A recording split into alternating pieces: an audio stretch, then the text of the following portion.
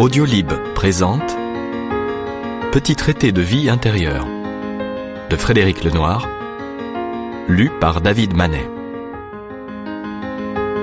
Le bonheur, c'est de continuer à désirer ce qu'on possède. Saint Augustin. Prologue. Exister est un fait, vivre est un art. Nous n'avons pas choisi de vivre, mais il nous faut apprendre à vivre, comme on apprend à jouer du piano, à cuisiner, à sculpter le bois ou la pierre. C'est le rôle de l'éducation.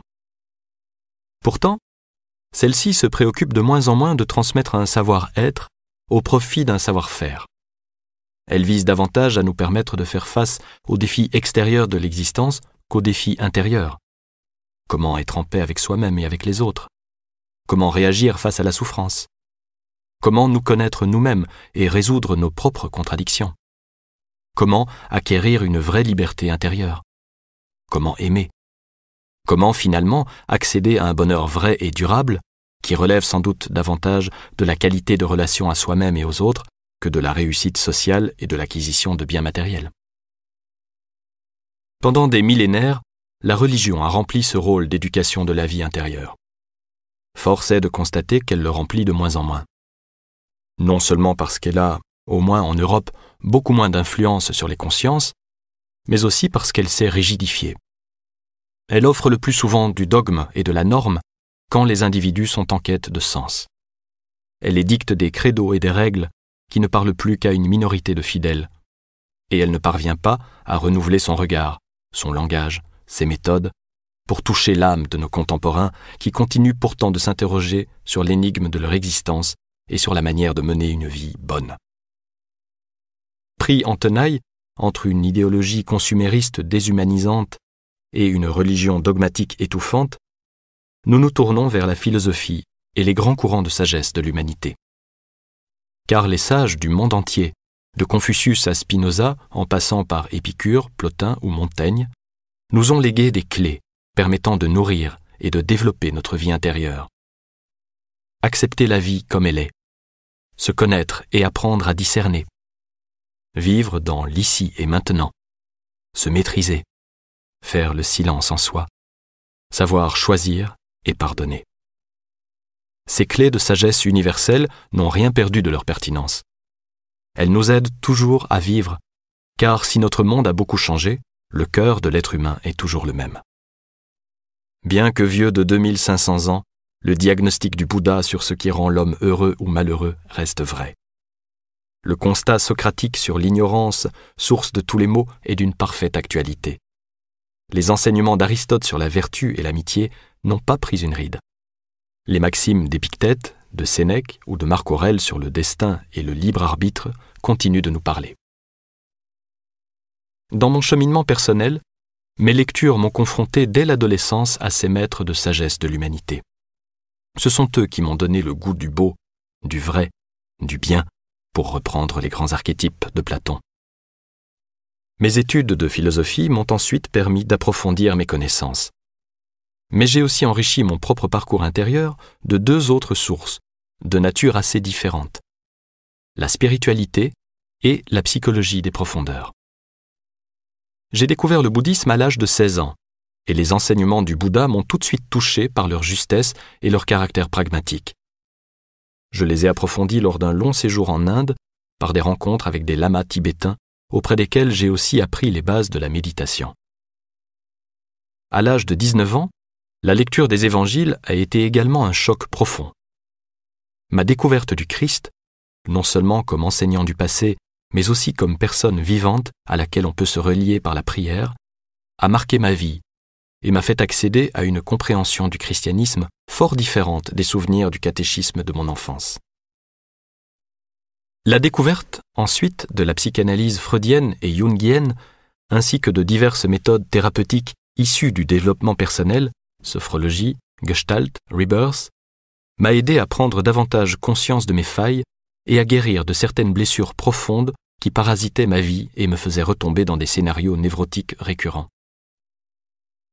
Ce petit traité est donc le fruit d'une réflexion personnelle, élaborée à partir des courants de sagesse philosophique d'Orient et d'Occident, de la spiritualité chrétienne libérée de sa gangue normative et de la psychologie des profondeurs. Je n'ai pas d'autre ambition que d'offrir ce qui m'a aidé à vivre et à me construire. Afin de rendre la lecture de ce livre accessible au plus grand nombre, j'ai choisi de l'élaborer en deux temps. Il est né sous la forme d'un enseignement oral, puis j'ai retravaillé le texte qui conserve néanmoins la trace de cette oralité. Ce que je transmets ici relève davantage de l'expérience. Celle tout d'abord des sages dont je m'inspire et que je cite souvent, la mienne ensuite, que, malgré bien des réticences, il m'était difficile de ne pas exposer. Car comment parler de vie intérieure en évitant de parler de soi? Qu'il soit clair cependant que je ne me considère en rien comme un modèle. Je conserve des parts d'ombre, et je ne parviens pas toujours à mettre en pratique les enseignements que j'évoque ici. Ce qui est certain, c'est que je suis aujourd'hui beaucoup plus lucide, apaisé, et, tout compte fait, plus heureux que je ne l'ai été dans le passé. Puisse ce petit livre aider d'autres âmes en peine et en quête de lumière à comprendre que l'amour est proche, que la liberté intérieure peut advenir, que la joie est là. Il suffit d'ouvrir les yeux de l'intelligence et du cœur pour les découvrir.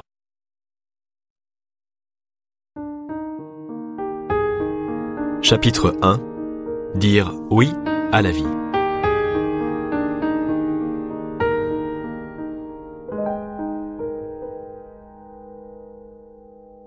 Nous sommes tous confrontés à un certain nombre de faits que nous n'avons pas choisis, que nous n'avons pas voulu et qui nous sont en quelque sorte imposés. C'est ce que j'appellerais le donné de la vie. C'est notre lieu de naissance, notre famille, l'époque à laquelle nous vivons. C'est notre corps, notre personnalité et notre intelligence, nos capacités, nos qualités, mais aussi nos limites et nos handicaps. Ce sont aussi les événements qui surviennent, qui nous touchent directement mais sur lesquels nous n'avons pas de maîtrise et que nous ne pouvons pas contrôler. Ce sont les maladies, les aléas économiques, la vieillesse et la mort. C'est le sort de l'être humain. On peut le refuser et vouloir que les choses soient autrement. On souhaiterait presque tous ne pas vieillir, ne jamais être malade, ne pas mourir. Certains rejettent leur culture, leur famille, leur lieu de naissance. D'autres n'aiment pas leur corps, leur tempérament, et souffre de certaines limitations physiques ou psychiques. Ce refus est parfaitement compréhensible et légitime. Et pourtant, la sérénité, la paix intérieure, la joie ne peuvent nous échoir sans un acquiescement à l'être et une acceptation profonde de la vie telle qu'elle nous est donnée, avec sa part d'inéluctable. Ce oui à la vie ne signifie pas pour autant qu'il ne faille pas chercher à évoluer, à modifier ce qui peut l'être, à contourner des obstacles évitables. On peut quitter un pays qui nous oppresse, s'éloigner d'une famille mortifère, développer des qualités, transformer certains handicaps physiques ou blessures psychologiques pour en faire des atouts. Mais ces changements ne peuvent intervenir que sur ce qui est modifiable. Et ils ne nous seront profitables que si nous les opérons sans rejet violent du donné initial de notre vie. On peut ainsi intervenir sur son apparence physique mais nul ne peut éviter à son corps de vieillir. On peut prendre de la distance avec ses parents et sa famille d'origine, mais il sera impossible de trouver la paix intérieure si cette distance repose sur un ressentiment permanent, sur une haine tenace, sur un refus de ce qui a été. La sagesse commence par l'acceptation de l'inévitable et se poursuit par la juste transformation de ce qui peut l'être. Cette compréhension est au fondement même d'un grand courant philosophique de l'Antiquité gréco-romaine qui s'appelle le stoïcisme. Le nom de cette école de sagesse, stoa, le portique, provient banalement de la stoa poikile, un célèbre portique décoré de fresques qui servait de point de repère aux Athéniens et sous lequel Zénon, le père du stoïcisme, délivrait ses enseignements. De nombreux penseurs ont pratiqué la philosophie stoïcienne du IVe siècle avant notre ère jusqu'au VIe siècle de notre ère, soit pendant près de mille ans. Les philosophes stoïciens appartenaient à toutes les couches de la société, de l'empereur Marc Aurèle à l'esclave Épictète. Ce dernier, qui a vécu au premier siècle, a parfaitement résumé dans son manuel la distinction entre ce qui dépend de nous, l'opinion, les désirs, l'aversion, et qu'il nous appartient librement de transformer, et ce qui ne dépend pas de nous, corps, conditions de naissance, réputation, que l'on doit accepter. Épictète faisait remarquer, à juste titre, que nous voudrions bien souvent changer ce qui ne dépend pas de nous et ne pas faire évoluer ce qui dépend pourtant de nous. Une telle attitude ne peut conduire qu'au malheur et au ressentiment. C'est ce qu'illustre aussi la célèbre métaphore de la persona, le masque. Pour les stoïciens, en effet, nous ne sommes pas maîtres du destin. C'est lui qui nous installe dans un rôle prédéterminé, nous affublant en quelque sorte d'un masque, comme ceux que portaient les acteurs de l'époque et qui permettaient aux spectateurs de reconnaître chaque personnage dans son rôle, le roi, l'esclave, l'épouse, le traître, le héros. La sagesse, disent-ils, consiste à savoir habiter ce masque grâce à la proaï irisis, la liberté de choisir, non pas son rôle, mais la manière de l'endosser. Souviens-toi que tu es un acteur qui joue un rôle dans une pièce qui est telle que la veut le poète dramatique. Un rôle bref s'il veut que ce rôle soit bref. Long s'il veut qu'il soit long. S'il veut que tu joues le rôle d'un mendiant, veille à jouer ce rôle avec talent. Ou un boiteux, ou un magistrat, ou un homme ordinaire. Car ce qui t'appartient, c'est ceci. Bien jouer le rôle qui t'a été donné. Mais choisir ce rôle appartient à un autre, affirme Épictète.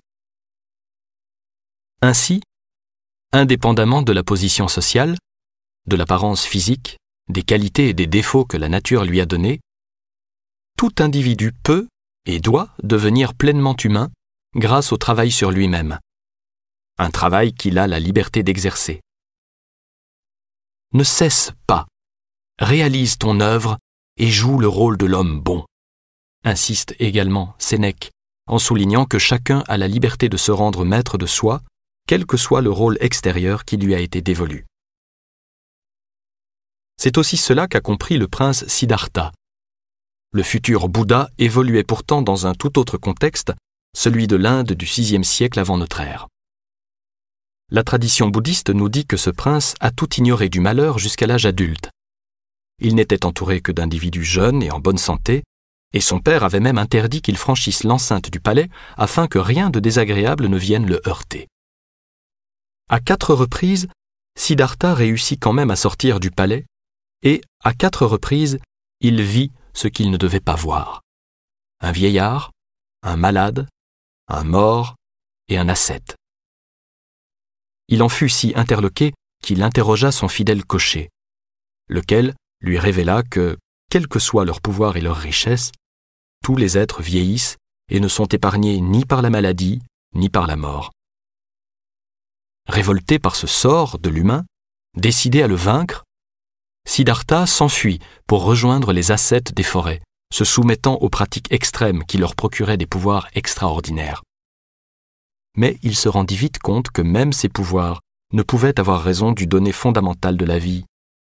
Comme tout être vivant, lui aussi finirait par vieillir et mourir. Alors Siddhartha quitta les ascètes et s'enfuit sous un arbre pour méditer.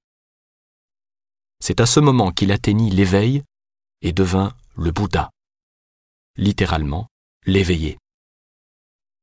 Ce qu'il comprit, c'est qu'il faut accepter le donner de la vie plutôt que le combattre, et chercher à éliminer le malheur par une réponse intérieure. C'est par la connaissance de soi et par un travail de transformation profonde nous pouvons atteindre une véritable sérénité. Comme le Bouddha, comme les sages stoïciens, nous pouvons tous trouver l'équilibre entre l'acceptation de l'inéluctable, ce qui ne peut pas être changé, et notre capacité à transformer ce qui peut l'être. Prenons l'exemple de la famille. Nous ne choisissons pas nos parents. Nous ne pouvons pas décider d'en changer, ni de les changer. Même si nous ne nous entendons pas bien avec eux, nous n'avons d'autre choix que de les accepter. Enfants, nous le faisons de manière instinctive, parce que nous avons besoin d'eux pour survivre. Adultes, nous devons le faire de manière réfléchie, dans le cadre d'une relation librement choisie, quelle que soit la forme que nous allons donner à cette relation, quelles que soient les limites que nous allons lui poser, et même si nous allons jusqu'à la rupture. Poser comme un fait inéluctable qu'il s'agit là de nos parents, de nos frères, de nos sœurs, revient à accepter une réalité. Alors seulement nous pourrons nous distancier de cette réalité, cesser d'être en situation de dépendance ou de contre-dépendance avec elle, ce qui est une autre forme d'aliénation, pour parvenir à une véritable interdépendance. Cela ne peut se faire sans une mise à distance volontaire et sereine. C'est à cette condition que nous pouvons sceller la paix avec le réel sans rester englués dans les sentiments de haine ou de colère. De même que notre famille, nous n'avons choisi ni notre pays, ni notre milieu de naissance. Il nous arrive parfois de nous sentir en décalage par rapport à cet héritage culturel. Mais prenons-nous conscience de ce qu'il peut receler de positif, qui nous est constitutif et qui nous est aussi profitable. Je suis français, et le côté râleur de mes compatriotes m'exaspère souvent. Mais il faut aussi reconnaître que c'est cet esprit critique qui était l'origine de la Révolution et de la lutte pour les droits de l'homme. Nous n'acceptons pas les vérités toutes faites. Nous interrogeons en permanence la politique, la religion, l'économie, les institutions. Et c'est tant mieux. J'assume cet héritage, mais je cherche aussi à transformer en moi le négativisme qu'il recèle. Avoir l'esprit critique ne signifie pas nécessairement tout critiquer. Être lucide ne signifie pas forcément être arrogant. On trouve ainsi dans chaque culture des éléments qui peuvent être à la fois négatifs et positifs. Par exemple, le sentiment d'autosatisfaction des Américains peut être perçu comme un défaut insupportable, mais aussi apparaître comme une grande force s'il est tempéré par une vision altruiste. Ce travail d'acceptation, il nous faut également l'effectuer vis-à-vis de notre propre personne. Nous avons tous une certaine forme d'intelligence, de sensibilité, un tempérament inné et un caractère qui s'acquiert par une éducation, par un vécu. Sachons les reconnaître et nous accepter. Prenons l'exemple de notre physique. Nous naissons avec des caractéristiques précises, la couleur des yeux, des cheveux, une tendance à l'embonpoint ou à la maigreur, parfois des handicaps. Que faire de ce corps? L'accepter tel qu'il est et apprendre à l'aimer. Ce travail de consentement est indispensable. En le menant, nous nous apercevrons bien souvent que certaines des caractéristiques qui ne nous semblaient pas satisfaisantes sont tout à fait aimables. Adolescent, j'ai ainsi souffert de mesurer 1m65, quand la plupart de mes copains mesuraient 1m80. J'ai souffert du regard des autres jusqu'à en faire un complexe, et me suis persuadé que cette taille serait pour moi un obstacle tout au long de ma vie. Ayant cela en tête, j'anticipais même le rejet de certaines jeunes femmes plus grandes que moi et n'osais aller vers elles. À l'âge adulte, j'ai progressivement admis le fait d'être plus petit que la moyenne. Et j'ai découvert qu'en fait, ma taille n'était pas un problème. Ou plutôt, que si elle cessait d'être un problème pour moi, elle ne l'était plus pour personne. J'ai fini par m'accepter ainsi. Dès lors, Ma taille ne m'a pas empêché de réussir ma vie professionnelle et elle a totalement cessé de me handicaper dans ma vie amoureuse. Le complexe que j'ai eu adolescent a été aussi, de manière inconsciente, un moteur pour développer d'autres qualités, la réflexion, la créativité. Qui sait, si j'avais été grand, peut-être n'aurais-je jamais fait des études de philo. Toute limite peut nous stimuler à développer d'autres qualités qui seraient peut-être restées en friche. Woody Allen serait-il devenu un formidable cinéaste s'il avait eu la tête de Paul Newman? Évidemment, si j'avais eu des problèmes de poids, j'aurais suivi les régimes nécessaires à mon bien-être et à ma santé pour maigrir. C'est pourquoi, tout en commençant par s'accepter tel que l'on est, il est indispensable de déterminer dans un deuxième temps si l'on peut agir directement et de manière efficace sur le donné qui nous rend malheureux. Il nous incombe donc de transformer ce qui dépend de nous et qui ne nous rend pas heureux ou qui est source de tension avec les autres. Si, par exemple, j'ai un caractère colérique, qui me conduit à accomplir des actes négatifs, un caractère qui me fait souffrir et fait souffrir mes proches, identifier et accepter ce caractère est une première étape qui ouvre la voie à un travail sur soi. Ce travail peut s'effectuer par le biais de la méditation ou de la psychothérapie, des moyens qui aident à atteindre un équilibre indispensable à la paix intérieure et à une bonne relation aux autres. Je reviendrai plus tard sur ces techniques. Certes, je conserverai mon caractère colérique toute ma vie, mais parce que je l'ai identifié et accepté, je saurai le maîtriser. Peut-être même l'utiliser à bon escient. En tout cas, m'en libérer dans ce qu'il a de destructeur. J'ai toujours été de tempérament rêveur. À l'école, j'étais tellement dans la lune que je n'écoutais pas grand-chose. J'étais incapable de me concentrer et j'avais de mauvaises notes dans presque toutes les matières. J'ai dû changer deux fois de lycée pour éviter de redoubler. Je m'en suis voulu avant de me résoudre à affronter ce trait de caractère, à comprendre qu'il subsistera toute ma vie, et finalement à l'accepter, à le faire évoluer et à en tirer le meilleur parti. Par une discipline de l'attention, j'ai appris à être davantage présent à la réalité. J'ai appris aussi à tirer profit de ce qui apparaissait au premier abord comme un travers. J'ai canalisé mon imagination dans la création artistique en écrivant des poèmes, et aujourd'hui des pièces de théâtre, des romans, des scénarios de BD et de cinéma. Je m'accepte désormais comme je suis, je continue parfois de lutter pour ne pas être envahi au quotidien par ma rêverie, mais je suis réconcilié avec moi-même. Ce qui était un problème est devenu source d'inspiration. Je l'expérimente au quotidien depuis bientôt 30 ans que j'ai entamé un travail philosophique, psychologique et spirituel.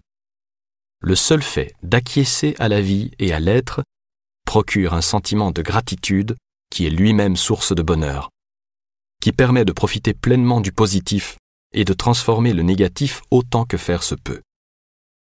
Dire oui est une attitude intérieure qui nous ouvre au mouvement de la vie, à ses imprévus, ses inattendus et ses surprises.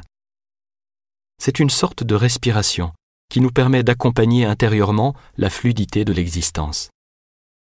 Accepter les balancements des joies et des peines, des bonheurs et des malheurs, accepter la vie telle qu'elle est avec ses contrastes et ses difficultés, son imprévisibilité bien des souffrances viennent de la négation de ce qui est ou de la résistance au changement.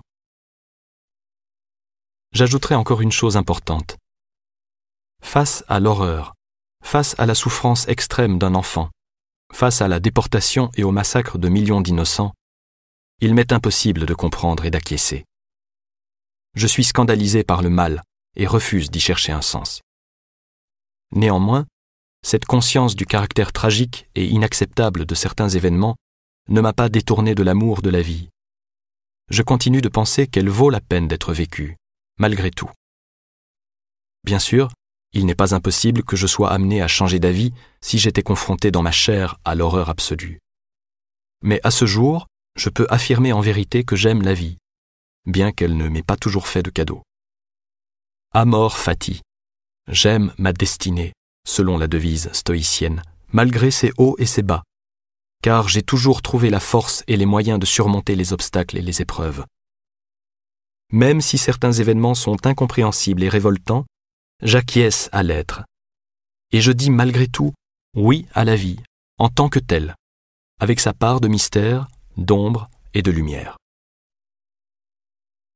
Le philosophe français Montaigne offre un exemple remarquable de ce que j'essaie de décrire il écrit dans ses essais De nos maladies, la plus sauvage, c'est mépriser notre être, ajoutant que s'aimer soi-même est le sommet de la sagesse humaine et de notre bonheur. Montaigne se disait heureux. Pourtant, la vie n'a pas toujours été généreuse avec lui. Né dans le contexte des guerres de religion, de santé très fragile, il n'a pas été épargné par les deuils. Six fois père, il a perdu cinq de ses enfants et il ne s'est jamais totalement remis de la mort de son ami Étienne de la Boétie, qu'il a passionnément aimé. Il soupirait certes du fait que dans l'existence, il y a toujours quelque pièce qui va de travers, et il ajoutait joliment C'est quelque chose de tendre que la vie, et aisé à troubler. Néanmoins, parce qu'il s'était obstiné à chercher le bonheur même à travers ses malheurs, cet homme pouvait se dire très content et satisfait. il avait une devise qu'il s'appliquait à mettre en œuvre. Il faut étendre la joie, mais retrancher autant qu'on peut la tristesse. Et il ajoutait en toute honnêteté et en dépit de tout, Pour moi donc, j'aime la vie. La vie telle qu'elle nous est offerte, la vie telle qu'elle est.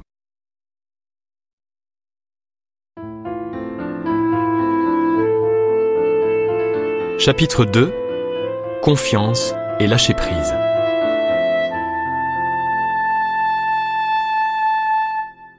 La foi est l'une des dimensions les plus importantes de la vie intérieure. Je ne parle pas de la foi telle qu'on l'entend à propos des religions monothéistes, c'est-à-dire la croyance en Dieu sans preuve de son existence, mais de cette foi que l'on pourrait qualifier de confiance, sans laquelle on ne peut pas avancer, progresser dans la vie. Les spiritualités orientales utilisent d'ailleurs indifféremment les mots de foi et de confiance pour parler de cet état d'être. Le bouddhisme, par exemple, part d'un constat empirique. Sans une foi-confiance préalable dans le Dharma, l'enseignement du Bouddha, tout progrès spirituel est impossible. Et sans une foi-confiance préalable dans le Maître, on ne peut pas intégrer ses enseignements. La raison en est simple. Si nous n'avions pas foi que ce que nous allons étudier va nous être profitable, nous ne l'étudierions pas sérieusement. Les enfants connaissent cette vérité et ils l'appliquent spontanément. Ils ont foi en leurs parents, ils les croient et apprennent ce qu'ils leur transmettent. Cela vaut aussi bien pour la transmission de la culture et des valeurs que pour tous les autres apprentissages. C'est d'ailleurs ainsi que, comme la plupart d'entre nous, j'ai appris à faire du vélo. Mon père derrière moi me maintenait en équilibre je ne le voyais pas et j'avais peur. Je lui ai dit de ne pas me lâcher. Il m'a demandé de lui faire confiance. Quelques mètres plus loin, je me suis aperçu que je pédalais tout seul. J'avais réussi à me lancer grâce à la foi confiance que j'avais en lui. Il existe évidemment des cas de perversion de la confiance. Nous connaissons tous de mauvais maîtres, de mauvais parents, des individus malhonnêtes qui abusent de la foi naturelle et spontanée que nous mettons en eux. Certains en profiteront pour accomplir un acte destructeur, comme celui d'abuser sexuellement d'un enfant. D'autres vont lui inculquer des enseignements négatifs, pétris de haine. Adultes, nous avons également affaire à des personnes qui abusent de notre confiance. Ce n'est pas pour autant qu'il nous faut l'étouffer. Il est indispensable de développer notre esprit de discernement. J'y reviendrai par la suite. Mais il nous faut préserver en nous cette foi confiance qui est indispensable pour avancer, pour progresser, pour grandir. Cela est valable dans tous les domaines, y compris la science. Avant de se lancer dans une recherche, le scientifique croit qu'il va trouver quelque chose. Cette foi a d'abord été explicitement religieuse dans l'Occident chrétien. Les premiers savants de l'ère moderne, comme Galilée ou Newton, étaient des croyants persuadés que le monde était intelligible. Leur quête scientifique visait à découvrir les lois physiques du monde établies par le Créateur. S'ils avaient pensé que le monde était inintelligible ou absurde, ils n'auraient rien cherché. Le déclin de la religion n'a pas pour autant supprimé cette foi en l'intelligibilité du monde chez les savants. La science ne peut être créée que par ceux qui aspirent profondément à la vérité et à la compréhension.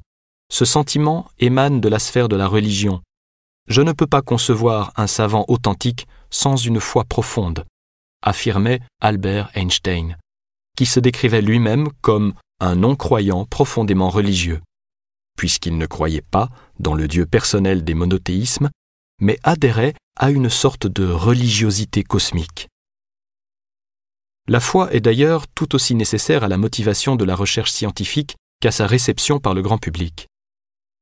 Bien peu d'individus sont capables de comprendre les démonstrations de la science, mais nous faisons confiance à la communauté scientifique et acceptons comme absolument vraies des théories et des conclusions qui échappent totalement à notre expérience commune.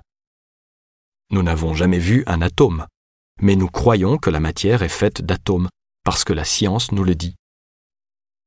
Comme le soulignait le sociologue Émile Durkheim, qu'un peuple n'ait pas foi dans la science et toutes les démonstrations scientifiques seront sans influence sur les esprits.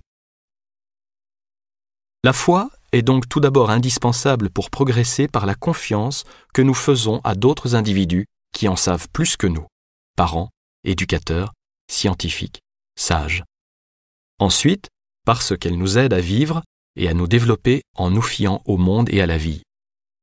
Nous sommes motivés pour progresser, pour apprendre, pour avancer, pour chercher, pour nous engager, pour créer, parce que nous croyons qu'il y a quelques vérités et quelques bontés dans le monde et dans la vie.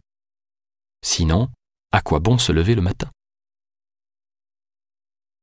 Cette foi varie selon les individus. Chez certains, le désespoir, la peur, le ressentiment, la colère l'emportent. L'existence devient alors douloureuse. La vie au quotidien peut se transformer en enfer quand elle est dénuée de confiance. Le monde apparaît hostile, dangereux. La peur remplace la confiance. On n'ose plus prendre un avion de peur qu'il ne s'écrase. On n'ose pas entrer dans une relation amoureuse de peur d'être trahi ou abandonné. On n'ose pas postuler à un emploi de peur que notre candidature ne soit rejetée. Et, au lieu de progresser, on reste paralysé dans notre vie professionnelle, affective et sociale. Notre existence devient impossible si on n'a pas un minimum de confiance, en soi, dans les autres, dans la vie. Cette foi dans la bonté du monde et dans le caractère positif de la vie est au fondement même de la philosophie stoïcienne que j'ai déjà évoquée. Le mot stoïque signifie dans nos esprits supporter la douleur et l'adversité avec courage.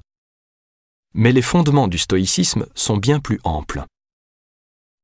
Zénon avait observé le monde qui nous entoure, le cosmos, et en avait tiré le constat que celui-ci est organisé par une raison universelle, selon une finalité qui nous échappe il voyait dans cette organisation un plan divin, et donc une preuve que les dieux, ou la Providence, ne laissent rien au hasard. Il invitait ses élèves à adhérer à ce plan et à lui faire confiance. De toute manière, ajoutait-il, il ne sert à rien de se révolter ni de se lamenter. D'une part, il est impossible de faire obstacle à la volonté divine ou à la raison universelle, et d'autre part, les dieux nous donnent certes des épreuves, mais aussi les moyens de les surmonter. C'est ce que résume encore une fois Épictète. Lève les yeux vers les facultés que tu possèdes, et, après les avoir contemplées, dis Donne-moi maintenant, Zeus, les circonstances que tu veux, j'ai l'équipement que tu m'as fourni, et les ressources pour me diriger à travers ce qui arrive. Non, mais vous restez assis à trembler que certaines choses n'arrivent, et lorsque d'autres sont arrivés, à vous plaindre, à pleurer et à vous lamenter. Ensuite, vous vous en prenez aux dieux. Dans la lignée des stoïciens, et sans nécessairement croire en Dieu, un individu qui a foi en la vie et qui est persuadé que tout ce qui advient est bénéfique, même si les apparences sont tout autres, développera une confiance et une positivité qui ne feront qu'entretenir et nourrir cette croyance et cette confiance plus nous voyons les cadeaux de la vie, plus ils viennent à nous. Plus nous percevons le positif de l'existence, plus la vie nous semble belle et lumineuse. Cette foi confiance dans la vie se manifeste par une attitude que l'on retrouve sous divers noms dans les sagesses et les grands courants spirituels de l'humanité. L'abandon, la quiétude, le lâcher-prise. Jésus s'adresse à ses disciples, inquiets des aléas de la vie, pour leur recommander, en termes finalement très stoïciens, de s'abandonner à la Providence. Voyez les corbeaux. Ils ne font ni semaille ni moisson. Ils n'ont ni grenier ni magasin. Et Dieu les nourrit. Vous valez tellement plus que les oiseaux. Ce thème de l'abandon à la volonté de Dieu et à sa providence est l'un des leitmotivs de la spiritualité chrétienne, mais aussi juive et musulmane. Le vrai croyant, c'est celui qui accepte la vie comme la volonté même de Dieu. L'abandon à la volonté divine le met dans un état de paix intérieure les stoïciens appelaient l'apatheia, la tranquillité de l'âme, l'absence de toute agitation intérieure. Cet abandon radical, le théologien et mystique dominicain maître Eckhart le développe au XIVe siècle en inventant la notion de Gelassenheit, de l'allemand lassen, littéralement le laisser être. Maître Eckhart prône le rien vouloir, rien savoir, rien avoir, comme condition de la sérénité, qui, pour lui, signifie l'union à Dieu. Dans une perspective cette fois radicalement athée, on retrouve des conseils similaires chez le philosophe allemand Arthur Schopenhauer. Il faut que l'homme arrive à l'état d'abnégation volontaire, de résignation, de calme véritable et d'arrêt absolu du vouloir. Schopenhauer s'est en partie inspiré de la philosophie hindoue des Upanishads, qui prône l'acceptation du réel et la suppression de la volonté comme condition de la libération intérieure. Sans aller jusqu'à cette mystique de l'abandon de toute volonté, admettons qu'il nous est impossible d'exercer une maîtrise totale sur notre vie. Les failles par lesquelles l'impromptu surgit sont imprévisibles. En voulant à tout prix contrôler cette part d'impondérable, nous nous condamnons à vivre dans l'angoisse permanente. Nous ne pouvons pas non plus contrôler autrui. Nous devons accepter qu'il nous échappe toujours, y compris quand il s'agit de son conjoint ou de son enfant. Comme l'écrit Khalil Gibran, si justement dans le prophète, Vos enfants ne sont pas vos enfants, ils sont les enfants de la vie. Nous ne pouvons pas davantage contrôler totalement notre vie professionnelle soumise à tant d'aléas externes, ni nous obstiner à vivre dans l'illusion de stabilité et de sécurité. Alors, faisons de notre mieux pour maîtriser ce qui peut l'être, à commencer par nos désirs et nos passions.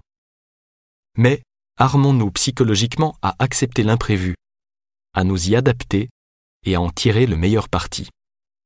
Les sagesses indiennes utilisent une expression que l'on pourrait traduire par lâcher prise pour qualifier cette attitude intérieure d'abandon au réel. Mais on ne peut véritablement lâcher prise que lorsque l'on a confiance en la vie. La première fois que nous sommes amenés à le faire, c'est toujours une épreuve.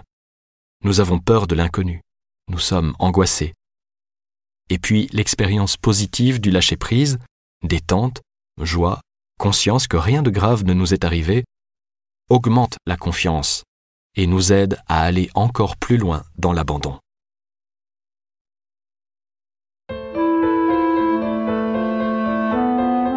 Chapitre 3 Responsable de sa vie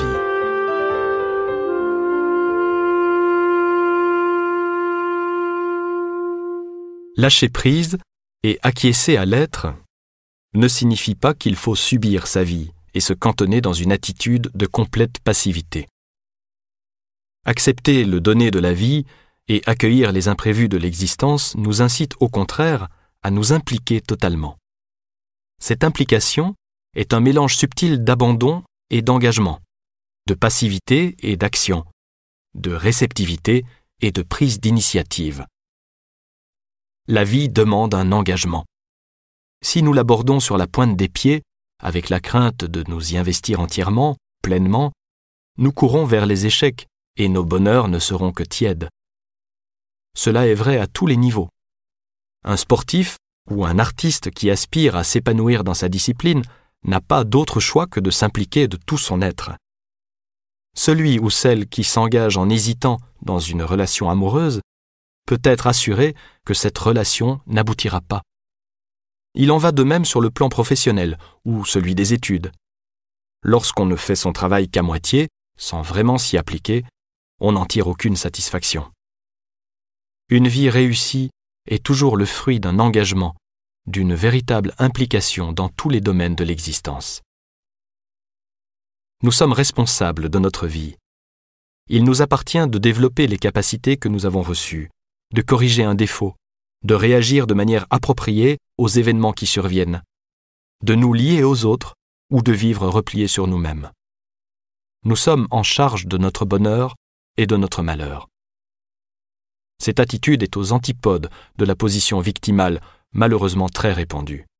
Certaines personnes ne se sentent en effet responsables de rien. Tout ce qui leur arrive est la faute des autres, de la malchance, de l'État, c'est toujours de l'extérieur que vient le mal, et c'est toujours de l'extérieur qu'elles attendent la solution. Elles gémissent sur leur sort au lieu de se prendre en main, refusent de voir leur responsabilité dans ce qui leur advient et attendent systématiquement un secours de l'extérieur. Cette déresponsabilisation provient en grande partie d'un manque d'intériorité et de conscience de soi. En Occident, pendant des siècles, la religion a pu servir d'alibi et nourrir cette déresponsabilisation.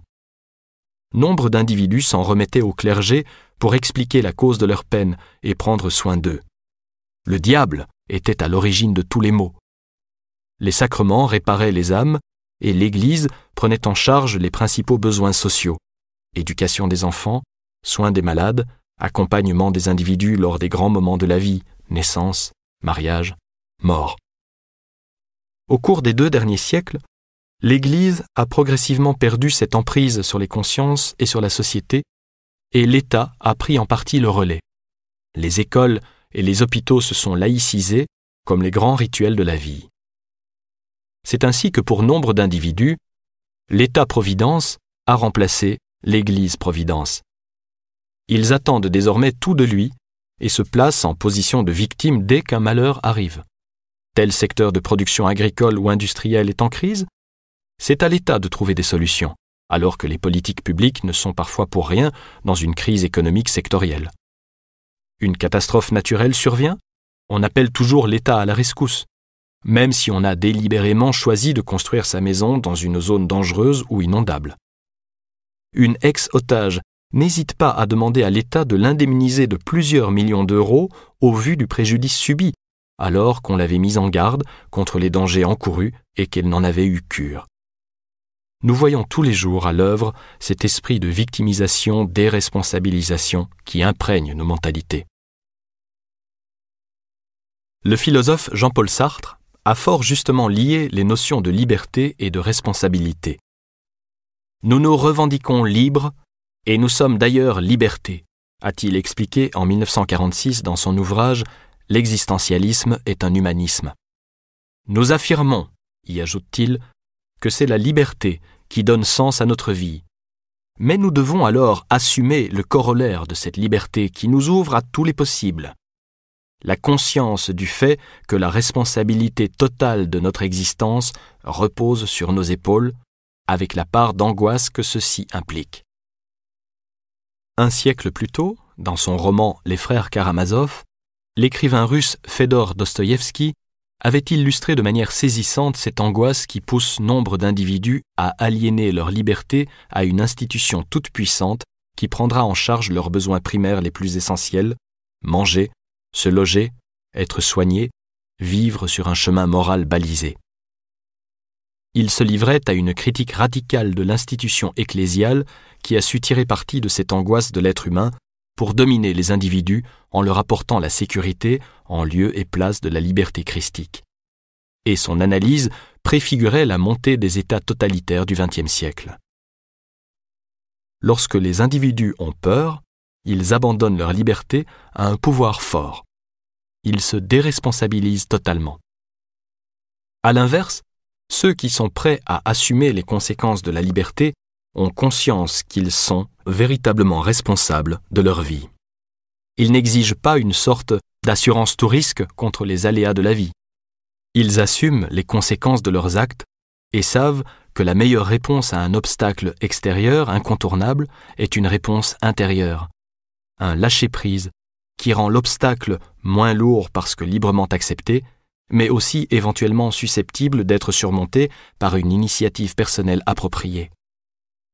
Ils savent que la solution est en eux et non à l'extérieur, qu'ils sont responsables de leur bonheur présent et futur. J'ajouterai que lorsque nous faisons l'expérience intérieure profonde de cette responsabilité, nous réalisons que nous sommes concernés par les autres de deux manières différentes. D'abord, nous prenons conscience des conséquences que peuvent avoir nos actes sur nos proches. Nous avons tous fait la triste expérience d'une parole blessante proférée à la légère et qui a heurté des personnes que nous aimons. Être responsable de sa vie, c'est mesurer l'importance de nos pensées, de nos paroles et de nos actions. C'est rester éveillé, en alerte, c'est ne pas vivre dans l'inconscience. Si nous commettons une erreur, si nous agissons mal, si nous nous trompons, reconnaissons-le et essayons autant que possible de réparer cette erreur.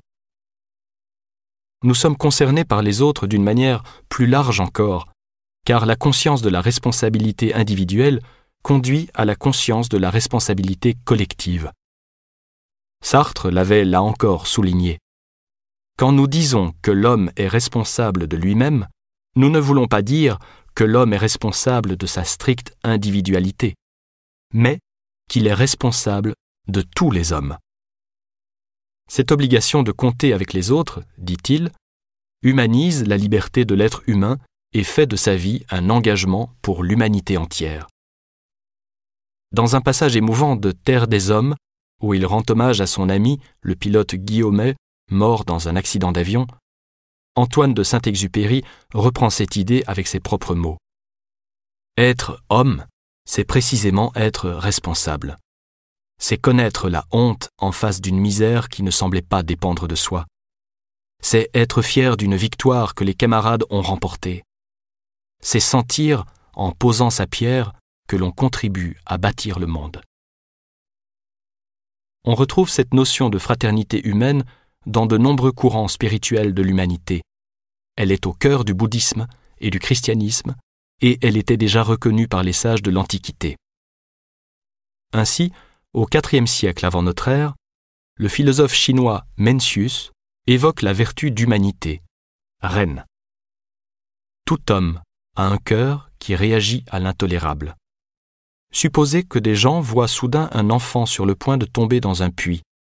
Ils auront tous une réaction d'effroi et d'empathie qui ne sera motivée ni par le désir d'être en bon terme avec les parents, ni par le souci d'une bonne réputation auprès des voisins et amis, ni par l'aversion pour les hurlements de l'enfant. Il apparaît ainsi que, sans un cœur qui compatit à autrui, on n'est pas humain. Une phrase de l'abbé Pierre m'a profondément marqué. On ne peut être heureux sans les autres. On ne peut en effet être heureux sans une relation aimante à d'autres êtres humains. Mais plus profondément, le fondateur d'Emmaüs voulait dire qu'on ne peut être pleinement heureux en sachant que tant d'êtres sont dans le malheur sans rien faire pour les aider. Bien sûr, aucun humain ne peut porter toute la souffrance du monde sur ses épaules, mais le fait d'être attentif à ceux qui souffrent et que le destin met sur notre route, d'accomplir ce qu'on peut, à notre niveau, pour participer au recul de la souffrance et à l'avènement d'un monde meilleur, ouvre notre cœur et ne cesse de l'agrandir. C'est finalement une des conditions fondamentales d'un bonheur vrai. J'y reviendrai lorsque je parlerai de l'amour et de la compassion. Pour ma part, je crois que lorsque nous nous sentons responsables de notre existence, nous nous sentons aussi responsables de la vie, ce bien si précieux. Nous nous engageons alors dans des causes qui dépassent notre petite sphère personnelle. Nous soutenons d'autres humains qui souffrent, même à l'autre extrémité de la Terre. Nous nous sentons concernés par n'importe quelle dictature, comme si nous avions à la subir nous-mêmes. Nous nous mobilisons pour soutenir une femme qui va être lapidée en Iran et pour la libération d'un prisonnier politique en Chine. Et nous nous sentons aussi touchés par le sort de la Terre et de tous les êtres vivants. Nous nous battons pour la sauvegarde de la planète, pour que la Terre demeure belle et viable, pour que cesse le massacre des espèces menacées et contre la torture animale. Comment peut-on aimer la vie et la détruire? Refuser la souffrance pour soi et supporter celle des animaux? Aimer la planète et rester indifférent au pillage dont elle est victime? Cela m'est apparu comme une évidence dès que je me suis forgé une conscience philosophique de l'existence. C'est pourquoi je suis engagé depuis très longtemps non seulement dans des associations humanitaires, mais aussi écologiques. J'ai ainsi participé, il y a plus de 20 ans, à la création de l'association Environnement sans frontières, avec Éric de Romain et Valérie Hatt. Et j'ai publié le livre Mal de terre, avec Hubert Reeves, qui dénonce les principales menaces pour l'avenir de la vie sur Terre. Toute action en faveur de la vie, aussi minime soit-elle, est une manière de nous relier au monde et de signifier notre refus de la violence et de la destruction. Plus nous serons nombreux à agir ainsi, plus le monde aura des chances de changer.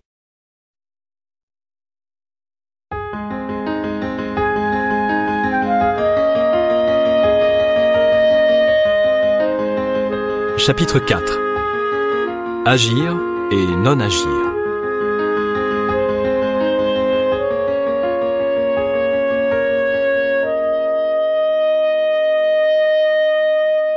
Nous sommes nés pour agir, s'exclame Montaigne en prélude à ses essais. S'engager dans la vie signifie, par définition, agir. L'être humain a besoin d'agir sur le réel pour le façonner, le transformer, et il en tire satisfaction. Ce besoin est l'une de ses caractéristiques propres, un trait distinctif le différenciant des animaux qui, quand ils bâtissent leur terrier, nid ou ruche, ne répondent pas à un principe de plaisir, mais obéissent à un instinct de survie. L'homme, lui, au-delà de sa survie, a besoin de s'investir dans un travail, dans une action, dans une création. L'inactivité lui pèse, au sens littéral du terme. Elle l'écrase, l'ennuie, l'empêche de se sentir totalement lui-même. Un homme qui ne fait qu'attendre dans l'oisiveté que le temps passe vit avec un goût d'inaccomplissement. Il ne peut pas développer son humanité dans toute sa richesse. Cette particularité se révèle dès la petite enfance, quand, aussitôt qu'il commence à se déplacer, même à quatre pattes, l'enfant peut passer des heures à jouer avec des objets ou des éléments qu'il déconstruit et reconstruit. Un peu plus tard, il s'investit dans les constructions de toutes sortes, comme dans celle des châteaux de sable par exemple, un jeu qui l'amuse bien plus que la plupart des jouets que l'on trouve dans le commerce, rapidement consommés, puis abandonnés. Travailler, agir sur le réel, est un élément indispensable à notre bien-être, et plus encore à la croissance de notre être. Je n'entends pas par travail uniquement ce qui nous permet de gagner de l'argent pour vivre, mais toute tâche, toute production dans laquelle nous nous investissons. La cuisine, le jardinage, le bricolage, la couture, une activité manuelle ou intellectuelle, une œuvre associative. En somme, tout ce qui nous permet de répondre à ce besoin essentiel à notre équilibre, agir sur le monde en le marquant de notre propre intériorité, se sentir un agent d'évolution du réel qui nous entoure. En modelant cette réalité, nous la rendons moins étrangère à notre être, à nos goûts, à nos valeurs, nous l'apprivoisons. Un cadre imprime son savoir-faire sur les dossiers qu'il traite. Un employé s'organise et innove pour effectuer son travail dans les meilleures conditions possibles. Celui qui repeint sa chambre sait, quand sa journée est achevée, qu'elle a été productive, qu'il a agi, qu'il a avancé en faisant évoluer le réel. Son temps n'a pas été vain, il ne l'a pas perdu. Le travail est la seule chose délicieuse et qui suffit, écrit le philosophe Alain. J'entends le travail libre, effet de puissance à la fois et source de puissance. Encore une fois, non point subir, mais agir. Ce plaisir est dans tout métier, car l'ouvrier invente et apprend toujours. La plupart des courants de spiritualité et de sagesse n'ont pas été ignorants de cette vérité qu'est l'épanouissement de l'esprit par le travail.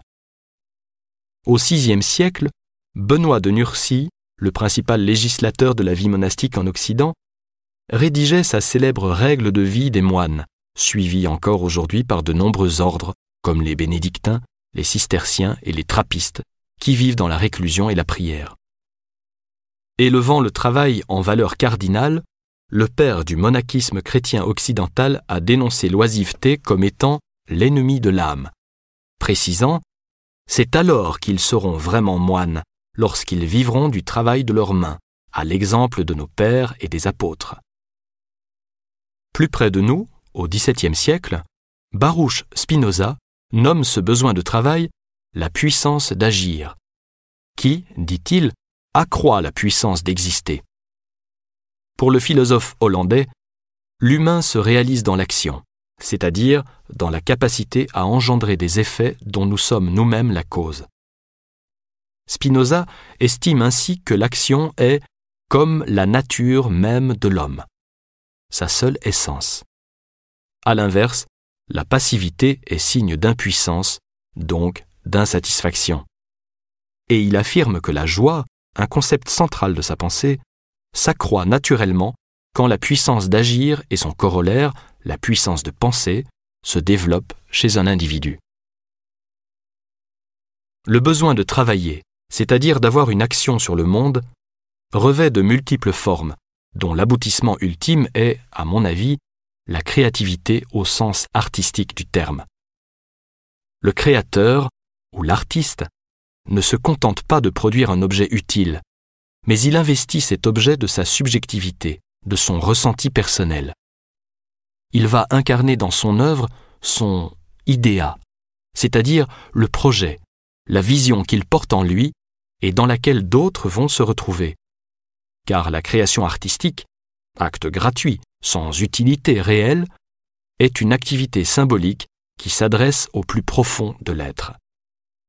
D'ailleurs, pour la qualifier, nous utilisons le langage du cœur et de l'âme. Face à une œuvre d'art, nous nous déclarons émus, touchés, bouleversés. Ce n'est pas l'usage que nous pouvons en faire qui nous interpelle, mais sa dimension esthétique et symbolique gratuite. Nous sommes tous des créateurs. Nous avons tous, au plus profond de nous, une dimension artistique que nous laissons s'exprimer, ou, au contraire, que nous inhibons, souvent par crainte du jugement des autres, de ce regard dont nous redoutons qu'il ne porte pas seulement sur notre œuvre, mais aussi sur notre être profond, sur l'esprit et l'essence qui nous sont propres et qui s'expriment à travers cette œuvre. J'ai attendu d'avoir 30 ans pour oser me mettre au piano, puis d'en avoir 40 pour écrire mon premier roman, alors que ce sont deux activités artistiques que je rêvais d'exercer depuis l'enfance. Mais j'avais plus ou moins consciemment peur du jugement des autres. Tant de personnes écrivent avec talent et jouent si bien du piano. Il m'a fallu faire un long travail de détachement de l'ego pour me lancer et ne plus craindre l'opinion d'autrui.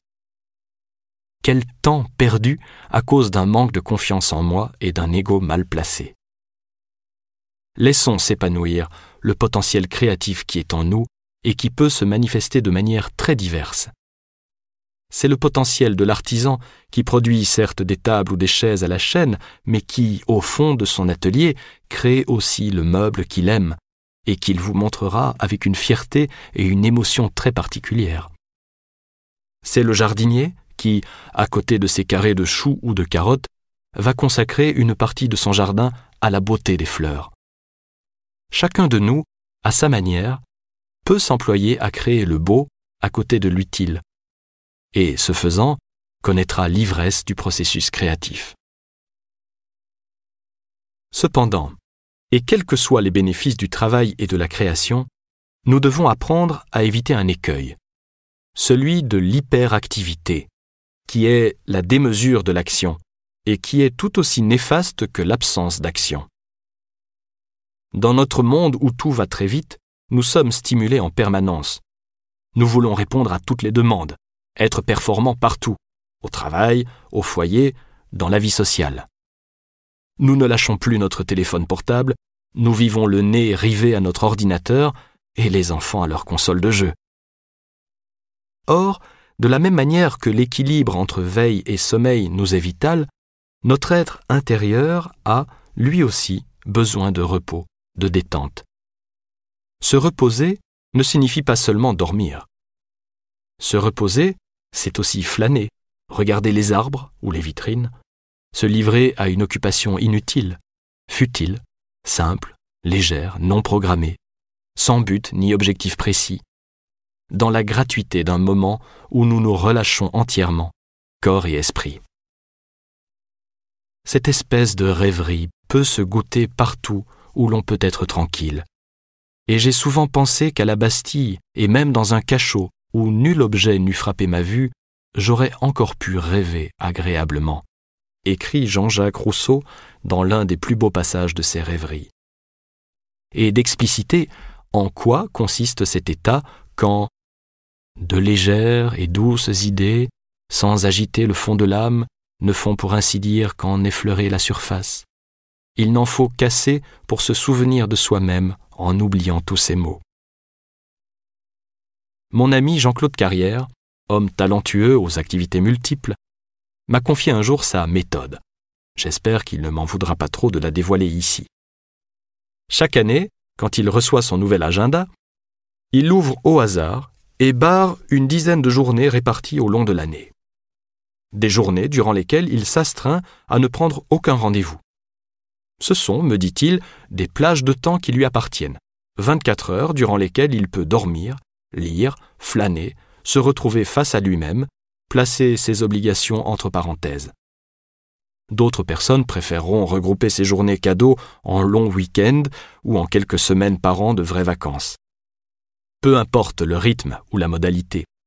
L'essentiel est de savoir s'accorder des temps de répit, à notre époque où l'activité et le travail sont omniprésents. Nous craignons les moments de détente totale parce que nous les percevons comme un temps perdu. Apprenons, au contraire, à les percevoir comme du temps gagné. C'est quelque chose que j'ai progressivement compris et mis en pratique. Ma vie professionnelle est très intense et dispersée entre des activités dans les médias et celles de recherche et d'écriture, et je dois sans cesse faire face à de multiples urgences. On me demande souvent comment je parviens à tout mener de front. Ma réponse est invariable. C'est parce que je prends aussi le temps de ne rien faire. J'ai vitalement besoin de nature, et je passe depuis vingt ans la majeure partie de mon temps à la campagne, loin de Paris. Je me promène tous les jours dans la nature, sans but précis. Je regarde mon chat chahuter avec ma chienne, je lis l'équipe et je joue au tennis ou au foot. Lors de ces intervalles de décompression, mon esprit se ressource. Il se régénère de telle sorte que lorsque je m'installe à ma table de travail, mon efficacité est décuplée. Quel bonheur d'écrire en trois heures, dans l'enthousiasme, ce que j'aurais sans doute mis trois jours à produire en état de fatigue psychique. S'il importe de s'engager complètement dans la vie et d'être actif, cet engagement et cette action ne peuvent se réaliser de manière féconde et profitable que grâce à une mise à distance. C'est l'un des équilibres fondamentaux de la vie.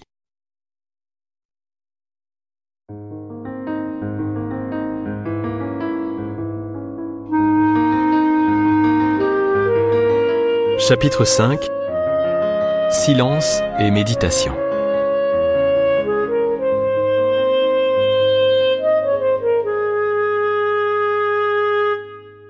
Pour prendre de la distance vis-à-vis des événements, nous avons besoin de solitude et de silence. Mais nous en avons souvent peur. Dans notre monde moderne, où nous vivons cernés par trop de mots et de musique, de bruit et de clameur, l'absence de son nous apparaît angoissante. Une demi-heure sans stimulus extérieur nous inquiète.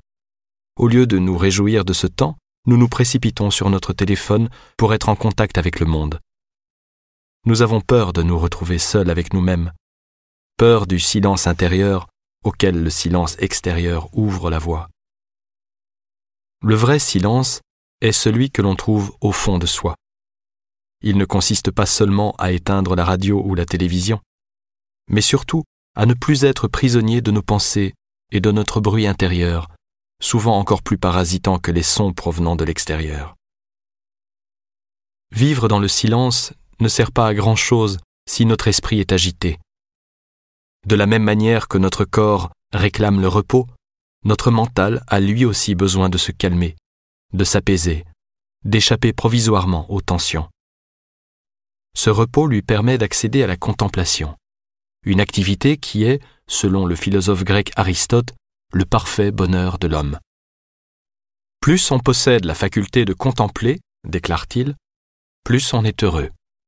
Heureux non pas par accident, mais en vertu de la contemplation même, car cette dernière est par elle-même d'un grand prix. Il en résulte que le bonheur ne saurait être qu'une forme de contemplation. Tous les courants de sagesse ont mis en avant l'importance de la solitude et du silence intérieur pour accéder aux expériences de contemplation, au divin, à l'absolu, à la réalisation de soi.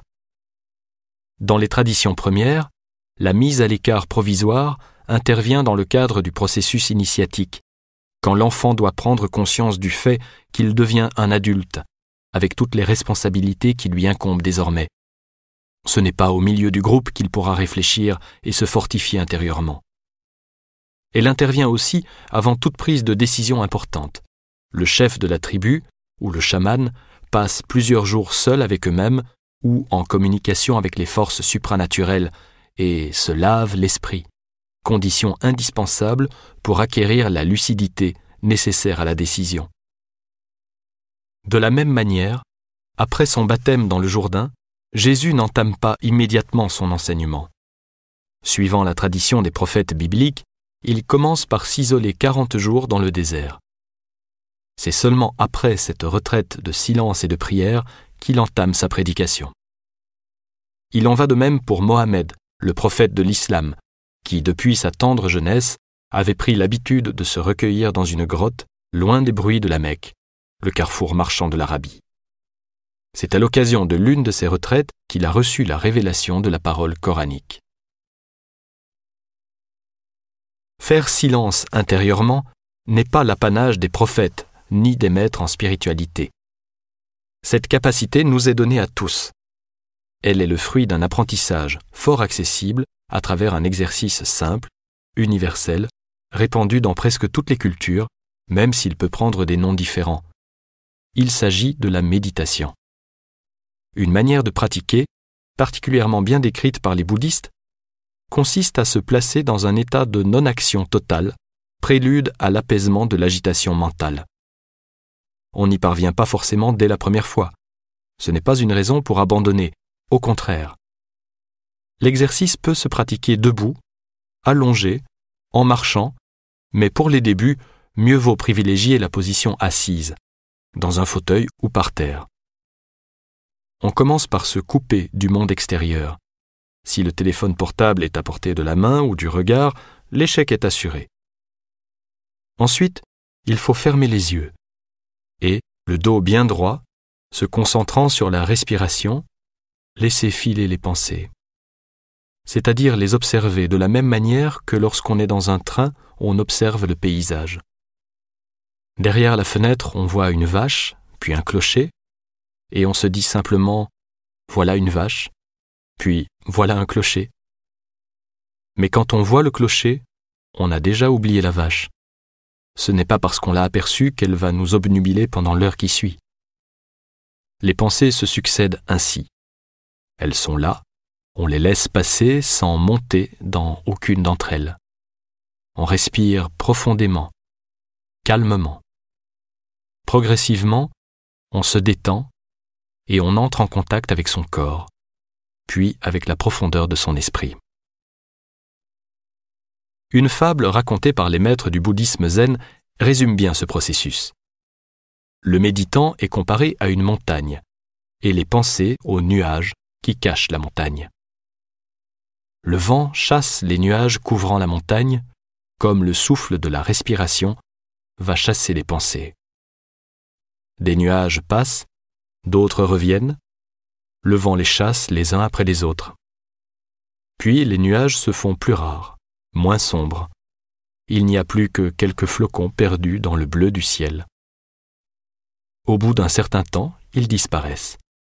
La montagne apparaît alors dans toute sa majesté. Ainsi en va-t-il des pensées, ces nuages qui brouillent la réalité de l'esprit et empêchent le lâcher-prise intérieur, l'émergence du soi. Comme tout exercice physique ou mental, la méditation demande à être pratiquée avec régularité afin d'être maîtrisée. C'est un exercice quotidien auquel on se livre d'abord à petite dose, cinq minutes, puis dix minutes, un quart d'heure, une heure quand on devient un méditant aguerri. Je compare souvent la méditation à la gymnastique. On commence par exécuter difficilement dix pompes avant de s'écraser au sol. Un mois plus tard, on termine ces 50 pompes sans difficulté. De la même manière, au fur et à mesure de son entraînement, le pratiquant réussit à créer de plus en plus facilement un espace de silence intérieur et à approfondir cet espace. Méditer devient précieux, notamment dans des situations de tension, d'agitation, de stress, de peur, où on se met rapidement dans l'état de détente intérieure qu'on connaît parce qu'on l'a déjà expérimenté. Plutôt que se laisser envahir par des pensées négatives, on crée une distance avec ses émotions. Plutôt que se mettre en colère, on prend conscience de sa montée et on choisit de ne pas être mu par elle, Ou au contraire, si la situation nous y contraint, on l'exprime, mais comme un ressort positif, en la maîtrisant, avec une vraie liberté intérieure. Le maître bouddhiste japonais Taisen Deshimaru, qui a popularisé la pratique du zen en Europe à partir de la fin des années 1960, avait coutume de comparer l'esprit de chacun de nous à un verre d'eau boueuse. Il suffit, disait-il, de poser ce verre sur une table sans l'agiter pour que le liquide se décante. La boue tombe au fond du verre. L'eau s'éclaircit. La méditation, ajoutait-il, agit de la même manière. Quand on cesse d'agiter notre esprit, les pensées lourdes se déposent au fond et l'eau de la conscience se clarifie.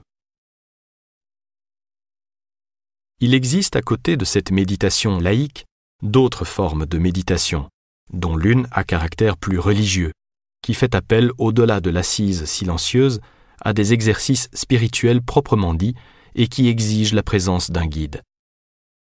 Dans le bouddhisme tibétain, la pratique du silence intérieur est considérée comme un simple préliminaire à d'autres pratiques plus poussées, très colorées par la culture tibétaine. Prosternation, récitation de mantras, visualisation de déités. Toutes ces pratiques visent de manière ultime à libérer l'esprit de l'ignorance et à atteindre l'éveil du Bouddha. D'une autre manière, la méditation est également présente dans les religions monothéistes. Lorsqu'ils prient, les fidèles commencent par faire silence. Ils s'isolent et se recueillent. Ce recueillement favorise la rencontre avec Dieu, et pour les chrétiens, avec le Christ. Au XIIIe siècle, saint Thomas d'Aquin qualifiait l'oraison, c'est-à-dire la prière silencieuse intérieure, de cœur à cœur avec Dieu. Je n'ai pas trouvé de plus belle formule pour qualifier la relation aimante qui s'instaure entre le croyant et le tout autre à partir de la simple présence silencieuse. Mais pour parvenir à cet état de contemplation, les croyants ont besoin d'apprendre à calmer leur mental, à accéder à cet état de silence intérieur qui favorise le contact avec le divin. C'est pourquoi de plus en plus de juifs, de chrétiens et de musulmans apprennent les bases de la méditation bouddhiste. J'ai rencontré plusieurs moines bénédictins qui sont allés s'initier à la méditation au Japon et en ont retiré les meilleurs fruits pour leur vie spirituelle chrétienne. Je pratique moi-même la méditation depuis l'âge de 20 ans, en ayant acquis les techniques auprès de lamas tibétains dans les régions himalayennes. Depuis, j'essaie de méditer tous les jours. Je reconnais que, certains jours, ma séance de méditation ne dépasse pas cinq minutes. D'autres fois, en revanche, elle peut durer plus d'une heure. La méditation m'aide à me ressourcer intérieurement, à prendre de la distance avec mes émotions. Cette pratique est d'ailleurs l'une des clés de mes très nombreuses activités. Je ne pourrais pas réussir à gérer mon emploi du temps sans faire le vide en moi, sans décoller littéralement mon esprit, ne serait-ce que de manière fugace, de la paroi du monde, de l'agitation, des soucis quotidiens. Méditer ne revient pas à perdre du temps, mais au contraire à en gagner. De la même manière qu'il nous faut nous détendre pour mieux rebondir dans la vie, la méditation nous permet d'accomplir toutes nos tâches avec plus d'acuité, de justesse, de précision. Je pense à deux personnages célèbres témoignant à merveille de la fécondité de cette entreprise. Saint Vincent de Paul et le Dalai Lama. Prêtre catholique, Vincent de Paul a fondé au XVIIe siècle un nombre incalculable d'œuvres pour venir en aide aux pauvres, aux malades, aux victimes des guerres. Il a également été le fondateur d'un hospice pour les personnes âgées, hospice qui deviendra l'hôpital de la Salpêtrière à Paris. Il trouvait aussi le temps de visiter les galériens et les prisonniers, tout en étant le confesseur de la reine Anne d'Autriche, l'aumônier de la reine Marguerite de France et le précepteur des neveux de l'archevêque de Paris. Appelé au chevet du roi Louis XIII pendant sa maladie, il en a recueilli le dernier soupir. Comment faisait-il pour mener de front toutes ces activités? La question lui étant souvent posée, il répondait qu'il lui suffisait de commencer ses journées par quatre heures d'oraison. Rempli de Dieu, ajoutait-il, il pouvait alors donner Dieu à tout le monde. Il en va de même pour le Dalai Lama, un homme d'une grande humanité que j'ai eu la chance de rencontrer plusieurs fois et qui m'a toujours frappé par sa douceur, son attention aux autres, sa disponibilité. Pourtant, il passe sa vie à courir le monde, multipliant les activités politiques, culturelles, spirituelles et les rencontres avec les grands de la planète ainsi qu'avec les simples fidèles. Il m'a un jour livré le secret de son hyperactivité. Quatre heures de méditation par lesquelles il commence toutes ses journées.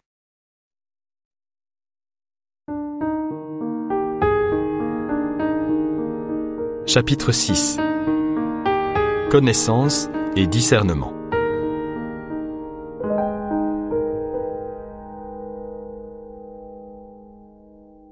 Le Bouddha et Socrate, entre autres sages, n'ont cessé de répéter cette vérité. L'ignorance est la cause de tous les maux. Comment peut-on construire sa vie sans connaissance et sans discernement? Nous sommes tout le temps appelés à distinguer, à différents niveaux, le bien du mal, le vrai du faux, le juste de l'injuste, le positif du négatif. À un stade élémentaire, d'ailleurs bien plus développé chez les animaux que chez les humains, le discernement est instinctif. Un animal sait d'emblée ce qui est bon et ce qui est mauvais pour sa survie et celle de son espèce. Nous disposons aussi de cet instinct animal, même si, avec l'éducation et la socialisation, nous nous en méfions parfois, nous obstinant à suivre un chemin ou à fréquenter des individus dont notre premier instinct nous avait détournés. Certaines personnes, il est vrai, ont une intelligence instinctive particulièrement forte, mais cet instinct ne suffit pas à déployer l'être humain dans sa pleine humanité.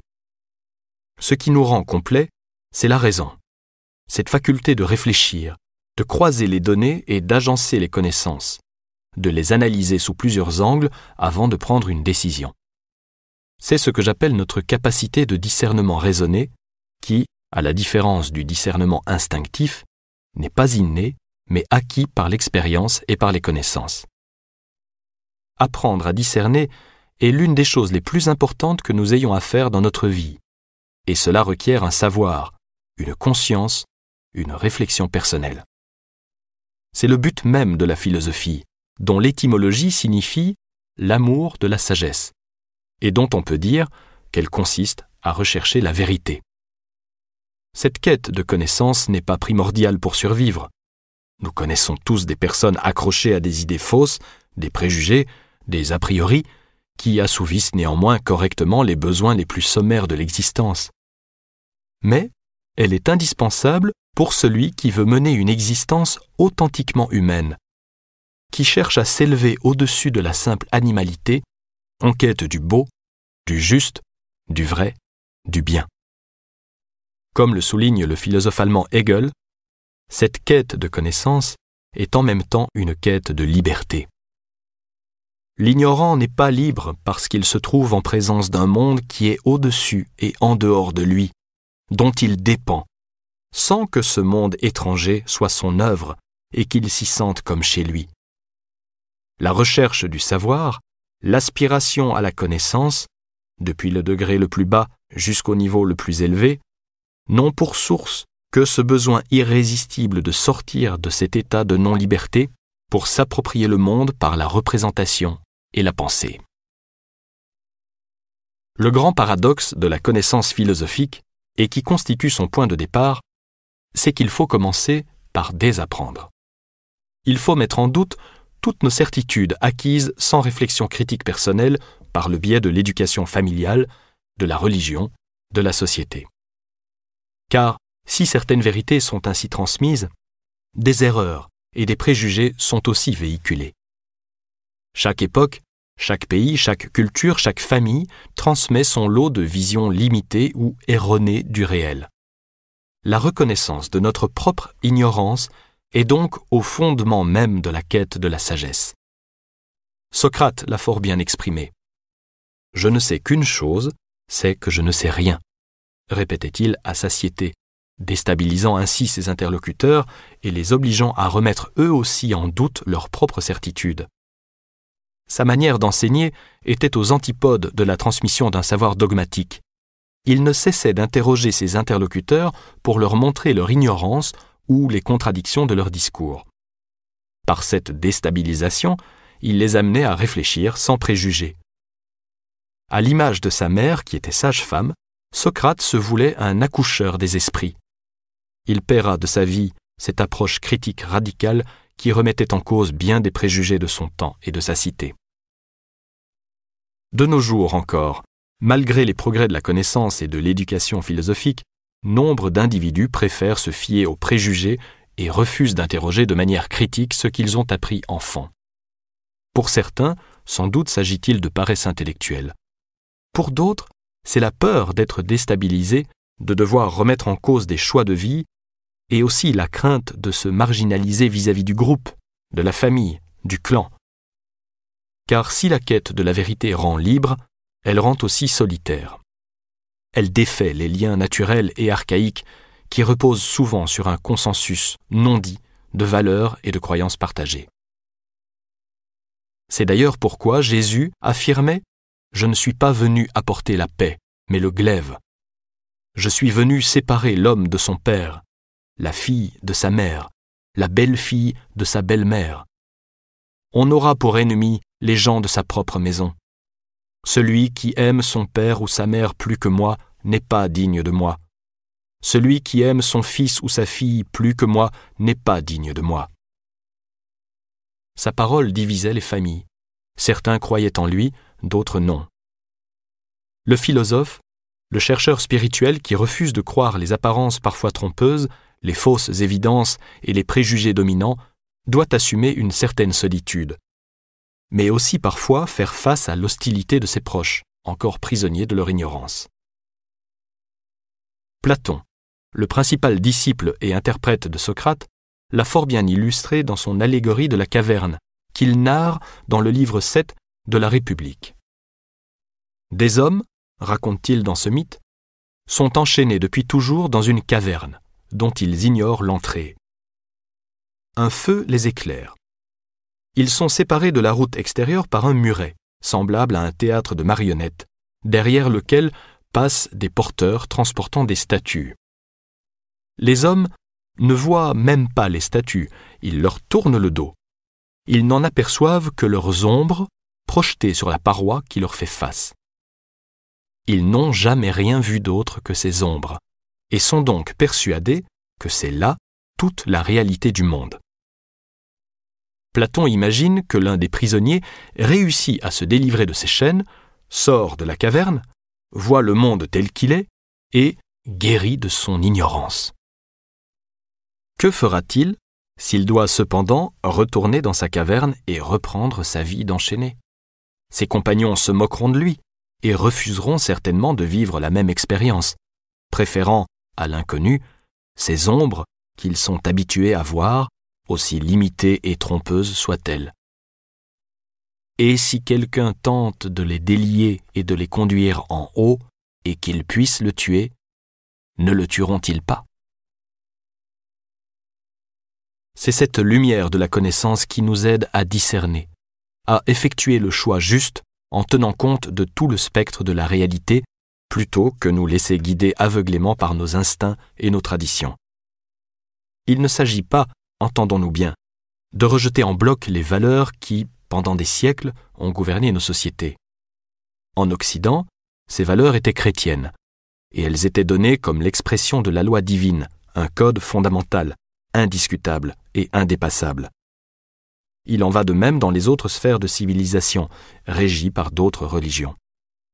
Toutes les traditions religieuses du monde ont transmis un certain nombre de codes et de valeurs fondamentales. L'interdiction du meurtre, du vol, du mensonge, de l'inceste.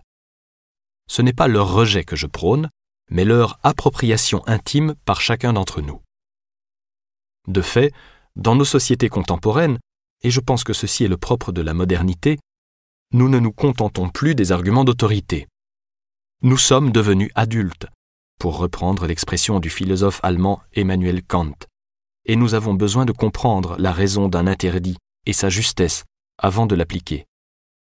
Ainsi, les traditions religieuses véhiculent des vérités universelles, mais aussi des préjugés. Par exemple, des interdits alimentaires liés à une culture ancienne qui n'ont aujourd'hui souvent plus lieu d'être. Interrogeons-les. D'autre part, il me semble nécessaire de considérer chaque situation au cas par cas, alors que les religions ont tendance à absolutiser les règles. Prenons l'exemple de l'avortement, condamné par toutes les religions. En soi, il s'agit évidemment d'un acte négatif, puisqu'il empêche le développement d'une vie. Néanmoins, une situation personnelle particulière peut transformer cet acte négatif en moindre mal. Et je crois que c'est à chacun de faire preuve de discernement avant d'adopter la décision qu'il juge la plus juste, en fonction de différents paramètres. Ce jugement collectif, qui ne tient pas compte des situations particulières, situations qui peuvent rendre cet acte nécessaire, est regrettable. Toutefois, je trouve parallèlement tout aussi regrettable l'attitude contemporaine qui tend parfois à banaliser l'avortement dans les discours publics. Le discernement consiste à tenir compte de l'importance de cet acte et de ses conséquences, et, en pleine conscience, de choisir la voie la plus juste compte tenu de tous les facteurs affectifs, émotionnels, matériels relatifs à une situation donnée. Il est évidemment plus facile de suivre sans réfléchir les croyances sociales ou religieuses dominantes que de se forger une conviction personnelle.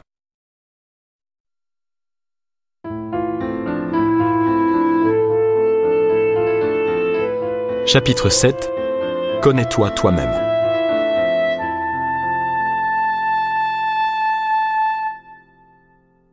Le travail de discernement et de recherche de la vérité dont je viens de souligner l'importance exige non seulement un apprentissage et une connaissance du monde, mais aussi une véritable connaissance de soi.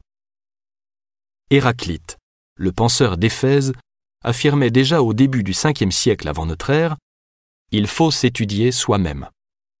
On se souvient aussi de la célèbre maxime de Socrate Connais-toi toi-même. Il ne l'avait pas inventée, mais reprise du temple d'Apollon à Delphes, dont Platon affirme qu'elle ornait le fronton et elle est devenue l'emblème de sa quête.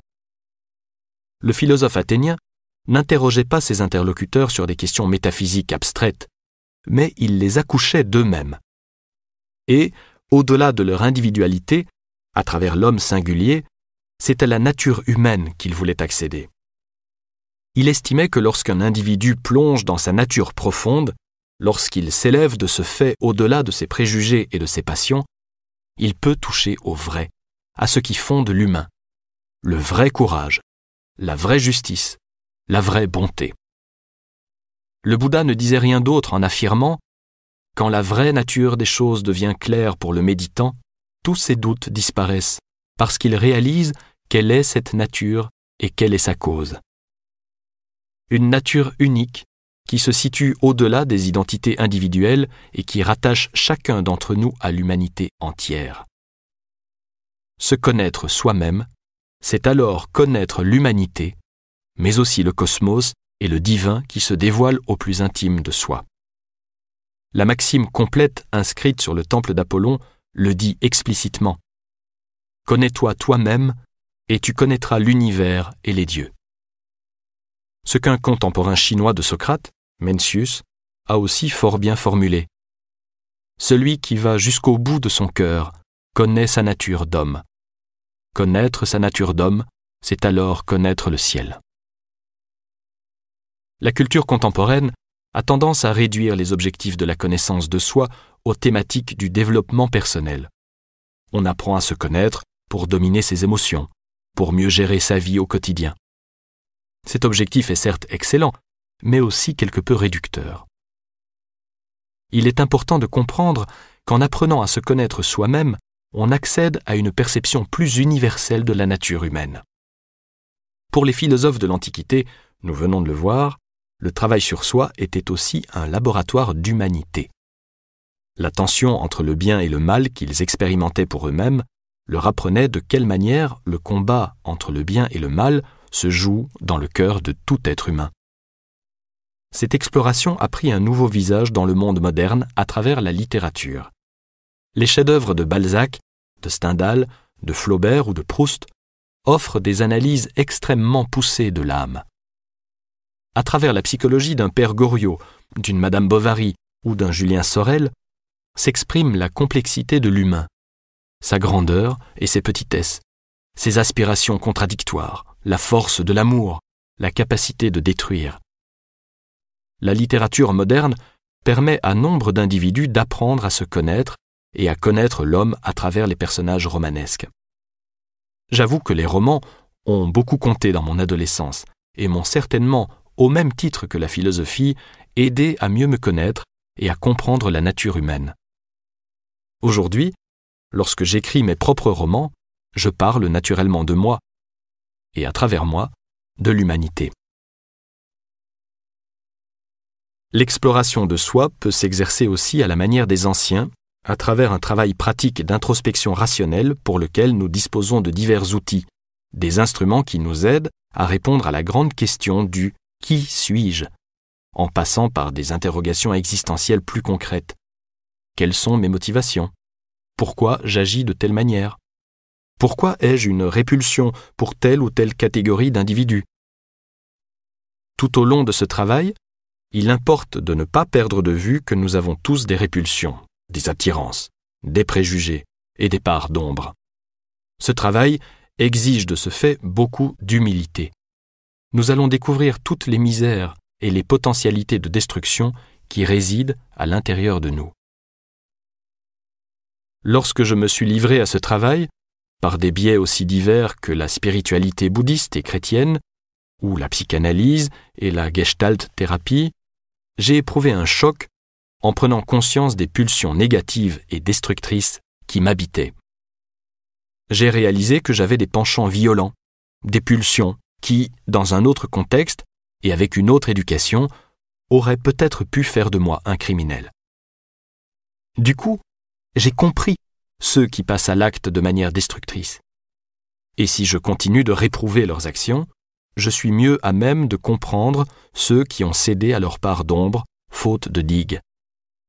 Ne jugez pas, dit Jésus. J'ai réellement compris cette injonction après avoir effectué ce travail sur moi. J'ai réalisé que si je juge autrui, je me juge moi-même en premier, puisque j'abrite les tendances inavouables que je suis en train de juger. Si nous apprenons à nous connaître en vérité, nous devenons plus compatissants et l'image idéalisée que nous avons de nous-mêmes va s'écrouler. Cela peut être insupportable tant que l'on n'entre pas dans l'acceptation de ce qui est. Une acceptation qui est l'indispensable premier pas vers la transformation. S'idéaliser soi-même, idéaliser son clan ou sa nation, a pour conséquence de rejeter le mal sur l'extérieur. C'est ainsi que se légitiment presque toutes les guerres. Divers outils, philosophiques, psychologiques ou plus proprement religieux, accessibles à tous, sont là pour nous aider à entamer l'analyse d'introspection, pour aller toujours plus loin dans le questionnement. D'autres nous permettent de développer la capacité de nous connaître et de nous accepter en passant par la conscience du corps en harmonie avec la conscience de l'esprit. Ils empruntent le chemin de l'expérience sensorielle et émotionnelle vécue sans jugement et sans a priori. Tout cela nous aide à faire sauter les verrous, les préjugés, l'ego qui nous barre l'accès à la compréhension de ce que nous sommes vraiment. L'un des instruments cognitifs est ce que l'on pourrait appeler le journal intime, récapitulation quotidienne, de préférence écrite, sinon mentale, des actes et des pensées de la journée.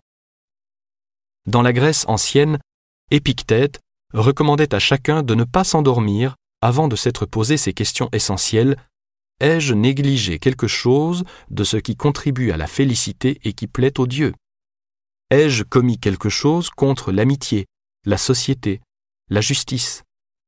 Ai-je omis de faire ce que doit faire un homme de bien? Cet exercice a été repris dans la tradition chrétienne, notamment par Ignace de Loyola, le fondateur de l'ordre jésuite, qui explique qu'on apprend à conserver les fruits recueillis au fil des exercices d'examen de conscience dont il préconisait deux séances par jour, et la mise en comparaison, semaine après semaine, des progrès effectués. Quelles que soient les méthodes utilisées, le travail introspectif peut bien entendu se faire seul, mais également avec l'aide d'un guide. Socrate était un guide inimitable, et finalement, depuis la fin de l'Antiquité, peu d'autres philosophes ont joué ce rôle direct d'éveilleur de conscience auprès de leurs disciples. La philosophie en Occident a en effet progressivement perdu son caractère de sagesse pour devenir un savoir théorique. Et les rares philosophes qui ont été d'authentiques sages, comme Spinoza, Montaigne ou Schopenhauer, n'ont pas eu de disciples directs. Il en va tout autrement en Orient, où la circulation de la sagesse se fait depuis plus de deux millénaires par une transmission ininterrompue de maître à disciple. Le maître spirituel est là non pas seulement pour léguer un savoir, mais aussi les modalités d'une expérience que le disciple doit faire par lui-même. Il donne une méthode de travail sur soi et en vérifie le bon usage. Il joue aussi, bien souvent, un rôle plus déterminant lorsqu'il incarne, aux yeux de ses disciples, un être ayant atteint le sommet de la vie spirituelle, la libération. Le disciple vénère alors son maître comme une manifestation du divin ou de l'absolu et se relie à lui de manière plus affective. Ce qui peut entraîner bien des désillusions et de nombreux abus lorsque le maître n'est pas à la hauteur et profite de la confiance que ses disciples mettent en lui. Un certain nombre de pseudo-maîtres indiens ont connu ce type de dérive avec des disciples occidentaux crédules dans la seconde moitié du XXe siècle. À tel point que le beau nom de gourou, qui signifie ami spirituel, est devenu pour nous synonyme d'escroc spirituel et de manipulateur d'âme. Le choix d'un maître exige donc un grand discernement.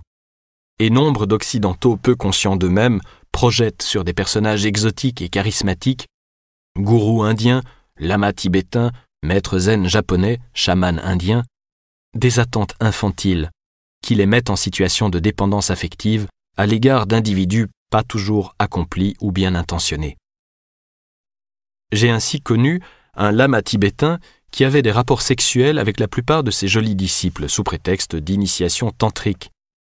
Et il fallait parfois plusieurs années aux ingénus pour prendre douloureusement conscience qu'elles avaient été utilisées à des seules fins de plaisir sexuel. Ce type de dérive a aussi longtemps existé dans le monde chrétien, avec des confesseurs et des pseudo-directeurs de conscience qui étaient de véritables pervers. Les affaires de pédophilie qui éclaboussent l'Église catholique sont là, hélas, pour nous le rappeler. Au regard du message des évangiles, la présence d'un guide spirituel dans le christianisme apparaît d'ailleurs moins évidente que dans les traditions orientales, puisque le Christ est le vrai maître spirituel, auquel les chrétiens se relient par la prière. Il s'est présenté lui-même comme le chemin, la vérité et la vie. Fondamentalement, la foi chrétienne n'est pas une croyance dans les dogmes, mais un lien vital qui unit le fidèle au Christ et à travers lui au Dieu ineffable. Le véritable directeur de conscience est l'Esprit Saint envoyé par le Christ après son départ de ce monde. L'Esprit de vérité, quand il viendra, il vous introduira, lui, dans la vérité tout entière. Le chrétien est un disciple du Christ qui tente de faire la volonté de Dieu en étant à l'écoute de l'Esprit. Et c'est à travers la prière silencieuse, l'oraison, qu'il entre au plus profond de lui-même pour écouter la voix de sa conscience éclairée par l'Esprit de Dieu. À l'âge de 19 ans, quelques années après avoir été éveillé au questionnement philosophique par la lecture de Platon et la découverte du bouddhisme, j'ai eu un choc mystique en lisant les évangiles. J'avais déjà vécu des expériences intérieures bouleversantes dans la nature, des sentiments de joie pure. Mais pour la première fois, j'ai vécu une expérience de cet ordre en lien avec le Christ. J'ai été touché au plus intime de mon être par sa présence aimante et lumineuse. J'ai revécu plusieurs fois par la suite cette expérience. Tout en poursuivant mes études de philosophie, j'ai cherché à approfondir ma foi. C'est ainsi que j'ai eu la chance de rencontrer à 20 ans un religieux dominicain le père Marie-Dominique Philippe, qui était mon professeur de philosophie grecque à l'université de Fribourg, en Suisse. Il a été mon père spirituel pendant plusieurs années, et, désireux de vivre l'Évangile de manière radicale, je me suis même engagé quelque temps dans une jeune communauté religieuse qu'il avait fondée. Or, il ne m'a jamais donné le moindre conseil personnel autre que celui-ci Priez l'Esprit Saint de vous éclairer. J'ai donc pris l'habitude de lire l'Évangile et de prier plutôt que de suivre l'avis des clercs. Et bien que chrétien, je ne partage pas l'avis de l'Église sur certains points essentiels du dogme et de la morale, ce qui déstabilise nombre de catholiques conservateurs qui préfèrent la contradiction d'un athée, comme Michel Onfray, à celle d'un électron libre du christianisme. À l'inverse, le fait de me dire chrétien me rend suspect auprès d'un certain nombre d'individus allergiques au christianisme, ou pour qui la foi limite nécessairement la capacité de penser librement. Comme je l'évoquais plus haut, une quête philosophique et spirituelle rigoureuse nous éloigne de toute certitude confortable et de tout clan. La solitude et parfois la critique acerbe sont le prix à payer pour la liberté et la fidélité à la voix de sa conscience intime, plutôt qu'à une tradition, aussi vénérable soit-elle, ou à une mode dominante.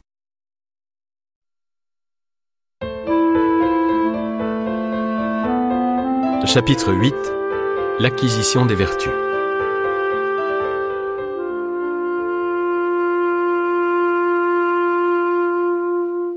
Dans les chapitres précédents, j'ai insisté sur l'importance du développement de nos facultés de discernement, sur la nécessité d'une constante recherche de la vérité, sur les techniques de connaissance de soi. Ces tâches, si je peux les appeler ainsi, relèvent essentiellement de l'intelligence. Ce sont en effet l'intelligence et la raison qui nous permettent de les mener à bien. La raison est nécessaire pour connaître et discerner, mais connaissance et discernement ne suffisent pas à édifier une vie bonne et juste. Car l'édification d'une vie bonne, au sens où l'entendaient les philosophes de l'Antiquité, implique aussi une mise en œuvre de la volonté qui permet l'acquisition des vertus morales. La vertu, explique Aristote dans L'éthique à Nicomaque, un livre que tout lycéen de terminale devrait lire, est l'exacte, juste mesure entre les extrêmes qui sont nuisibles. Les vertus, explique-t-il, sont naturellement sujettes à périr à la fois par excès et par défaut. Elles sont une médiété entre deux vices, et d'illustrer cela par des exemples concrets. Celui qui fuit devant tous les périls qui a peur de tout et qui ne sait rien supporter, devient un lâche. Tout comme celui qui n'a peur de rien et va au-devant de n'importe quel danger devient téméraire. Pareillement encore, celui qui se livre à tous les plaisirs et ne se refuse à aucun devient un homme dissolu, tout comme celui qui se prive de tous les plaisirs comme un rustre devient une sorte d'être insensible. Ainsi donc, la modération et le courage se perdent également par l'excès et par le défaut, alors qu'ils se conservent par la juste mesure. La vertu est, en somme, le point d'équilibre qui nous permet de poser, par l'usage de notre volonté, des actes justes, loin de l'excès et de la cèse, qui sont aussi nuisibles l'un que l'autre. Cette affirmation est confirmée par l'expérience du Bouddha. Comme je l'ai déjà raconté, après avoir fui le palais princier de son père pour partir en quête de la vérité, il commence par rejoindre les ascètes les plus stricts, ceux qui cherchent la délivrance en s'infligeant les plus redoutables mortifications. À leur côté, le Bouddha frôle la mort à force de privation et de souffrance. Il n'atteint pas la délivrance, mais, au contraire, disent les textes, se retrouve dans un état d'affaiblissement tel qu'il en devient incapable de se livrer à la méditation. Il décide d'abandonner cette voie extrême dont il constate la vacuité, recommence à se nourrir avec modération et à ne plus s'infliger de torture. Une nuit, il accède à l'éveil. Il entamera ainsi son premier sermon, prononcé à Bénarès. Un moine doit éviter deux extrêmes. Lesquels? S'attacher au plaisir des sens, ce qui est bas, vulgaire, terrestre ignoble et qui engendre de mauvaises conséquences, et s'adonner aux mortifications, ce qui est pénible, ignoble et engendre de mauvaises conséquences. Évitant ces deux extrêmes, ô moine, le Bouddha a découvert le chemin du milieu, qui donne la vision, la connaissance, qui conduit à la paix, à la sagesse, à l'éveil et au nirvana. il ne cessera par la suite de prêcher ce que l'on appellera la voie du milieu, la seule apte à nous libérer du cycle du samsara pour atteindre l'éveil. J'ai moi-même été amené à pratiquer une vie ascétique dans le cadre de la communauté religieuse que j'avais rejointe. En réprimant une part de mes besoins profonds, la tendresse, la sensualité, le besoin d'organiser mes journées selon mon rythme personnel, je vivais dans une tension qui a fini par nuire à ma vie spirituelle. J'ai connu à d'autres moments des périodes où je me suis adonné à tous les plaisirs. Je n'étais finalement pas plus heureux. J'ai réalisé par ma propre expérience que le vrai bonheur réside dans le juste milieu, quelque part à mi-chemin entre l'assouvissement des désirs et leur contrôle total. Ce constat est valable à tous les niveaux. J'adore le chocolat, mais j'ai appris à m'arrêter avant la crise de foie, et je me contente d'un seul verre de bon vin, sachant que mon corps supporte difficilement le second. Quelles sont les différentes vertus que nous serions appelés à mettre en œuvre? Dans son école, qui était une sorte de monastère fondé au VIe siècle avant notre ère, Pythagore sélectionnait sévèrement les étudiants qu'il formait ensuite à ces qualités supposées constituer l'honnête homme grec, l'austérité, le courage, la modération, la maîtrise de soi. Aristote affinera le descriptif de ces vertus et en retiendra quatre. La prudence, la tempérance, le courage et la justice. C'est ce qu'on appellera ensuite les vertus cardinales. La prudence, en grec la phronésis, signifie la capacité de bien discerner ce que l'on doit faire. Autrement dit, c'est la vertu qui va nous permettre de trouver les moyens justes pour atteindre notre fin. Il s'agit, selon Aristote, au même titre que la sagesse et l'intelligence, d'une vertu intellectuelle, qui dépend dans une large mesure de l'enseignement reçu, aussi bien pour sa production que pour son accroissement. Aussi a-t-elle besoin d'expérience et de temps. La prudence est la vertu clé, insiste-t-il. Les trois autres vertus principales, la tempérance, le courage et la justice, relèvent de la volonté. Ces vertus morales sont le produit de l'habitude. De toute manière, ajoute-t-il, il est évident qu'aucune des vertus morales n'est engendrée en nous naturellement. Elles s'acquièrent et se cultivent au cours de l'existence. Mais elles nous sont indispensables puisque le bonheur, affirme-t-il encore, dans la tradition de la philosophie gréco-latine, n'est autre qu'une activité de l'âme conforme à la vertu. L'association entre vertu et bonheur n'est pas propre à Aristote. La morale stoïcienne se fonde sur ce même principe.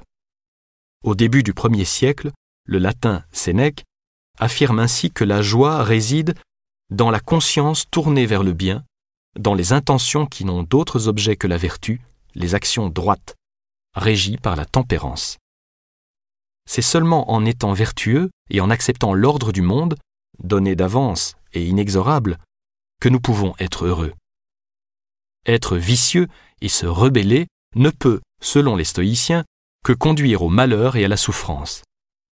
La vie heureuse est donc celle qui est en accord avec sa propre nature, et celle du monde, résume Sénèque.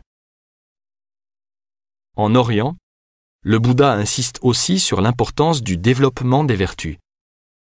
Le plus long de ses sermons, le Sigalovada Sutta, ou sermon de Sigala, est consacré à la morale laïque. À un jeune homme, Sigala, qu'il voit procéder à un curieux rituel religieux transmis par son père, le Bouddha enseigne plutôt les règles auxquelles chacun doit se conformer pour s'accomplir dans cette vie. Il lui énumère les vices à éradiquer, la conduite à tenir devant ses parents, ses maîtres ou ses amis, et surtout les quatre causes qui poussent chacun à commettre de mauvaises actions. La partialité, l'hostilité, la stupidité et la crainte. La tradition bouddhiste publiera des centaines de traités sur les vertus et les vices, balisant un chemin de conduite éthique. Les enseignements tibétains, par exemple, évoquent les quatre vertus de la parole.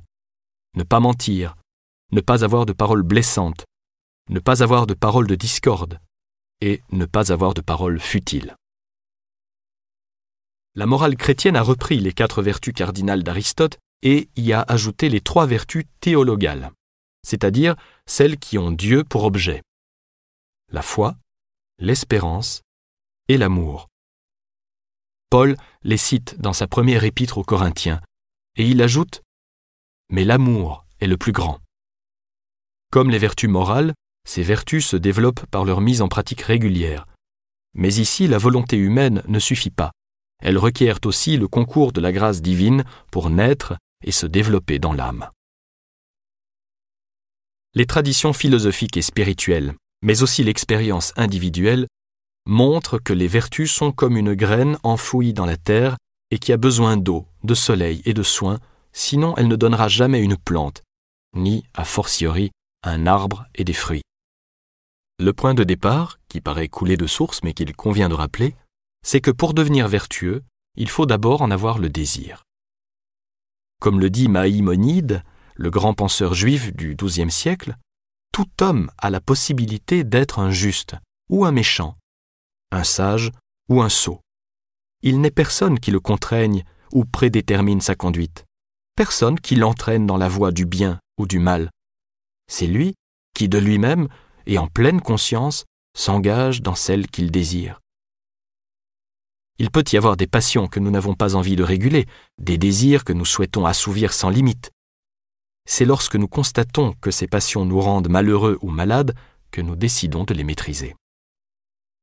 Cependant, et cela m'est souvent arrivé, il y a des périodes de la vie où nous savons qu'il faudrait changer telle mauvaise habitude ou tel comportement néfaste. Mais malgré cela, nous ne le faisons pas. Nous n'avons pas envie d'être vertueux. Si toutefois nous décidons de transformer cette habitude, il convient alors de s'engager dans la voie vertueuse, car c'est en pratiquant la vertu que celle-ci va prendre racine et devenir un habitus, traduction latine du mot grec exis, une qualité stable. Aristote l'exprime fort bien. Ce n'est ni par nature, ni contrairement à la nature que naissent en nous les vertus.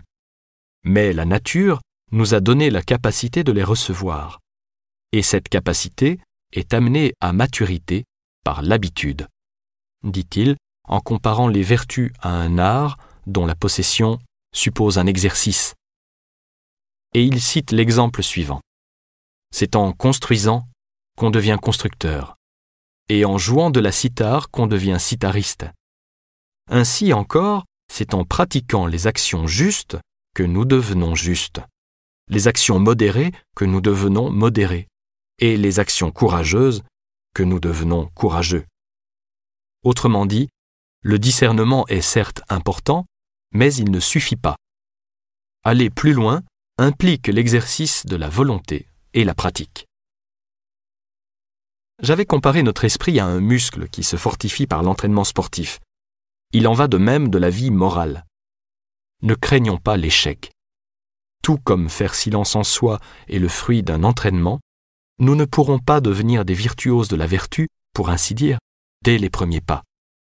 Il faut avoir l'humilité d'accepter que certaines tentations soient suivies d'erreurs.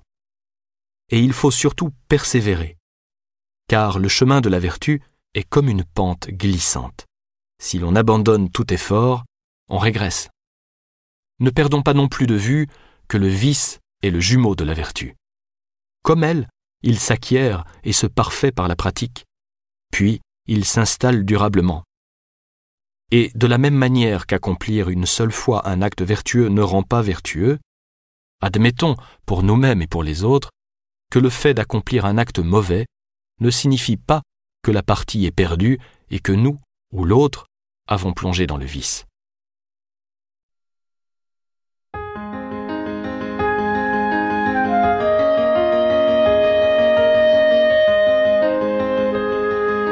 Chapitre 9 Devenir libre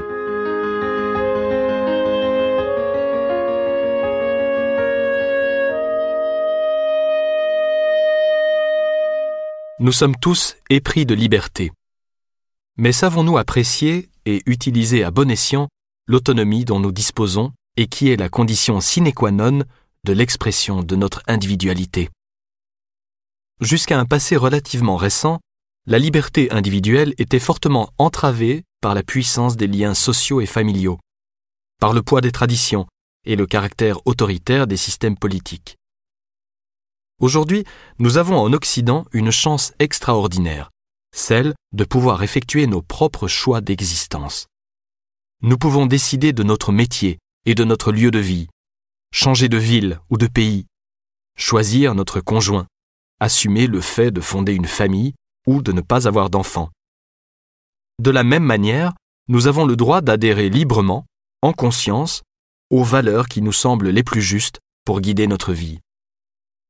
Nous pouvons choisir d'avoir une religion ou de ne pas en avoir, de suivre telle ou telle voie spirituelle.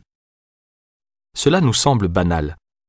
Pourtant, n'oublions pas que dans beaucoup de pays, aujourd'hui encore, la religion et les normes morales sont imposées par les autorités politiques et religieuses conjuguées. Celui qui les transgresse, ou pis encore, refuse d'y adhérer au nom de sa liberté de croyance ou de conviction, est puni par la loi et peut même subir la peine de mort. Cette liberté de croyance est une conquête fondamentale de la modernité, un héritage des Lumières qui, en Europe, au XVIIIe siècle, a fortement ébranlé la toute-puissance de l'Église et son alliance avec les pouvoirs politiques. Cependant, aussi importante soit-elle, la liberté de choix et de conscience ne suffit pas, à elle seule, à nous rendre pleinement libres. Il existe en effet une autre forme d'aliénation, l'esclavage intérieur.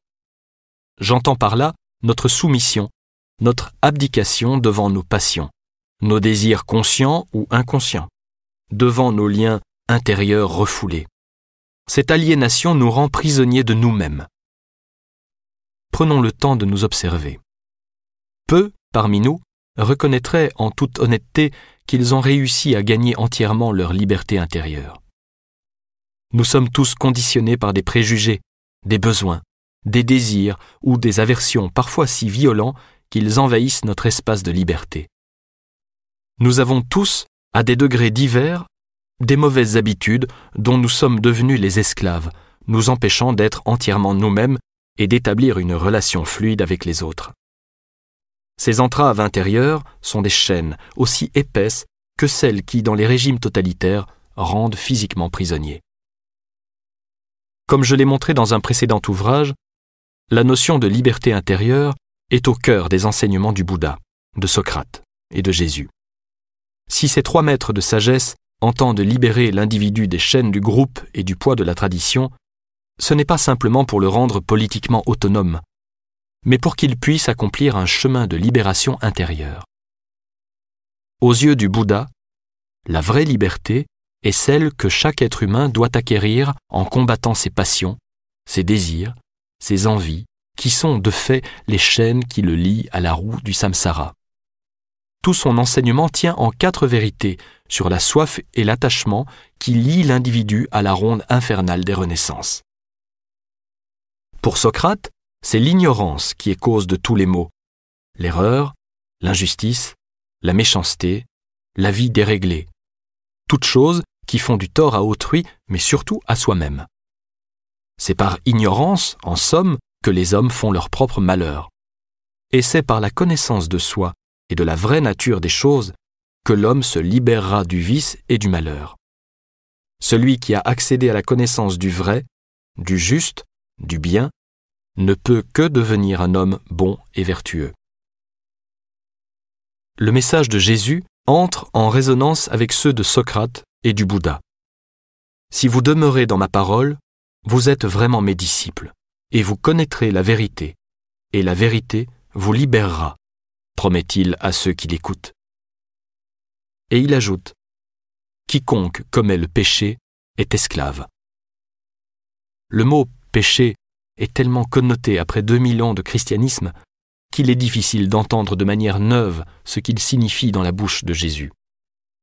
La tradition chrétienne a établi au fil des siècles une liste de péchés dont les fameux sept péchés capitaux qui mènent en enfer, la paresse, l'orgueil, la gourmandise, la luxure, l'avarice, la colère, l'envie.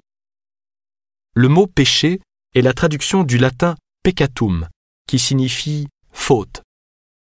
Il est lui-même la traduction du grec biblique amartia, qui signifie déficience ou erreur, et qui est à son tour la transcription du mot hébraïque hatat, qu'il faudrait traduire au plus juste par l'expression manquer la cible.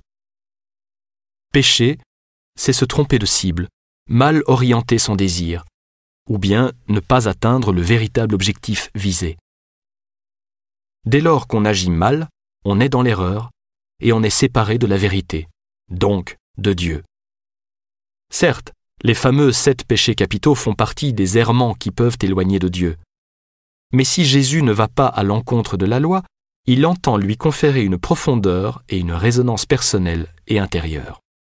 Il n'est pas venu ajouter des lois nouvelles ou définir une liste de péchés, mais montrer que tout véritable péché se définit à l'aune de l'amour, et que ce n'est pas par peur de l'enfer qu'il ne faut pas commettre de faute, mais par peur de causer son propre malheur et le malheur d'autrui en s'éloignant de la vérité.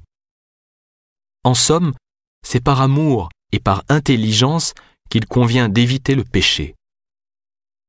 Après avoir longuement cheminé, après avoir fauté et s'être relevé, l'âme n'est plus tentée par le péché, car elle apprend à en connaître la nature nuisible. Dès lors qu'il retrouve l'accès à l'amour et à la vérité, l'homme sort de l'aliénation. Il renoue avec sa source. Il n'est plus coupé, enfermé sur lui-même dans l'erreur ou l'égoïsme. Le Bouddha, Socrate et Jésus s'accordent donc pour affirmer que l'homme ne naît pas libre, mais qu'il le devient en sortant de l'ignorance, en apprenant à discerner le vrai du faux, le bien du mal, le juste de l'injuste, en apprenant à se connaître, à se maîtriser, à agir avec sagesse et compassion. Avec la question de la liberté se pose la question du choix. Nous vivons en effet dans des sociétés qui nous offrent quantité de possibles. Or, paradoxalement, cette grande liberté de choix peut être perverse et oppressante. L'incapacité de choisir aliène la liberté, et l'excès de choix écrase l'individu. Il n'y a pas si longtemps de cela, la naissance conditionnait le destin individuel. On héritait du métier de son père et on se conformait au mode d'existence de sa catégorie sociale. Aujourd'hui, on peut choisir son métier, son lieu de vie. On peut même changer de sexe par opération chirurgicale. Les contraintes du passé n'étaient peut-être pas épanouissantes, mais elles avaient l'avantage d'être rassurantes. Elles offraient un enracinement et des repères stables aux individus. L'éventail des possibles qui se présentent désormais à nous, à tous les moments de notre vie, peut, à l'inverse, être source d'angoisse. Nous pouvons être parfois tentés de tout accumuler, de ne renoncer à rien. Or, à vouloir tout entreprendre, on ne réussira rien, sinon à vivre dans l'épuisement et dans la tourmente du non-accomplissement. L'abondance des possibles peut recéler un autre danger, celui d'être écrasé par la difficulté de choisir et de s'enfermer dans la dépression. Beaucoup de jeunes se retrouvent aujourd'hui devant un dilemme. Ils aspirent à se réaliser et à s'épanouir, ce qui est le mot d'ordre de notre monde moderne, et en même temps, ils n'arrivent pas à savoir ce qui est bon pour eux, à trouver leur voie, à effectuer les bons choix. Ils n'arrivent pas non plus à se discipliner et à devenir suffisamment vertueux pour réussir dans des voies exaltantes, mais exigeantes. Ils aspirent à tout et ne parviennent à rien, ou à pas grand-chose. Du coup, certains n'ont plus goût à rien, tandis que d'autres sombrent dans la drogue ou l'alcool. Ils zonent, vivotent, font un peu de musique ou d'informatique sans jamais aller jusqu'au bout d'un dessin qui exigerait d'eux de persévérer. Ils sont littéralement déprimés. Le philosophe et historien Alain Ehrenberg a fort bien montré que si la névrose, c'est-à-dire le conflit psychique entre nos désirs et les interdits moraux, était la pathologie dominante des sociétés occidentales à l'époque de Freud et jusqu'à la fin des années 1960, il en va tout autrement depuis mai 68 et la libération des mœurs. L'individu ne souffre plus aujourd'hui de trop d'interdits, mais de trop de possibles, d'une injonction de performance et d'autonomie trop lourde. Aujourd'hui, cette forme de dépression, qui touche de plus en plus d'adolescents et de jeunes adultes, constitue l'un des symptômes de l'incapacité à se réaliser, à être soi-même.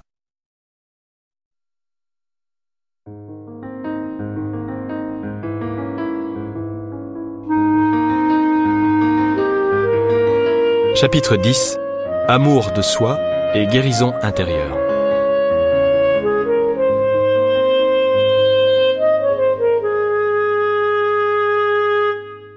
Dans les chapitres qui précèdent, j'ai insisté sur l'importance primordiale de la connaissance, et notamment la connaissance de soi comme voie d'accès à la vérité et au bonheur. Une voie incontournable, dans la mesure où elle est la vraie garante de notre liberté intérieure. Toutefois, bien qu'elle soit indispensable, cette voie n'est pas suffisante pour nous rendre heureux et pleinement humains.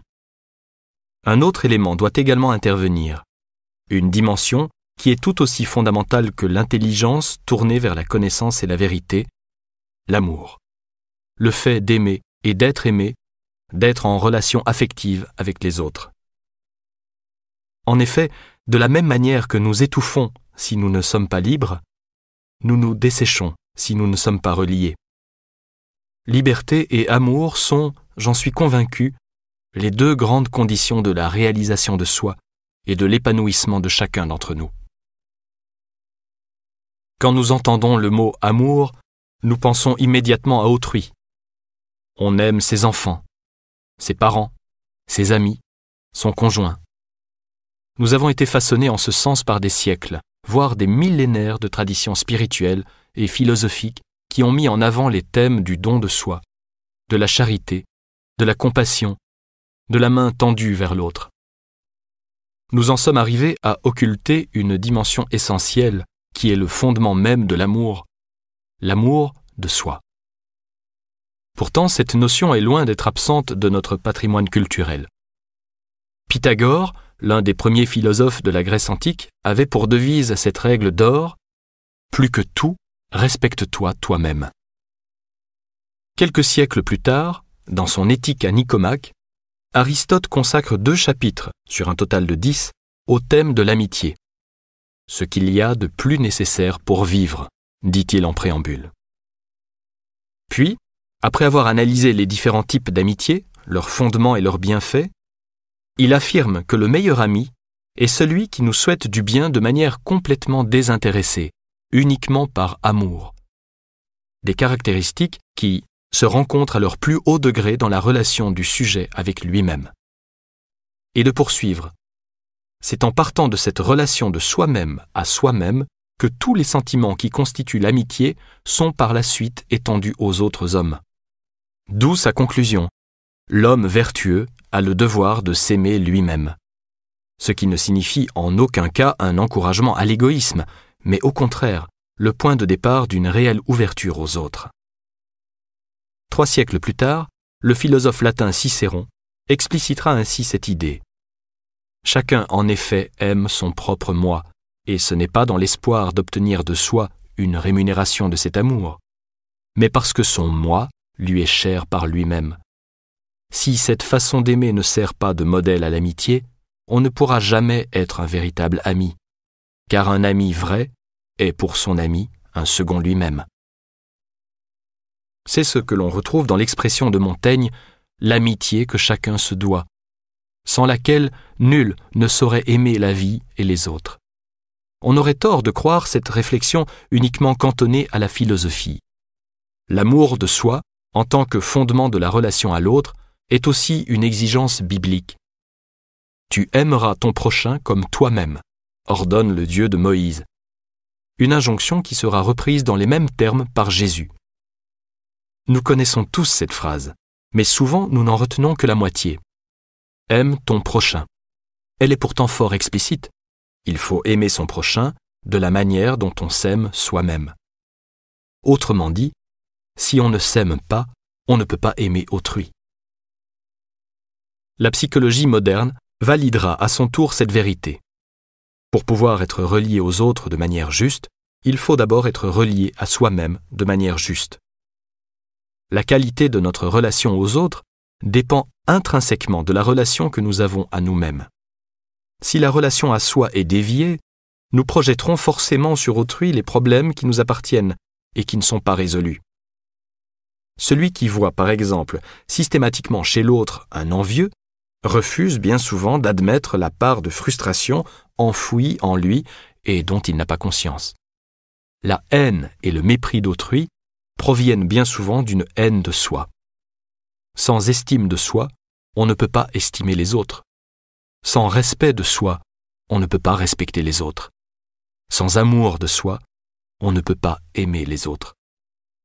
L'apprentissage de la relation à soi est donc la condition de l'apprentissage de la relation aux autres. Comment apprend-on à s'aimer? Tout d'abord par l'amour que l'on reçoit dès la plus tendre enfance.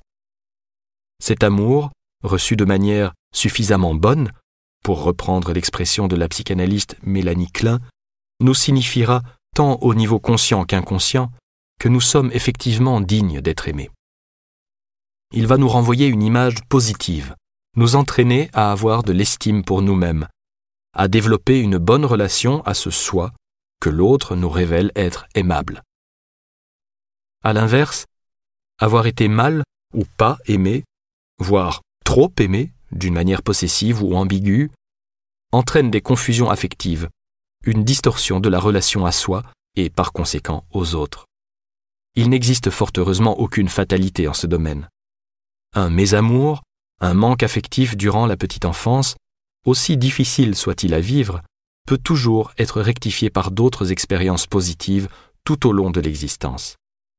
Des amis ou un conjoint aimant peuvent nous aider à nous rééquilibrer, à surmonter ce qui aurait pu constituer un traumatisme. Il est rare cependant que de graves lacunes affectives, qui ont produit ce qu'on appelle une blessure narcissique, une mauvaise image de soi, puissent être véritablement guéries sans l'aide d'une thérapie appropriée. La victime d'une blessure narcissique est bien souvent inconsciente de cette faille et porte spontanément son désir vers des êtres ressemblant à ceux qui sont à la source de sa souffrance, des êtres qui vont aviver sa douleur. On entre alors dans un mécanisme de répétition, très bien décrit par la psychanalyse, véritable cercle vicieux dont on ne peut sortir que par une prise de conscience de la blessure et de sa cause. C'est ici que l'aide d'un thérapeute est capitale, tant il est difficile de procéder seul à cette prise de conscience, souvent douloureuse. Tout n'est pas résolu pour autant, car, aussi nécessaire soit-elle, la prise de conscience n'est pas suffisante pour guérir. C'est d'ailleurs de mon point de vue la limite de la psychanalyse. Elle nous aide à voir clair en nous et à prendre une distance vis-à-vis de nos émotions, mais elle ne nous guérit pas forcément. Car une fois conscient de notre handicap, il nous reste encore à retrouver l'estime de nous-mêmes. Cela peut se faire, par exemple, à travers certaines thérapies comportementales, comme l'hypnose ericksonienne, du nom de Milton Erickson, un psychiatre américain qui, dans la première moitié du XXe siècle, a promu les techniques de l'hypnose et de l'auto-hypnose pour soigner ses patients, leur apprenant à découvrir leurs propres ressources intérieures et à dépasser les peurs de l'échec qu'engendre la mésestime de soi. Il en va de même pour la sophrologie, ou d'autres thérapies courtes qui visent à rétablir une estime de soi à travers la pensée positive. De telles thérapies peuvent être très profitables, mais la vérité est qu'une blessure narcissique ne sera souvent guérie que par l'amour. C'est à travers une relation suffisamment bonne que l'on apprendra à s'aimer. Mais, encore une fois, il nous faudra bien souvent avoir accompli un travail thérapeutique avant d'être capable de vivre des relations affectives constructives, en commençant par accepter de quitter la carapace que nous avions endossée, enfant, pour supporter la douleur du mésamour. Je peux d'autant plus facilement parler de ce sujet que j'ai effectué un long chemin thérapeutique pour guérir de blessures intérieures profondes, dont certaines remontent à la vie intra-utérine. J'ai peiné pour apprendre à m'aimer. Au cours de mon adolescence et de ma vie de jeune adulte, je doutais fortement de moi-même. Ma vie affective en a été perturbée pendant des années. Parallèlement, j'ai mis du temps à trouver ma voie et à me réaliser sur le plan professionnel.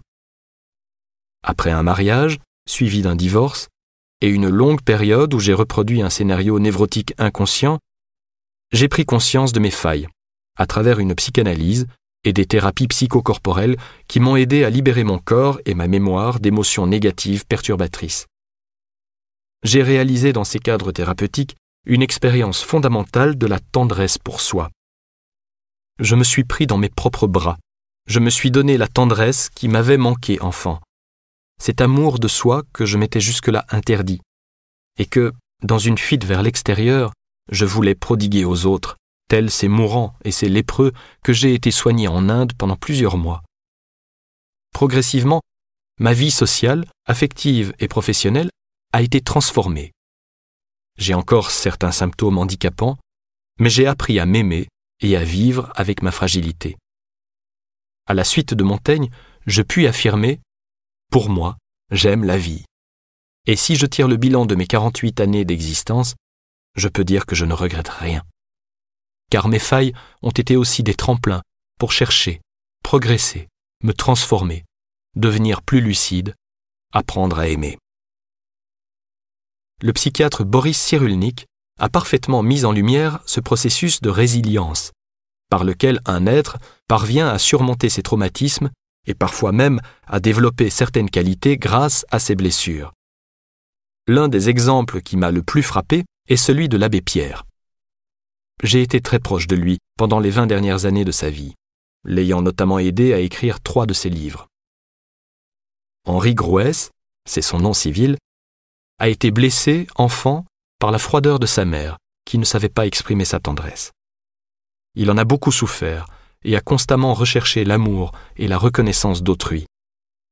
J'ai toujours été convaincu que sa vocation à aider les plus pauvres, son aspiration à la sainteté, le don de lui-même qu'il pratiquait dans un oubli total de soi, relevait pour une bonne part de cette blessure narcissique.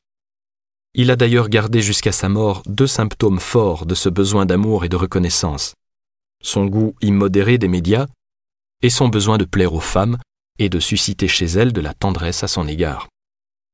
Il en avait pleinement conscience, et son image idéalisée dans l'opinion publique lui pesait autant qu'elle le flattait. C'est la raison pour laquelle il a souhaité, peu de temps avant sa mort, se livrer à une confession publique sur la rupture de son vœu de chasteté. Il avait besoin d'avouer ce qui le tourmentait intérieurement et de dire à tous Je ne suis pas un surhomme. J'ai porté en moi cette faille affective toute ma vie et elle a même été un des moteurs de mon existence. L'abbé Pierre a d'ailleurs été meurtri des réactions de certains hommes d'Église qui n'ont rien compris à son geste du cardinal Lustiger, qui a affirmé qu'il avait perdu la tête, à monseigneur Hippolyte Simon, qui l'a assimilé à un vieillard sénile manipulé par un ami vénal, moi-même en l'occurrence. En passant par le cardinal André XXIII, l'actuel président de la conférence des évêques de France, qui a dit ne pas vouloir lire son livre Confession pour garder une bonne image de lui. Toutes ces réactions traduisent non seulement la difficulté qu'ont encore de nombreux responsables ecclésiaux à aborder en vérité la question de la sexualité des clercs, mais aussi leur malaise devant une telle confession publique. Or, c'est justement parce qu'il était un homme public que l'abbé a eu besoin de dire à tous, avant de mourir, que son image était en partie fausse, que l'homme qui vit derrière le mythe était fragile et blessé, qu'il a tant aimé parce qu'il avait tant besoin d'amour, et qu'il souhaite aujourd'hui être aimé pour ce qu'il est, et non pour sa légende. Quelle leçon d'humanité Comme tu nous manques, l'abbé.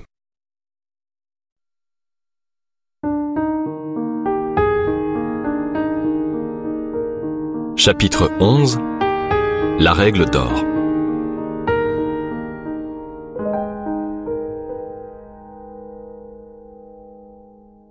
Le respect de soi, nous venons de le voir, est le prélude au respect des autres. Cette vérité sous-tend ce que l'on a coutume d'appeler la règle d'or. Ne fais pas à autrui ce que tu ne veux pas que l'on te fasse. C'est l'un des fondements essentiels de la vie morale de toutes les sociétés humaines, une sorte de loi naturelle qui préexiste à toutes les formulations philosophiques et religieuses élaborées au fil des siècles. Un enfant peut facilement la comprendre, et la règle d'or participe de nos méthodes éducatives sans que nous en ayons toujours conscience. Nous la mettons en œuvre lorsque, plutôt que de dire à un enfant Ne tire pas les cheveux de ta sœur, nous inversons la situation. Tu as envie que ta sœur te tire les cheveux? Non, alors ne le fais pas toi non plus. La règle d'or est formulée dans toutes les cultures orales et les civilisations de l'écrit. C'est le socle universel de la morale. Elle figure dans la Bible en tête des conseils que Tobie prodigue à son fils partant pour un long et périlleux voyage de Ninive à Ecbatane pour récupérer une créance dont il a grand besoin. Ne fais à personne ce que tu n'aimerais pas subir. Hillel, un sage juif du début du premier siècle, insistera. Ce qui est détestable pour toi, ne le fais pas à ton prochain. C'est là toute la loi, le reste n'est que commentaire. On la retrouve chez les Grecs et les Romains, avec toutefois une limite. En sont exclus les esclaves et les barbares, c'est-à-dire ceux qui ne sont pas considérés comme véritablement humains. Ainsi, Aristote conseille de se comporter avec ses amis comme nous souhaiterions qu'ils se comportent avec nous. À peu près à la même période, Niroclès, roi de la ville de Salamine, à Chypre, dont deux discours nous sont parvenus, affirme lui aussi Ce qui vous irrite dans la conduite des autres à votre égard, ne le faites pas à autrui. Quant au latin Sénèque, qui fut le précepteur de Néron, il la réitère aux membres de l'aristocratie, auxquels il recommande de distribuer leurs bienfaits au peuple de la manière dont il voudrait les recevoir. Jésus reprend la règle d'or en lui donnant une portée universelle qui ne souffre aucune exception. Elle ne s'applique plus aux seuls membres d'une caste, d'une cité ou d'un peuple, mais elle régente les relations de tous les êtres humains, au-delà des langues, des ethnies, des sexes et des positions sociales. Dans son serment sur la montagne, un discours éthique capital, il la présente, comme le fera le rabbin Hillel, comme la quintessence de la loi et les prophètes.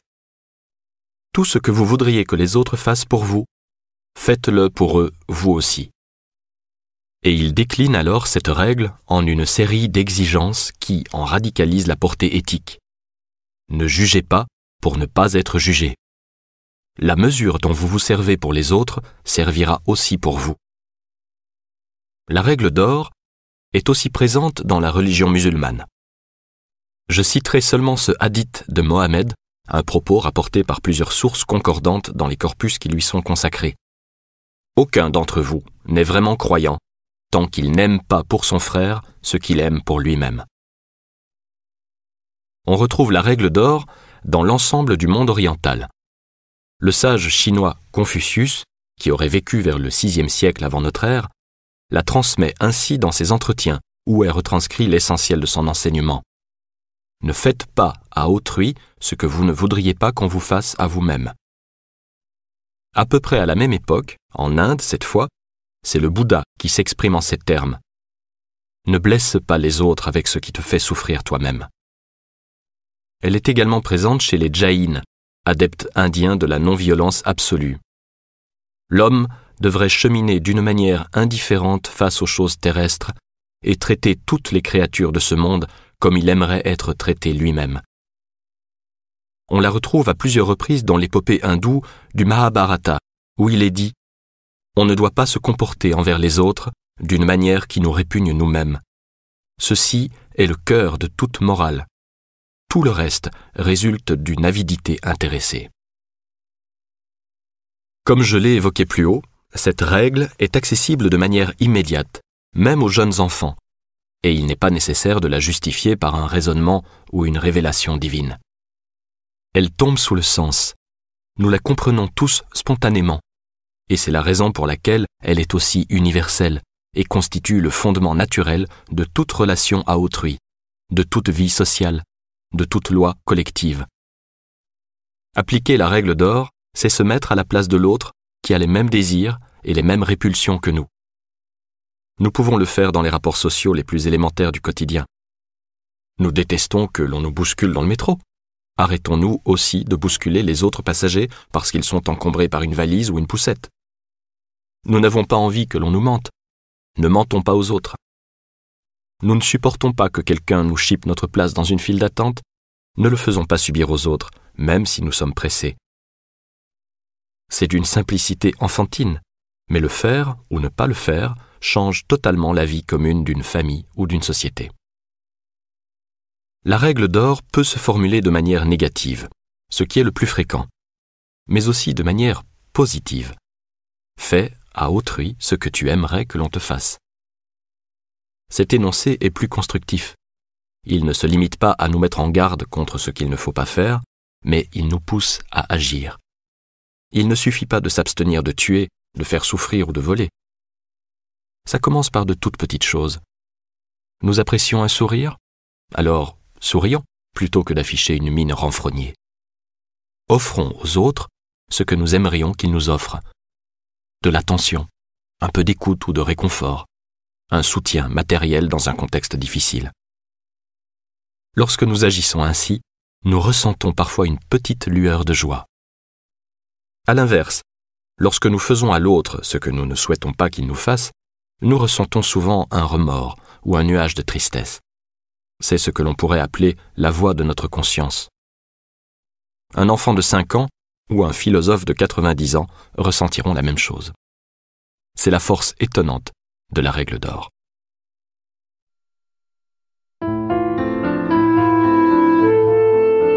Chapitre 12 L'amour et l'amitié.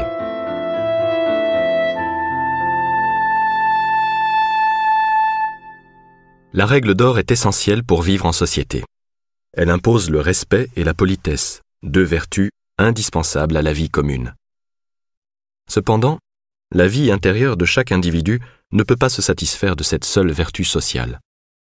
Celle-ci n'est pas suffisante pour nous rendre heureux, car nous aspirons à des relations avec autrui fondées non seulement sur le respect et la bienveillance, mais plus encore sur l'amour et l'amitié, sentiments qui éclosent au plus intime de notre être. Ils nous font entrer dans une relation choisie et nourrissent notre âme, apaisent notre corps, réjouissent notre cœur. Je ne vous enseigne pas le prochain, mais l'ami, écrit Nietzsche dans son Ainsi par les Zarathustra. Les traditions spirituelles et religieuses tendent à voir dans l'amour un sentiment que nous devons délivrer inconditionnellement à tous les êtres, et non l'attachement particulier que nous pouvons éprouver pour une personne bien définie. Or, l'amitié réelle entre deux individus est un lien personnel non pas avec des inconnus, avec l'autre indéfini, mais avec l'ami que l'on se choisit et qui nous choisit. Aristote est l'un de ceux qui ont poussé le plus loin la réflexion sur ce qu'il nomme l'amitié parfaite, celle qui exige du temps, de la stabilité, des habitudes et des passions communes, un partage des plaisirs, et qu'il considère indispensable à l'être humain afin qu'il puisse être heureux. L'amour d'amitié, philia en grec, écrit-il dans son éthique à Nicomaque, constitue ce qu'il y a de plus nécessaire pour vivre. Car sans amis, personne ne choisirait de vivre, eût-il tous les autres biens. Ses amis, insiste-t-il, ne peuvent pas être en trop grand nombre, car chacun implique de notre part un réel investissement. Aussi propose-t-il d'appliquer à l'amitié une juste mesure. N'être ni sans amis, ni non plus avec des amis en nombre excessif. L'ami, le vrai, n'est ni celui que l'on croise de temps en temps à l'occasion d'un dîner, ni un camarade parmi d'autres avec qui l'on peut se distraire épisodiquement, un simple copain. On lui demandait Qu'est-ce qu'un ami? Il répondait Une seule âme résidant en deux corps, rapporte Diogène Laërce au sujet d'Aristote. Cette vision de l'amitié a influencé la philosophie gréco-romaine, et on la retrouve au premier siècle avant notre ère chez Cicéron. L'essence de l'amitié consiste en ce que plusieurs êtres ont une même âme. L'ami, c'est donc une sorte d'âme sœur, dirions-nous aujourd'hui. Un être avec qui nous nous comprenons immédiatement, dont la présence nous fait du bien, et avec lequel nous avons des projets communs qui nourrissent notre relation et l'aident à grandir. Quand je parle de projet, j'entends une activité commune intensément partagée. Cela peut être une passion, le cinéma, la musique, la pratique d'un sport, la littérature, la philosophie, ou même la construction d'un foyer. Je reviendrai plus loin sur la nécessaire amitié qui doit sous-tendre l'amour des époux. On choisit cet ami avec qui on regarde ensemble dans la même direction, comme le dit si bien Saint-Exupéry dans Terre des Hommes. Il ne nous est pas imposé comme l'est notre famille. On lui donne tout naturellement une place particulière dans notre vie. Sa présence à nos côtés devient comme une évidence. On ne peut guère expliquer les raisons de cet attachement si ce n'est par une étrange communion des âmes. Comme le disait Montaigne à propos de son amitié pour la Boétie, si on me presse de dire pourquoi je l'aimais, je sens que cela ne se peut exprimer qu'en répondant parce que c'était lui, parce que c'était moi. Une dimension essentielle de l'amitié, explicitée par Aristote, est la réciprocité. Il n'y a en effet de réelle amitié que si elle est réciproque. Nous, et l'ami que nous nous sommes choisis, devons tirer le même plaisir de notre relation. Partager réellement émotions et sentiments, sans que l'un se force à entretenir cette relation seulement pour faire plaisir à l'autre. Une amitié bancale n'est pas une vraie amitié, et c'est aussi ce qui la distingue de la règle d'or, qui n'implique pas nécessairement de réciprocité. On hérite de sa famille, et on choisit ses amis. Cependant, l'ami peut se choisir aussi au sein de la famille. C'est le frère ou la sœur avec qui nous entretenons une relation particulière, privilégiée, à qui l'on aime confier ses joies et ses peines. L'ami peut être aussi le compagnon ou le conjoint. En effet, je ne pense pas qu'une relation amoureuse authentique puisse s'établir entre deux amants qui ne sont pas amis. Car la passion n'est pas destinée à durer. L'amour passionnel est fondé sur le désir sexuel, sur des fantasmes que nous projetons sur un autre que nous ne connaissons pas vraiment. Il s'agit bien souvent d'attentes inconscientes liées à la relation que nous entretenions enfant avec nos parents. La passion nous procure une extraordinaire vitalité, mais elle s'érode avec le temps. Un jour, le désir s'émousse, le réel revient, on découvre l'autre tel qu'il est. S'il était aussi un ami, la passion cède la place à une relation tout aussi forte, celle de l'amitié parfaite que chante Aristote, et qui est au fondement du réel amour, puisqu'elle est la rencontre avec un autre soi-même qui a pour rôle de fournir ce qu'on est incapable de se procurer par soi-même. L'amour d'amitié constitue en effet une double expérience de similarité et de complémentarité. Nous nous aimons parce que nos âmes se ressemblent. Et nous nous aimons aussi parce que l'autre nous apporte ce qui nous manque et que nous ne pouvons nous donner à nous-mêmes. Mon expérience m'a permis de comprendre la justesse de l'analyse aristotélicienne. J'ai connu des amitiés très intenses qui se sont délitées par manque d'entretien, par manque de temps partagé, par manque de projets communs. D'autres amitiés n'ont pu éclore parce que les sentiments n'étaient pas réciproques. J'aimais sans être vraiment aimé en retour, ou inversement. J'ai également compris combien l'amitié était nécessaire dans une relation amoureuse. Plusieurs passions ont fini par se dissoudre dans le conflit ou l'ennui parce qu'elles ne s'étaient jamais enracinées dans une amitié vraie. La lecture de Platon, dès l'adolescence, m'avait pourtant bien éclairé sur le caractère ambigu du désir amoureux. Je devais avoir 14 ans quand j'ai lu Le Banquet, où Socrate parle avec Aristophane de l'amour et lui explique Ce qu'on n'a pas, ce qu'on n'est pas, ce dont on manque, voilà les objets du désir et de l'amour. Socrate explique le caractère ambivalent de l'amour dont les mystères lui furent révélés par une femme, Diotime. L'amour, Eros, dit-il, est un désir puissant, un daimon, qui peut conduire au meilleur comme au pire. À l'état brut et non éduqué, il peut mener jusqu'au crime. Combien de viols ou de meurtres sont le fruit d'une passion amoureuse dévorante et non maîtrisée. En revanche, ce même amour peut mener l'âme au meilleur, la contemplation divine. L'âme, explique Socrate, s'attache d'abord à l'éclat d'un corps. Lui-même ne dissimulait pas son admiration pour la perfection des éphèbes qui l'entouraient et qui, malgré sa laideur, étaient subjugués par lui. D'un corps en particulier, l'âme étend ensuite son amour à tous les beaux corps. Puis, elle découvre une harmonie supérieure, celle des âmes, et s'attache à elle. S'élevant encore plus, elle s'attache à la beauté de la vertu, des sciences. Et enfin, au terme de ce long parcours initiatique, au bien et au beau suprême, qui sont d'essence divine et qui seuls peuvent pleinement nous combler. Si un jour tu parviens à cette contemplation, tu verras que cette beauté est sans commune mesure avec l'or, les atours, les beaux enfants et les beaux adolescents dont la vue te bouleverse à présent, lui explique Diotime. Vous êtes prêt à vous priver de manger et de boire pour contempler vos bien-aimés et jouir de leur présence. À ce compte, quel sentiment pourrait éprouver un homme qui parviendrait à contempler la beauté en soi, simple, pure, sans mélange, celle qui est divine dans l'unicité de sa forme. Il y a donc pour Socrate une échelle de l'amour, cette force irrationnelle qui s'empare de nous, partant des éléments les plus matériels pour arriver à une autre substance chantée par les mystiques de toutes les traditions spirituelles, Dieu ou le divin ineffable.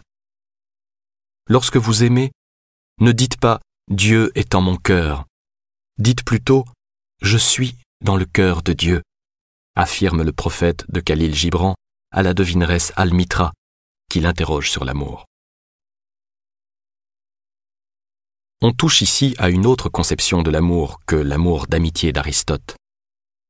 Dans son sommet, l'éros conduit à la contemplation, considérée par la plupart des philosophes grecs comme l'activité humaine la plus noble et susceptible de procurer le plus grand bonheur l'homme qui connaît l'état de contemplation est rempli d'amour. Son cœur ne semble plus avoir de limites. J'ai déjà fait allusion à certaines expériences intérieures que j'ai vécues dans la nature et qui m'ont procuré un état de joie, le sentiment de ne plus faire qu'un avec le cosmos. J'ai compris à ces moments de quelle manière la perception de l'individualité s'estompe au profit d'une communion aimante avec le tout. Je n'ai jamais eu envie de qualifier ces expériences de religieuses, car elles ne me renvoyaient consciemment à aucune figure ou symbole transmis par une culture religieuse. Cependant, toutes les traditions spirituelles évoquent ces expériences qui permettent à l'individu de sortir des limites de son moi pour s'unir à quelque chose qui le dépasse totalement, le mettant dans un état de joie et d'amour. Peu importe finalement le nom qu'on donne à cette transcendance selon les cultures et les traditions. La nature, le cosmos, Dieu, le divin, l'absolu, le tout, le Tao. Cette expérience révèle une autre dimension de l'amour, celle d'un don de totale gratuité qui n'attend rien en retour. Cet amour-don prend le nom grec d'agapé dans le Nouveau Testament. Il s'agit pour ces auteurs, Paul et les quatre évangélistes principalement, de rendre compte de l'amour gratuit que Dieu a pour les hommes et du même amour désintéressé qu'il demande aux hommes d'avoir les uns pour les autres. Cet amour s'apparente à l'amitié des philosophes en ce qu'elle implique de don de soi et de désir du bonheur de l'autre. Mais il s'en distingue de deux manières. Il n'exige pas la réciprocité, et il n'est pas focalisé sur une personne en particulier, mais sur le prochain en général, et même sur le monde. En cela, il ressemble à la règle d'or.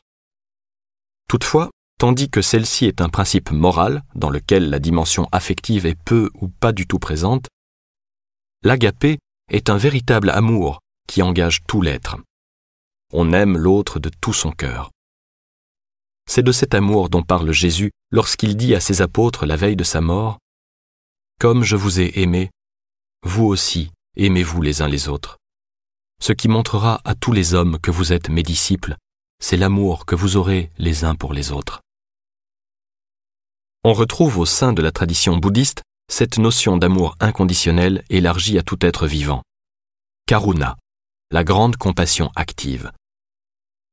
Contrairement à la simple compassion, Maitri, sorte de bienveillance qui ressemble à la règle d'or, avoir du respect pour tout être vivant, la notion de grande compassion s'est développée au fil des siècles au sein du bouddhisme pour devenir la vertu cardinale du grand véhicule, Mahayana. Elle ressemble à l'amour christique, puisque elle aussi appelle à donner sa vie pour les autres et à renoncer à la jouissance de la libération suprême, le nirvana, afin de continuer d'aider ceux qui souffrent en étant prisonniers du cycle incessant des renaissances, le samsara, pour les guider jusqu'à la libération. J'ai rencontré cet amour chez des êtres comme Mère Teresa, l'abbé Pierre ou le Dalai Lama. Bien qu'ayant des traits de caractère très différents, tous trois m'ont impressionné par l'extrême attention qu'ils portaient à l'autre, quel qu'il soit, riche ou pauvre, et par leur implacable détermination à soulager la souffrance de tous ceux qui les approchent. À mon humble niveau, j'ai vécu une expérience très forte en Inde dans une léproserie et un mouroir tenu par les sœurs de Mère Teresa. J'ai déjà expliqué que ce désir de consacrer quelques mois de ma vie aux plus pauvres était certainement inconsciemment motivé par mes propres blessures qui me rendaient particulièrement sensible à la souffrance des autres. Cette expérience m'a toutefois permis de réaliser combien le fait de prendre soin d'êtres en très grande détresse remplit le cœur de celui qui donne. C'est là que j'ai non seulement compris, mais aussi vécu cette parole de Jésus rapportée par Paul. Il y a plus de joie à donner qu'à recevoir. Telle fut l'intuition formidable de l'abbé Pierre quand il a fondé l'association Emmaüs. Remettre debout des êtres brisés par le biais de soins à d'autres êtres encore plus brisés. On connaît cette phrase devenue célèbre, véritable acte fondateur d'Emmaüs, dite par l'abbé Pierre à Georges, un ancien détenu qui avait perdu toute raison de vivre et voulait se suicider. Au lieu de mourir, viens m'aider à aider. Si nombre de spirituels ont parlé de cet amour don, rares sont les philosophes qui ont tenté de l'analyser ou d'en chercher un fondement rationnel. Parmi ceux-ci, je citerai le philosophe et talmudiste Emmanuel Lévinas. Cet homme exceptionnel, tant par ses qualités humaines que par la profondeur de sa pensée, a été mon professeur de philosophie à l'université de Fribourg. Il a aussi marqué mon itinéraire intellectuel, notamment par son apport très original à l'éthique à travers la notion du visage. L'altérité se dévoile à travers le visage. Le dénuement et la vulnérabilité d'un visage nous rendent responsables d'autrui. Dans un ouvrage sur l'éthique que j'ai publié quelques années avant sa mort, il m'a donné un très beau texte qui résume l'essentiel de sa pensée sur l'amour don et la responsabilité envers autrui. Il se termine ainsi. C'est cette rupture de l'indifférence, la possibilité de l'un pour l'autre qui est l'événement éthique. Dans l'existence humaine interrompant et dépassant son effort d'être, la vocation d'un exister pour autrui plus fort que la mort. L'aventure existentielle du prochain importe au moi avant la sienne posant le moi d'emblée comme responsable d'autrui. Responsable, c'est-à-dire comme unique et élu, comme un je qui n'est plus n'importe quel individu du genre humain. Tout se passe comme si le surgissement de l'humain dans l'économie de l'être renversait et le sens et l'intrigue et le rang philosophique de l'ontologie. L'en soi de l'être, persistant à être, se dépasse dans la gratuité du hors de soi pour l'autre, dans le sacrifice ou la possibilité du sacrifice, dans la perspective de la sainteté.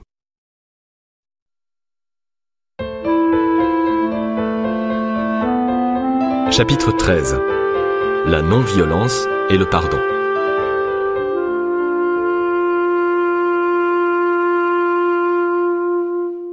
Nous sommes, hélas, de plus en plus souvent confrontés à des actes d'agressivité et même de violence, physique ou verbale. C'est une insulte qui fuse, un harcèlement moral au bureau, une parole offensive dans la rue ou le métro, une bousculade, voire une main qui se lève et nous menace. Nous vivons parfois cela depuis l'enfance, face à nos parents ou à des adultes détenteurs de l'autorité et abusant de celle-ci, nous avions du mal à répondre. En revanche, avec d'autres enfants dans la cour de récréation, notre réaction consistait souvent à répondre aux coups par les coups, aux insultes par les insultes, à la violence par la violence. C'est une réaction naturelle. Face à une attaque, il est normal de se défendre. De la même manière que notre corps face à l'invasion d'un corps étranger développe spontanément son système de défense immunitaire. Les lymphocytes vont répondre, chassant les virus intrus et tuant les parasites qui se sont introduits en nous. Face à un assaut, nous réagissons de manière semblable. Notre défense immunitaire, le bouclier de protection immédiat, consiste à appliquer la loi du talion. Cet œil pour œil, dent pour dent, a été mis par écrit pour la première fois au XVIIIe siècle avant notre ère dans le code d'Amourabi, roi de Babylone, qui autorisait ses citoyens à se venger d'un préjudice, dans de justes proportions, en rendant à l'identique le coup qui leur avait été porté. Cette loi était destinée à lutter contre une escalade inconsidérée de violence. La loi du talion est mentionnée à trois reprises dans la Torah, c'est-à-dire dans les cinq premiers livres de la Bible. Si malheur arrive, tu paieras vie pour vie, œil pour œil, dent pour dent, main pour main, pied pour pied, brûlure pour brûlure, blessure pour blessure, meurtrissure pour meurtrissure. Exode 21, 23, 25. Ton œil sera sans pitié, vie pour vie, œil pour œil, dent pour dent, main pour main, pied pour pied. Deutéronome 19, 21.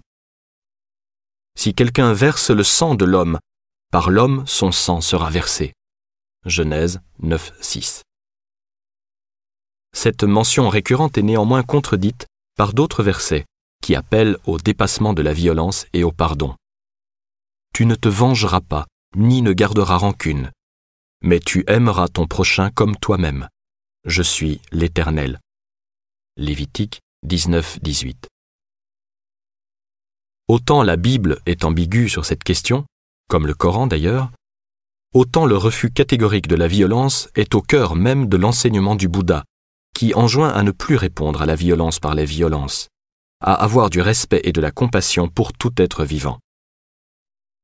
À son disciple Faguna, le Bouddha enseigne ainsi. Même si l'on te frappe avec la main, avec un bâton ou avec un couteau, ton état d'esprit ne doit pas changer tu n'auras pas de mauvaises pensées. Tu répondras par la compassion et l'amour et sans aucune colère. Un message similaire à celui prôné par Jésus, qui récuse totalement la loi du talion.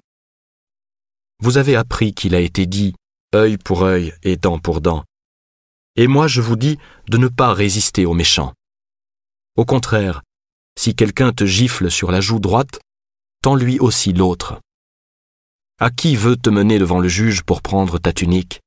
Laisse aussi ton manteau. Si quelqu'un te force à faire mille pas, fais-en deux mille avec lui. Jésus va jusqu'à prôner l'amour des ennemis, ce qui est humainement encore plus difficile. Je vous le dis, à vous qui m'écoutez, aimez vos ennemis, faites du bien à ceux qui vous haïssent, bénissez ceux qui vous maudissent, priez pour ceux qui vous diffament. Et, unissant les actes à la parole, Jésus pardonne sur la croix à ceux qui le martyrisent et l'insultent. Pardon et non-violence sont étroitement liés. Je ne parle pas ici de la fuite, ni de l'attitude de prudence qui nous enjoint à ne pas répondre à un assaut lorsque le rapport de force nous est défavorable. Dans ce cas, la haine ou le ressentiment restent dans notre cœur, et une fois le rapport de force inversé, nous nous empresserons de faire subir à l'autre ce qu'il nous a fait subir. Il ne s'agit donc pas à proprement parler d'une attitude non violente, car elle demeure purement extérieure et stratégique. La véritable éthique de la non-violence répond à une exigence intérieure qui s'appelle le pardon, comme l'ont enseigné les grands apôtres de la non-violence. Gandhi l'a utilisé comme seule stratégie possible pour émanciper l'Inde de l'empire colonial anglais et son pari a réussi. Mais il a expliqué à ses compatriotes qu'il ne fallait pas s'arrêter à cette victoire politique. Toute haine envers les colonisateurs et envers les autres communautés religieuses devait disparaître pour que l'Inde relève le défi de son émancipation. Nelson Mandela, une fois parvenu au pouvoir en Afrique du Sud, a dit maintes fois qu'il avait pardonné à ceux qui l'ont maintenu 27 ans dans un minuscule cachot et a demandé à tous les citoyens noirs de pardonner aux Blancs pour pouvoir réapprendre à vivre ensemble. Pourtant, il est important de le souligner, le pardon est un acte non rationnel. La rationalité se situe dans le camp de la justice, qui est la réparation de l'injustice subie. Comme l'explique le philosophe Yankelevitch dans son ouvrage Le pardon, où il qualifie celui-ci, après les camps de la mort, de surhumaine impossibilité. Le pardon est un horizon inaccessible, dont il faut toutefois se rapprocher.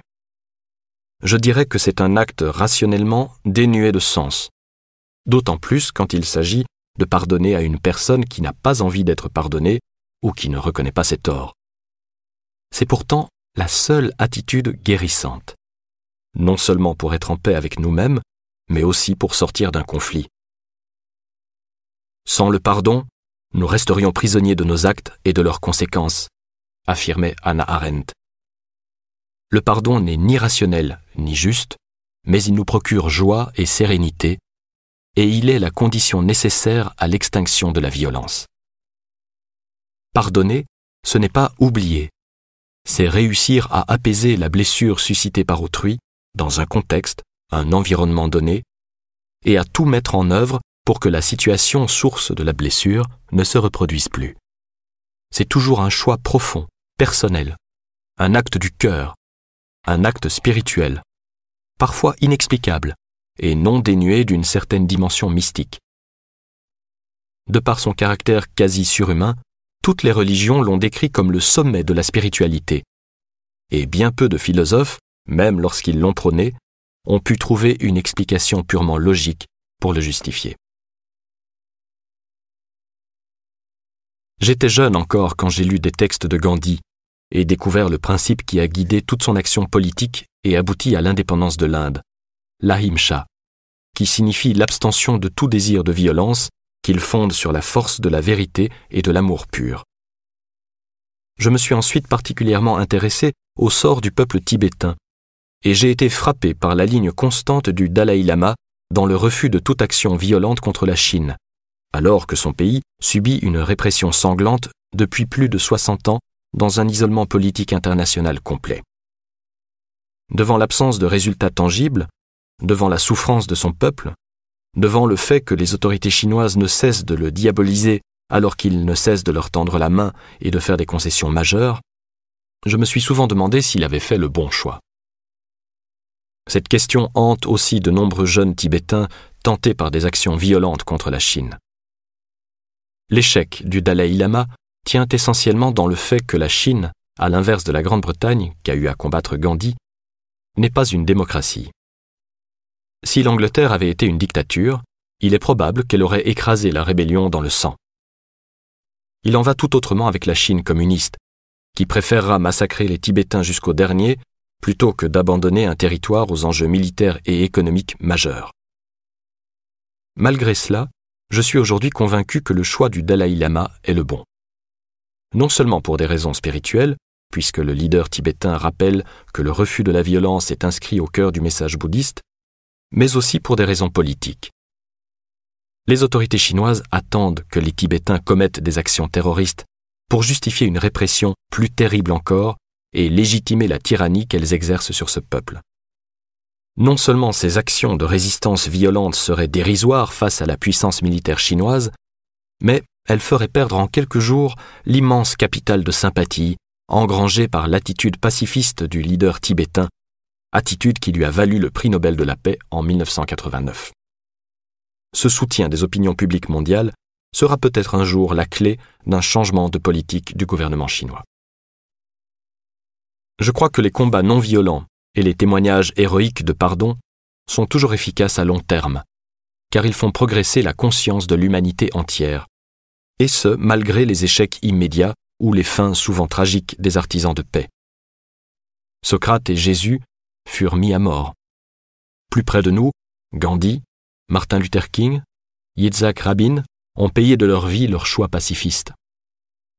Mais leur témoignage a marqué en profondeur nos consciences, les faisant évoluer vers un bien supérieur, un désir de bonté et de fraternité. Car si le mal est contagieux, le bien l'est aussi, et peut-être plus puissamment encore.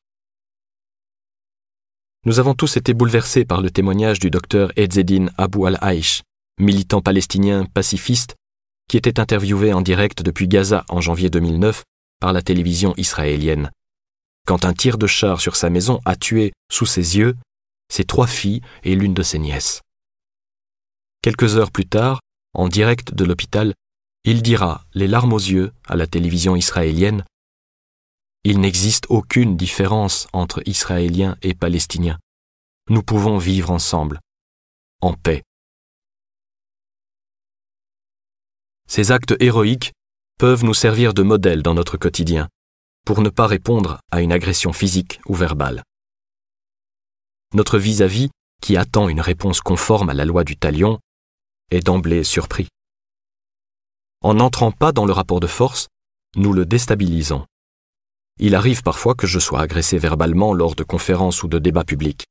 Je refuse toujours de répondre sur le même ton polémique, d'entrer dans le rapport de force, de chercher à ridiculiser mon questionneur, ce qui est assez facile lorsque le public nous est acquis. Bien souvent cela a pour effet de faire retomber la hargne de mon interlocuteur. À d'autres moments, face à l'animosité récurrente, je me suis forcé à ne jamais chercher à me venger. J'aimerais rapporter ici une petite anecdote liée à ma vie professionnelle, qui montre comment une situation pénible de rivalité, que nous connaissons presque tous, peut se transformer radicalement par un simple geste. Un collègue universitaire n'a cessé pendant plus de dix ans de dire publiquement du mal de moi, allant jusqu'à me donner en exemple chaque année à ses élèves comme un cas exemplaire d'incompétence. Je ne comprenais pas cette attitude, et je me contentais d'éviter de lui répondre dans une sorte de distance un peu dédaigneuse. Et puis un jour, je découvre un excellent livre écrit par ce même collègue et décide d'en faire une bonne recension dans le journal que je dirige. Ma collaboratrice qui s'occupait des pages culture du journal a tout fait pour m'en dissuader, arguant du mal qu'il avait pu dire de moi. Justement, c'est parce qu'il ne cesse de me critiquer que nous allons parler de manière très positive de son livre, lui ai-je répondu à sa grande stupéfaction. Après ce geste, cet universitaire a demandé à me rencontrer et m'a expliqué qu'il m'en voulait terriblement pour avoir critiqué dans un livre la thèse de l'un de ses ouvrages. Je ne m'étais à l'époque pas rendu compte de la virulence de ma critique, et j'ai alors compris son ressentiment envers moi. Nous nous sommes demandé pardon mutuellement et sommes devenus depuis d'excellents amis. Ce ne sont que de petits exemples du quotidien, mais ils sont importants car si le pardon et la non-violence ne commencent pas dans les relations avec nos proches, ils ne pourront jamais s'étendre au monde entier. À quoi sert de critiquer l'aveuglement des belligérants des conflits internationaux si nous ne sommes pas capables nous-mêmes de dépasser nos peurs et nos ressentiments, de pardonner à ceux qui nous ont blessés? Lorsque nous restons malgré tout meurtris par une blessure, des méthodes spirituelles peuvent nous aider à dissiper notre haine ou notre colère. La prière peut aider les croyants à le faire, et je suis toujours surpris quand j'entends des discours de haine, de vengeance ou de mort prononcés par des personnes qui se disent religieuses. La religion ne leur sert-elle donc que d'alibi pour leurs convictions politiques Une parole du Christ m'a personnellement aidé à apprendre à pardonner. Alors qu'il est sur la croix, injustement humilié et torturé, et qu'il attend la mort, il s'adresse ainsi à Dieu. Père, pardonne-leur, car ils ne savent pas ce qu'ils font. Il implore Dieu pour ses bourreaux en invoquant leur ignorance. Savoir que celui qui nous a blessés n'a pas conscience de son acte, qu'il est peut-être pulsionnel, instinctif, mu par la peur ou bien influencé par un discours de propagande, peut grandement nous aider. Bien souvent aussi, celui qui nous agresse est lui-même en souffrance.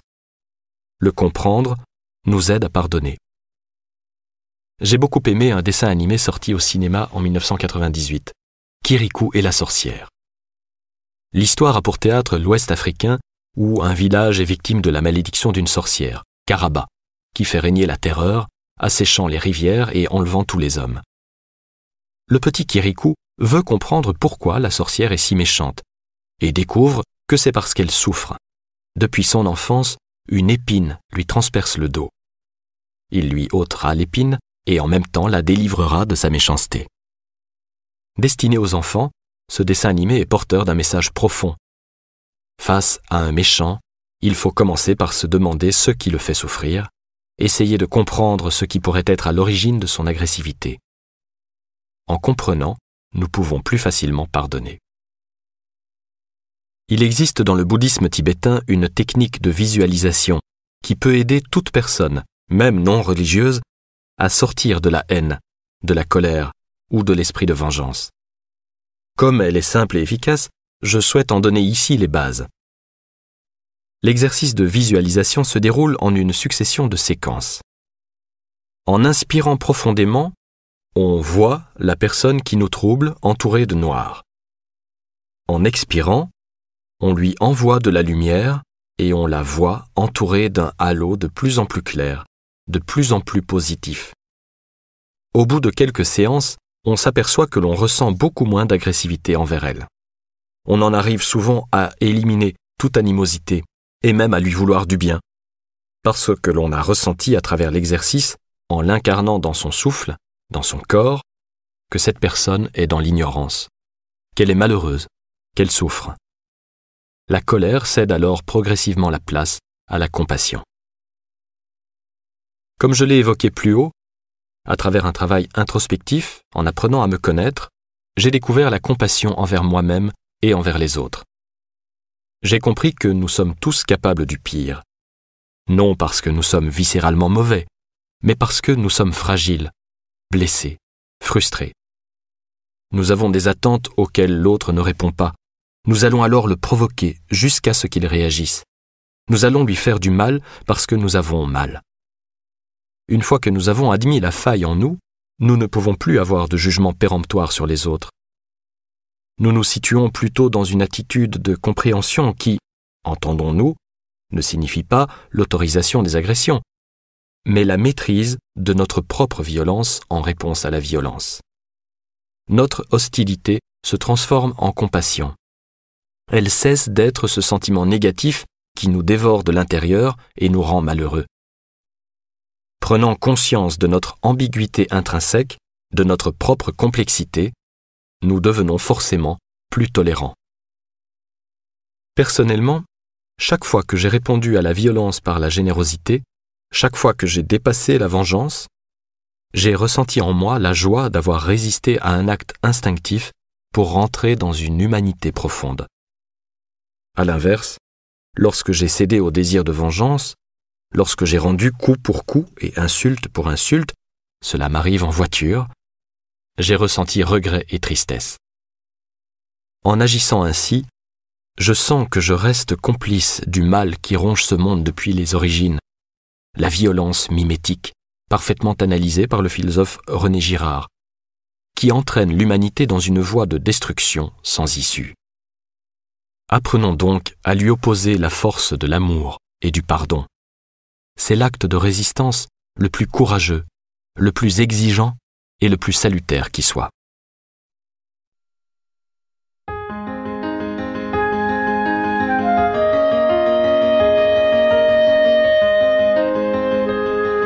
Chapitre 14 Le partage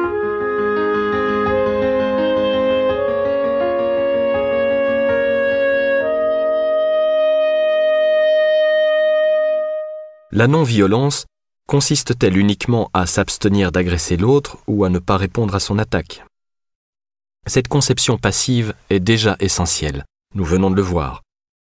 Néanmoins, je crois qu'il faut aller plus loin et militer pour une non-violence active, qui implique non seulement l'abstention de violence, mais aussi la prise d'initiative ayant pour objectif de contribuer à créer les conditions d'une société harmonieuse et de rapports humains justes et solidaires.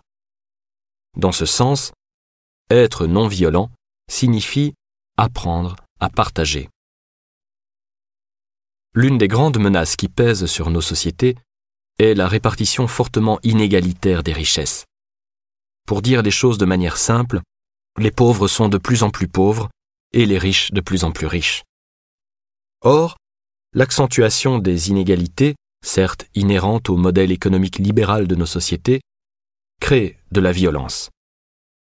Après la désastreuse expérience communiste, on sait pourtant que ce système est le moins mauvais qui soit. Néanmoins, quand ce modèle dérape, ce qui est actuellement le cas, il accouche d'un monstre. Quand des individus richissimes emploient des moyens inimaginables pour échapper à la redistribution de leurs richesses, s'exilant là où ils paient moins d'impôts et protégeant leur fortune dans les paradis fiscaux, le seuil d'alerte est dépassé. Comment en serait-il autrement quand ceux qui gagnent un salaire minimal ou sont au chômage et ne parviennent pas à boucler leur fin de mois voient des milliards d'euros être ainsi dissimulés par crainte d'un partage? Quand ils se rendent compte tous les jours que des capitaines d'industrie et des actionnaires continuent de s'enrichir par tous les moyens, exilant non seulement leurs capitaux, mais aussi leurs usines, au risque de déséquilibrer totalement l'infrastructure sociale au détriment de ceux qui continuent de s'appauvrir. Ce qui est vrai à l'échelle de nos sociétés l'est tout autant à celui de la planète, où l'inégalité dans la répartition des richesses entre le Nord et le Sud ne cesse de s'accroître. Au sein même des pays du Sud, le modèle des sociétés traditionnelles a disparu, cédant la place à des inégalités encore plus criantes qu'au Nord, entre classes au pouvoir monopolisant tous les biens et citoyens réduits à la pauvreté la plus extrême. Or, du fait des chaînes télévisées satellitaires, ces gens savent que non loin d'eux, d'autres pays vivent dans l'opulence, et ils tentent donc de les rejoindre, souvent au péril de leur vie.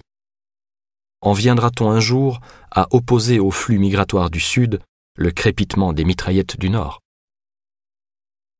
Il ne s'agit pas uniquement de problèmes de société, mais d'une question qui se pose à chacun d'entre nous.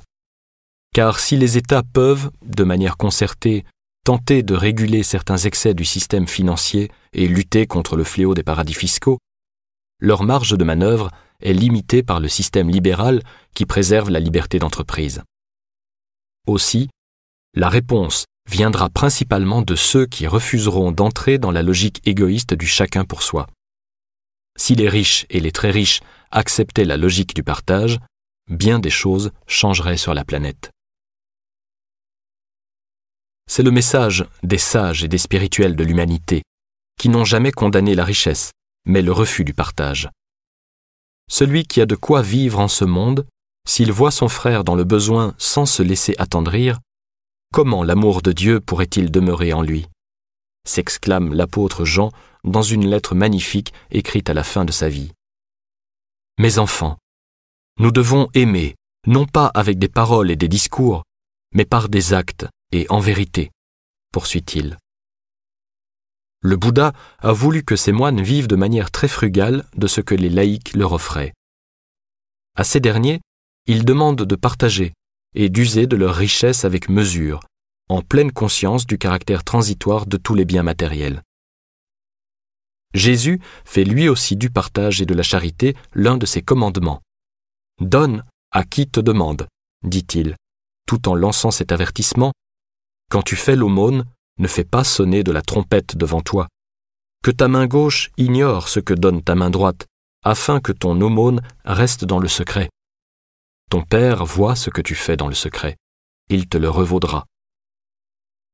Son insistance sur la pratique du partage et de la charité est telle que celle-ci deviendra l'un des principaux signes distinctifs des premiers chrétiens qui mettaient tous leurs biens en commun. Cet acte, insiste Jésus, est le devoir de tous, les riches comme les pauvres. Chacun doit donner à sa mesure. Et il illustre cette exhortation par un exemple, celui d'une pauvre femme qui dépose ses deux dernières pièces dans le tronc du temple où les riches mettent de grosses sommes. Cette pauvre veuve a mis dans le tronc plus que tout le monde, car tous, ils ont pris sur leur superflu, mais elle, elle a pris sur son indigence. Elle a tout donné, tout ce qu'elle avait pour vivre. Le don, ou zakat, est également l'un des cinq piliers de l'islam. La tradition musulmane a longuement commenté cette obligation religieuse destinée à garantir un partage des richesses, bien que ce ne soit pas là son unique objectif.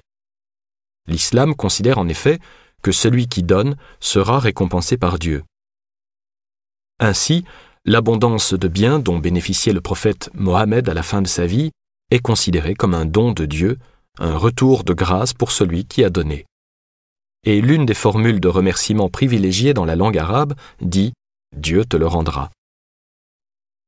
On retrouve cette idée dans un autre contexte à travers la très belle prière de François d'Assise qui s'adresse ainsi à Dieu. Fais que je ne cherche pas tant à être consolé que de consoler, d'être compris que de comprendre, d'être aimé que d'aimer parce que c'est en donnant que l'on reçoit, c'est en s'oubliant soi-même qu'on se retrouve soi-même. Il n'est pas demandé aux riches de donner tout leur argent aux pauvres, mais seulement leur superflu. Il leur est demandé de ne pas entrer dans une logique d'acquisition sans fin qui n'apportera ni paix sociale, ni bonheur individuel. Cette idéologie consumériste, cette logique de l'avoir qui touche tant d'individus, riches ou pauvres, persuadés que leur bonheur viendra de la consommation et de l'accumulation des biens matériels, ronge notre monde actuel. Or, si un minimum d'argent et de confort est utile, il importe de sortir de la logique du toujours plus, qui est devenu notre mot d'ordre. Car la quête matérielle est par nature insatiable. Elle nous pousse à vouloir posséder toujours plus au détriment des équilibres sociaux et écologiques de la planète. Cela nuit au bien commun, qui exige modération et partage du superflu, mais également à notre propre bonheur individuel, qui, contrairement aux mensonges de la publicité, ne provient pas de l'argent et des biens matériels.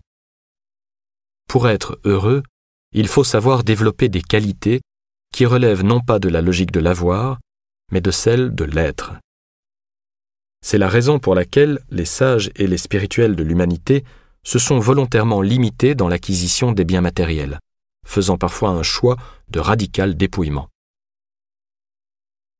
Socrate, par exemple, avait choisi de vivre dans un certain dénuement et de ne pas monnayer ses enseignements, tandis que les sophistes de son époque se faisaient chèrement payer pour les leçons qu'il prodiguait à la jeunesse dorée athénienne.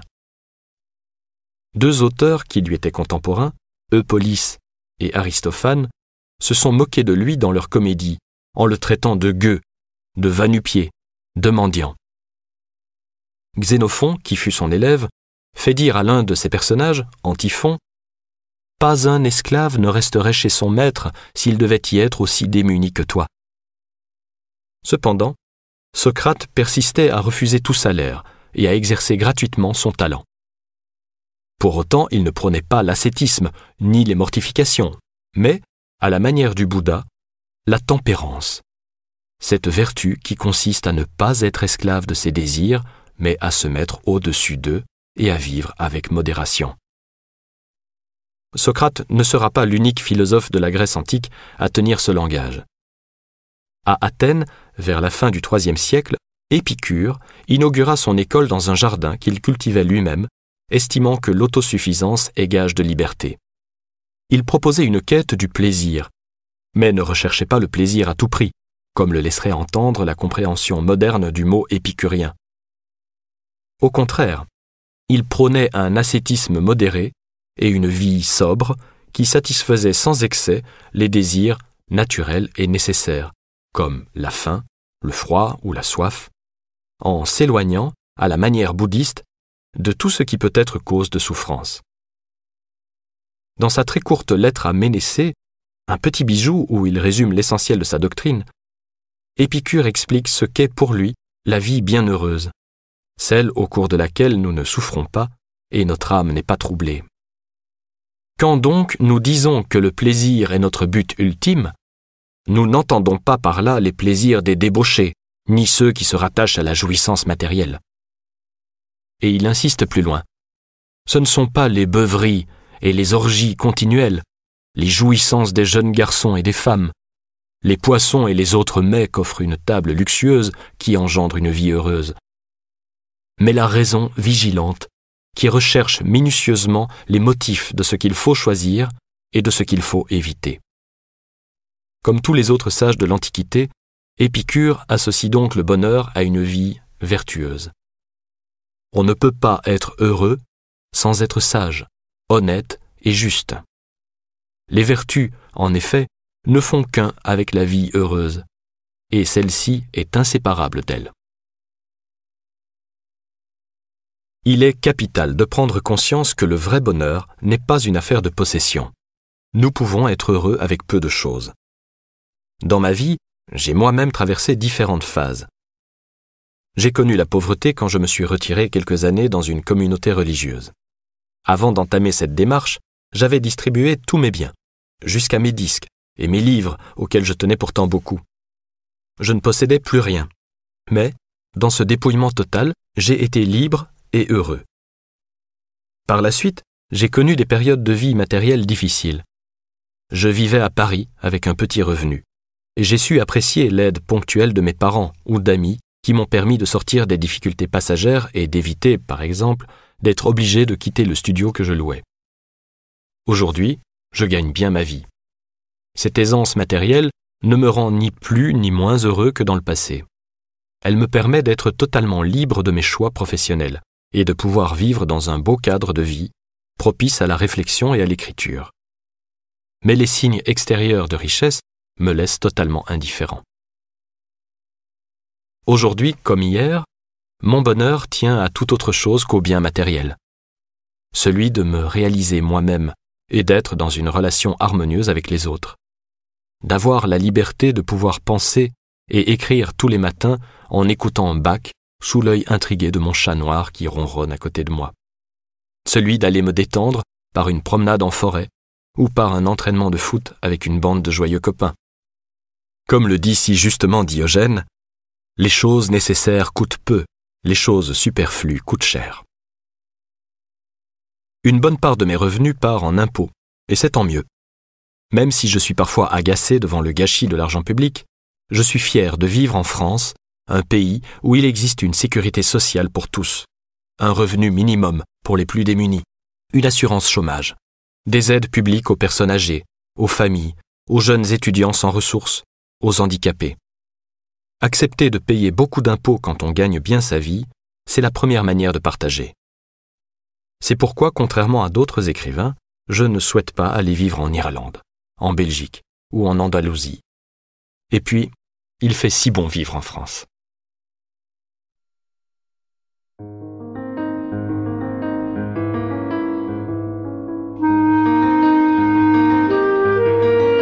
Chapitre 15 Attachement et non-attachement.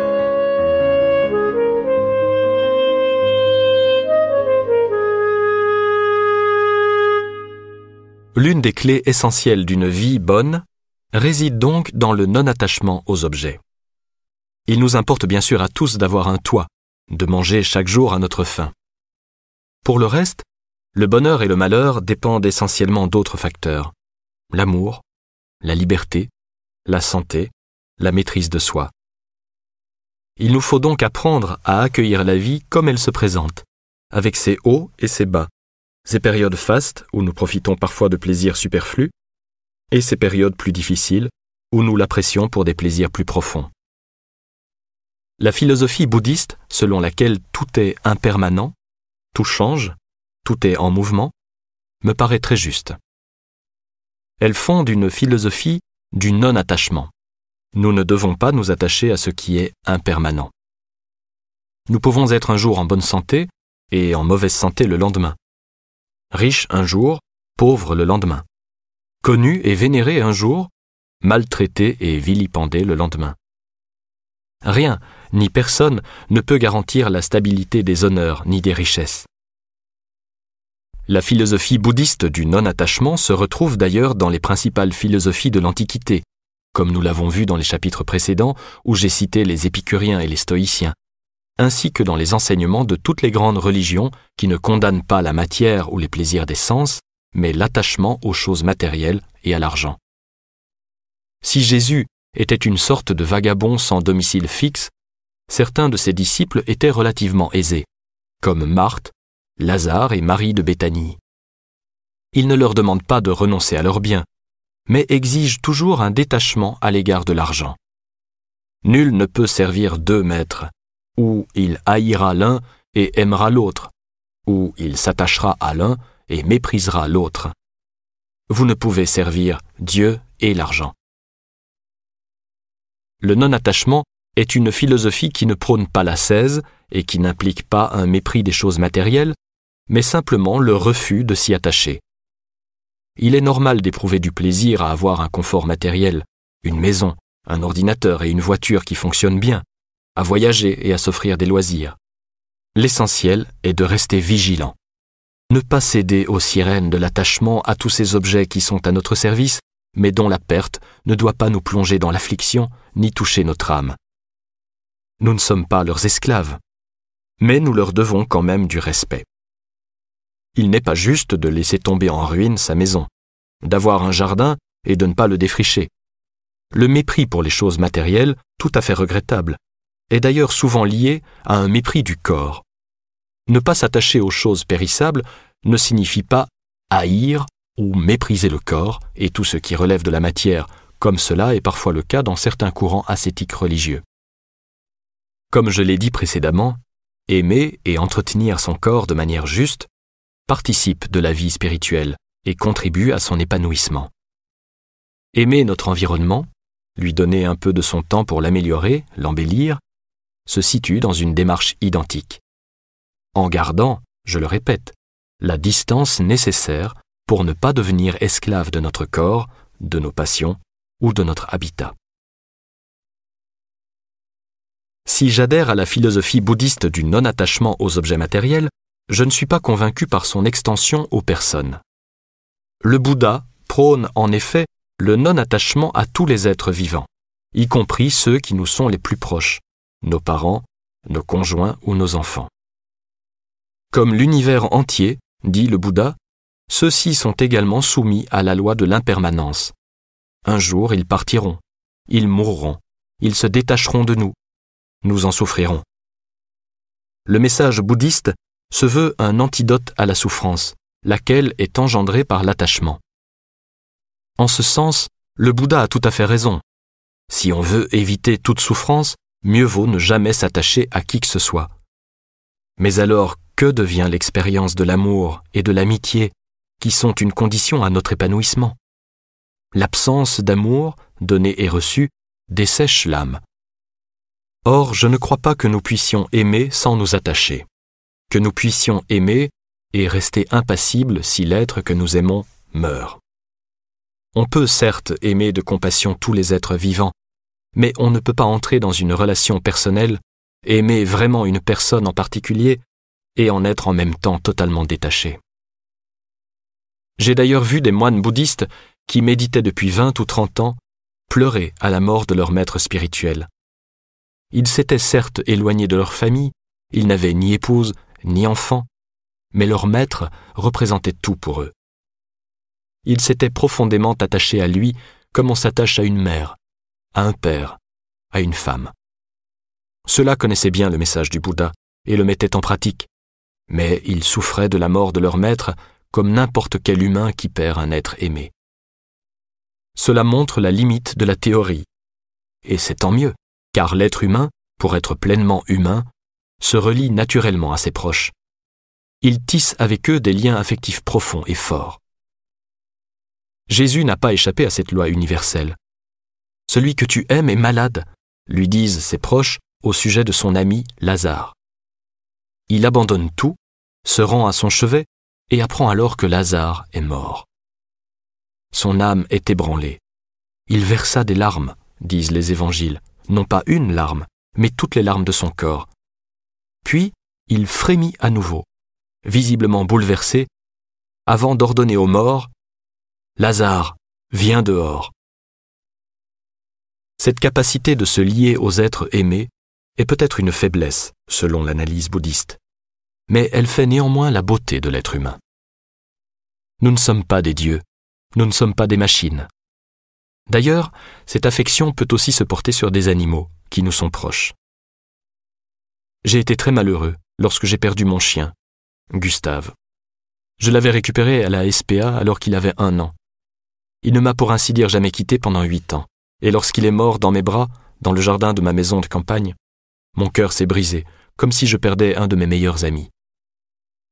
J'ai connu évidemment d'autres deuils douloureux, de parents ou d'amis, et je n'ai jamais pensé que c'était une raison pour ne plus aimer, ne plus s'attacher. La vie implique la souffrance de la perte des êtres aimés, et il faut l'accepter. Le déchirement de la rupture ou du deuil est le prix à payer de l'amour.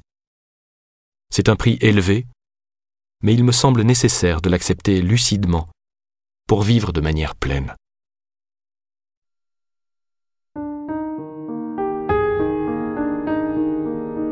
Chapitre 16 L'adversité est un maître spirituel.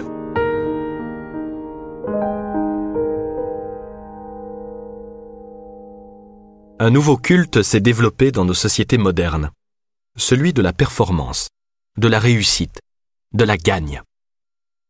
Cette idéologie du succès nous impose de réussir dans tous les domaines, et les médias véhiculent à longueur de temps des images de gagnants présentés en modèles dignes d'attention.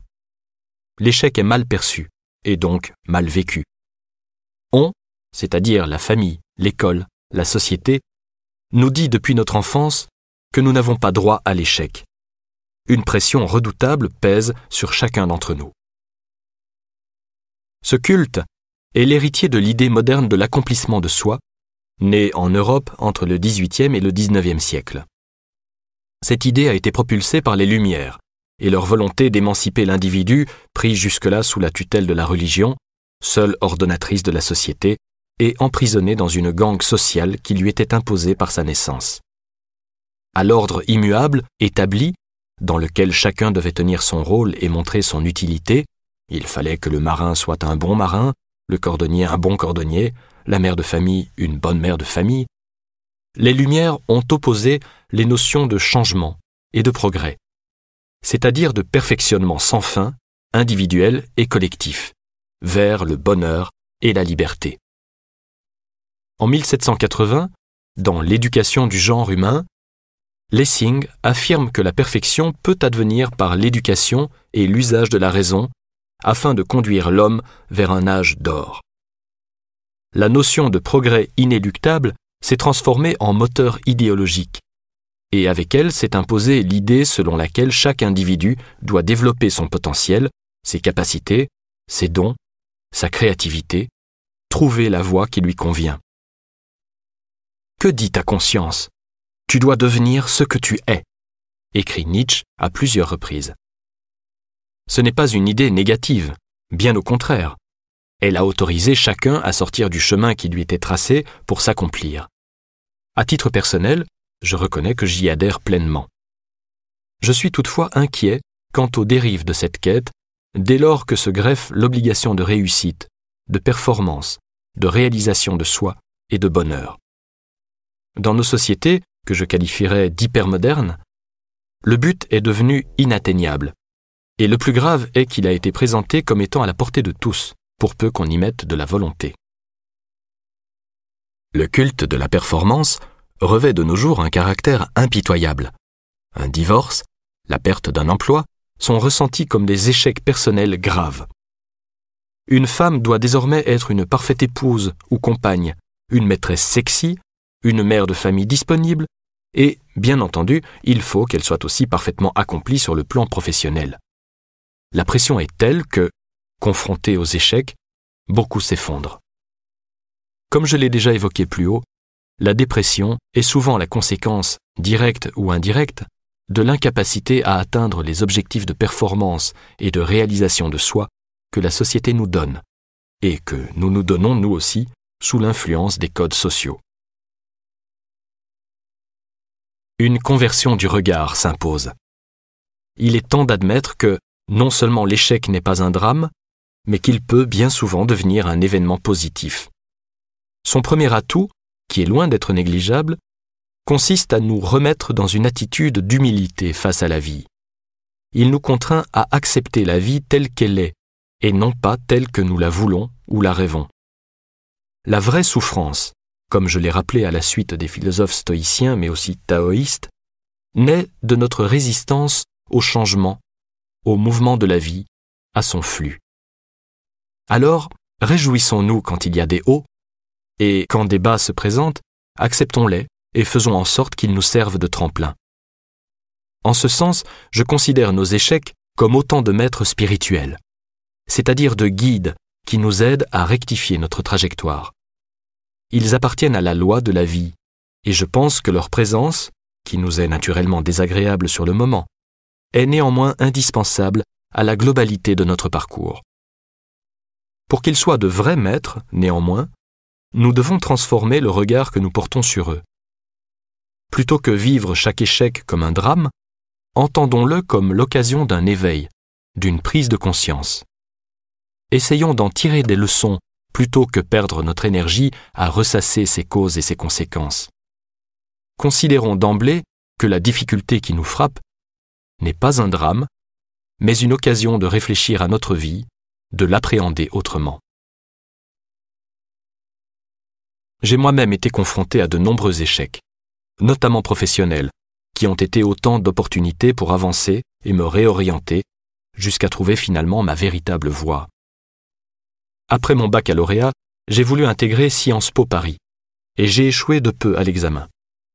J'en ai été profondément déstabilisé, et j'ai pris conscience que je m'étais sans doute engagé dans cette voie pour suivre les traces de mon père, qui avait lui-même fait Sciences Po et l'ENA, alors que, au fond de moi, j'avais davantage envie d'étudier la philosophie. Je ne me suis donc pas obstiné à repasser l'examen d'entrée à Sciences Po, comme le font la plupart de ceux qui échouent une première fois, et me suis inscrit à l'université. Mes années d'études philosophiques et sociologiques qui ont suivi ont été un pur bonheur et constituent encore aujourd'hui un socle d'apprentissage et de connaissances qui m'est très précieux. À 24 ans, j'ai trouvé un emploi comme directeur de collection dans une grande maison d'édition parisienne. Après cinq ans, on m'a proposé une embauche définitive dans la voie royale de la direction littéraire. J'en étais ravi. Le contrat était prêt. C'est alors que le directeur de cette maison déjeune avec mon père qu'il connaissait pour l'avoir jadis publié. Au cours du déjeuner, mon père le remercie de m'offrir cet emploi, en dépit de mon instabilité et de ma fragilité émotionnelle. Le directeur change aussitôt d'avis et me propose de conserver un statut qui ne me convenait plus. Sur le coup, le choc fut très dur. J'en ai évidemment voulu à mon père qui n'avait pourtant aucune conscience d'avoir ainsi torpillé ma carrière. J'ai compris un peu plus tard, à travers une psychanalyse, qu'il était dans une rivalité inconsciente avec moi et m'avait transmis une injonction paradoxale. Sois quelqu'un d'important dont je puisse être fier, mais ne me dépasse jamais. D'où sa maladresse, lapsus, avec l'éditeur et d'autres paroles de ce type, qui n'ont plus eu de prise sur moi et d'influence sur ma vie lorsque je me suis libéré, à travers un travail thérapeutique, de son regard et du lien symbiotique qui m'unissait à lui. Mais revenons à cet échec. J'ai été très malheureux pendant plusieurs mois et me suis posé la question de tenter ma chance ailleurs que dans l'édition. J'avais déjà écrit quelques livres et, après réflexion, j'ai compris que la recherche et l'écriture, et non l'édition, me faisaient vraiment vibrer intérieurement. J'ai donc décidé de vivre positivement cet échec pour écrire à plein temps et entamer une thèse de doctorat. Je n'avais plus de bureau, de secrétaire, de carte de visite, et mes revenus ont baissé de moitié. Pendant plusieurs années, j'ai eu du mal à boucler mes fins de mois. Pourtant, je ne l'ai jamais regretté. Ma thèse m'a beaucoup apporté sur le plan personnel. J'étais libre, et, progressivement, mes livres ont connu le succès. Toutefois, avant que je puisse vivre de mon écriture, j'ai connu d'autres échecs professionnels qui m'ont amené à exercer la pratique du lâcher-prise.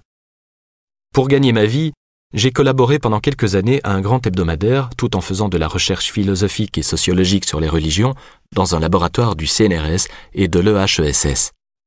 Je me suis donc dit qu'il serait judicieux d'intégrer le CNRS, ce qui me permettrait de continuer à écrire tout en ayant une plus grande stabilité professionnelle et financière. Malgré une thèse de doctorat réussie avec la meilleure mention et les félicitations du jury à l'unanimité, ainsi qu'un sérieux dossier de publication, j'ai été recalé car je n'avais pas le profil universitaire classique, étant trop impliqué dans les médias. J'ai compris que je ne réussirais pas à faire bouger ce préjugé typiquement français. Aussi, puisqu'on me reprochait de collaborer régulièrement aux médias, ai-je tenté ma chance pour un véritable emploi au sein du magazine qui publiait mes articles. Cette fois, j'ai été recalé à cause de mon profil jugé trop universitaire et pas assez journalistique. Ces deux échecs professionnels, coup sur coup, m'ont profondément accablé. J'ai essayé d'accepter cette situation ubuesque sans trop savoir quelle orientation donner à ma vie professionnelle. C'est alors que j'ai rencontré un romancier étranger. Il m'a posé quelques questions sur mon parcours et m'a demandé quel était mon rêve d'enfant ou d'adolescent.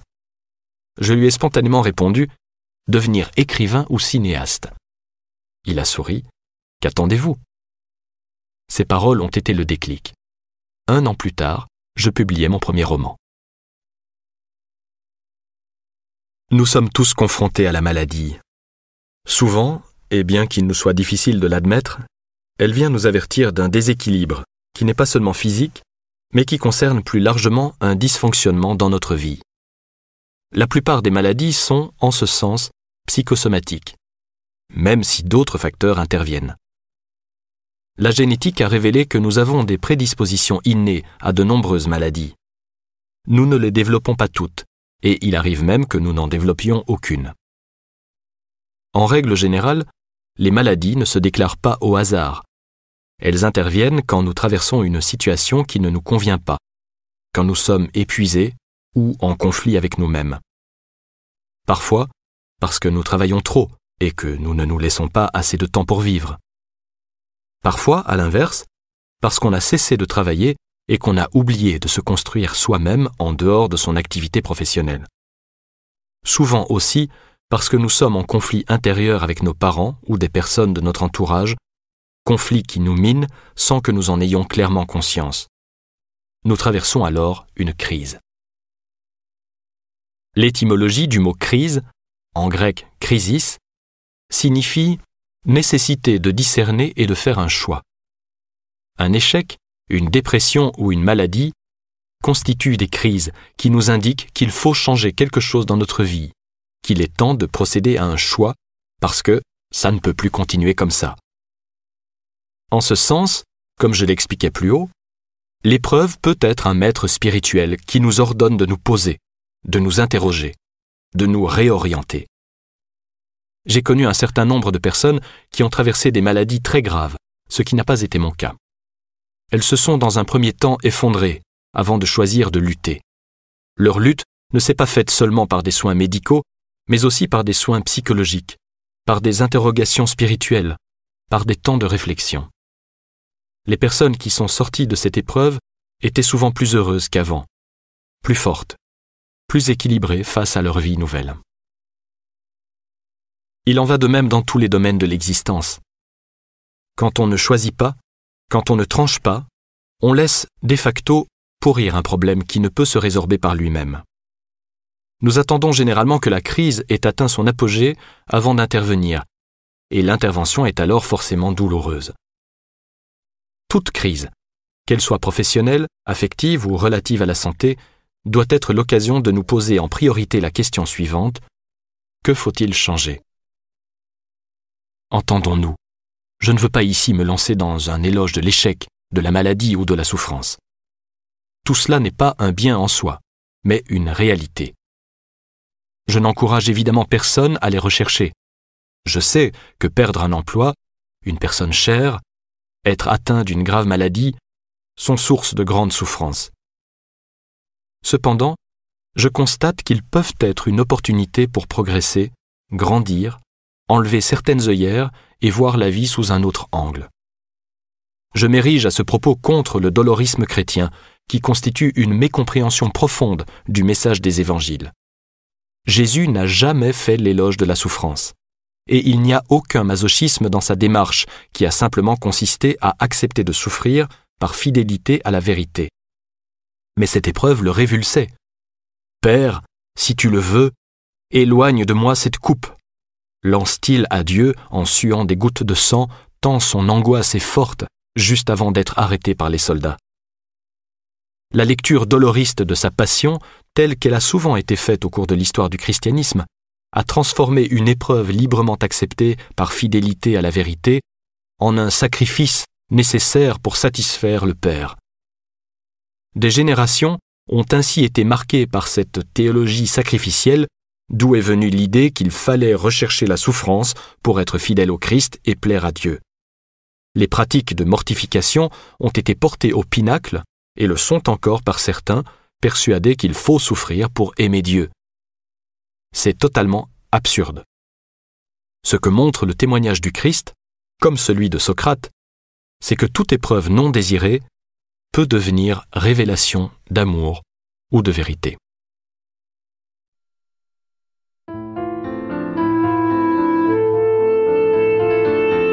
Chapitre 17 Ici et maintenant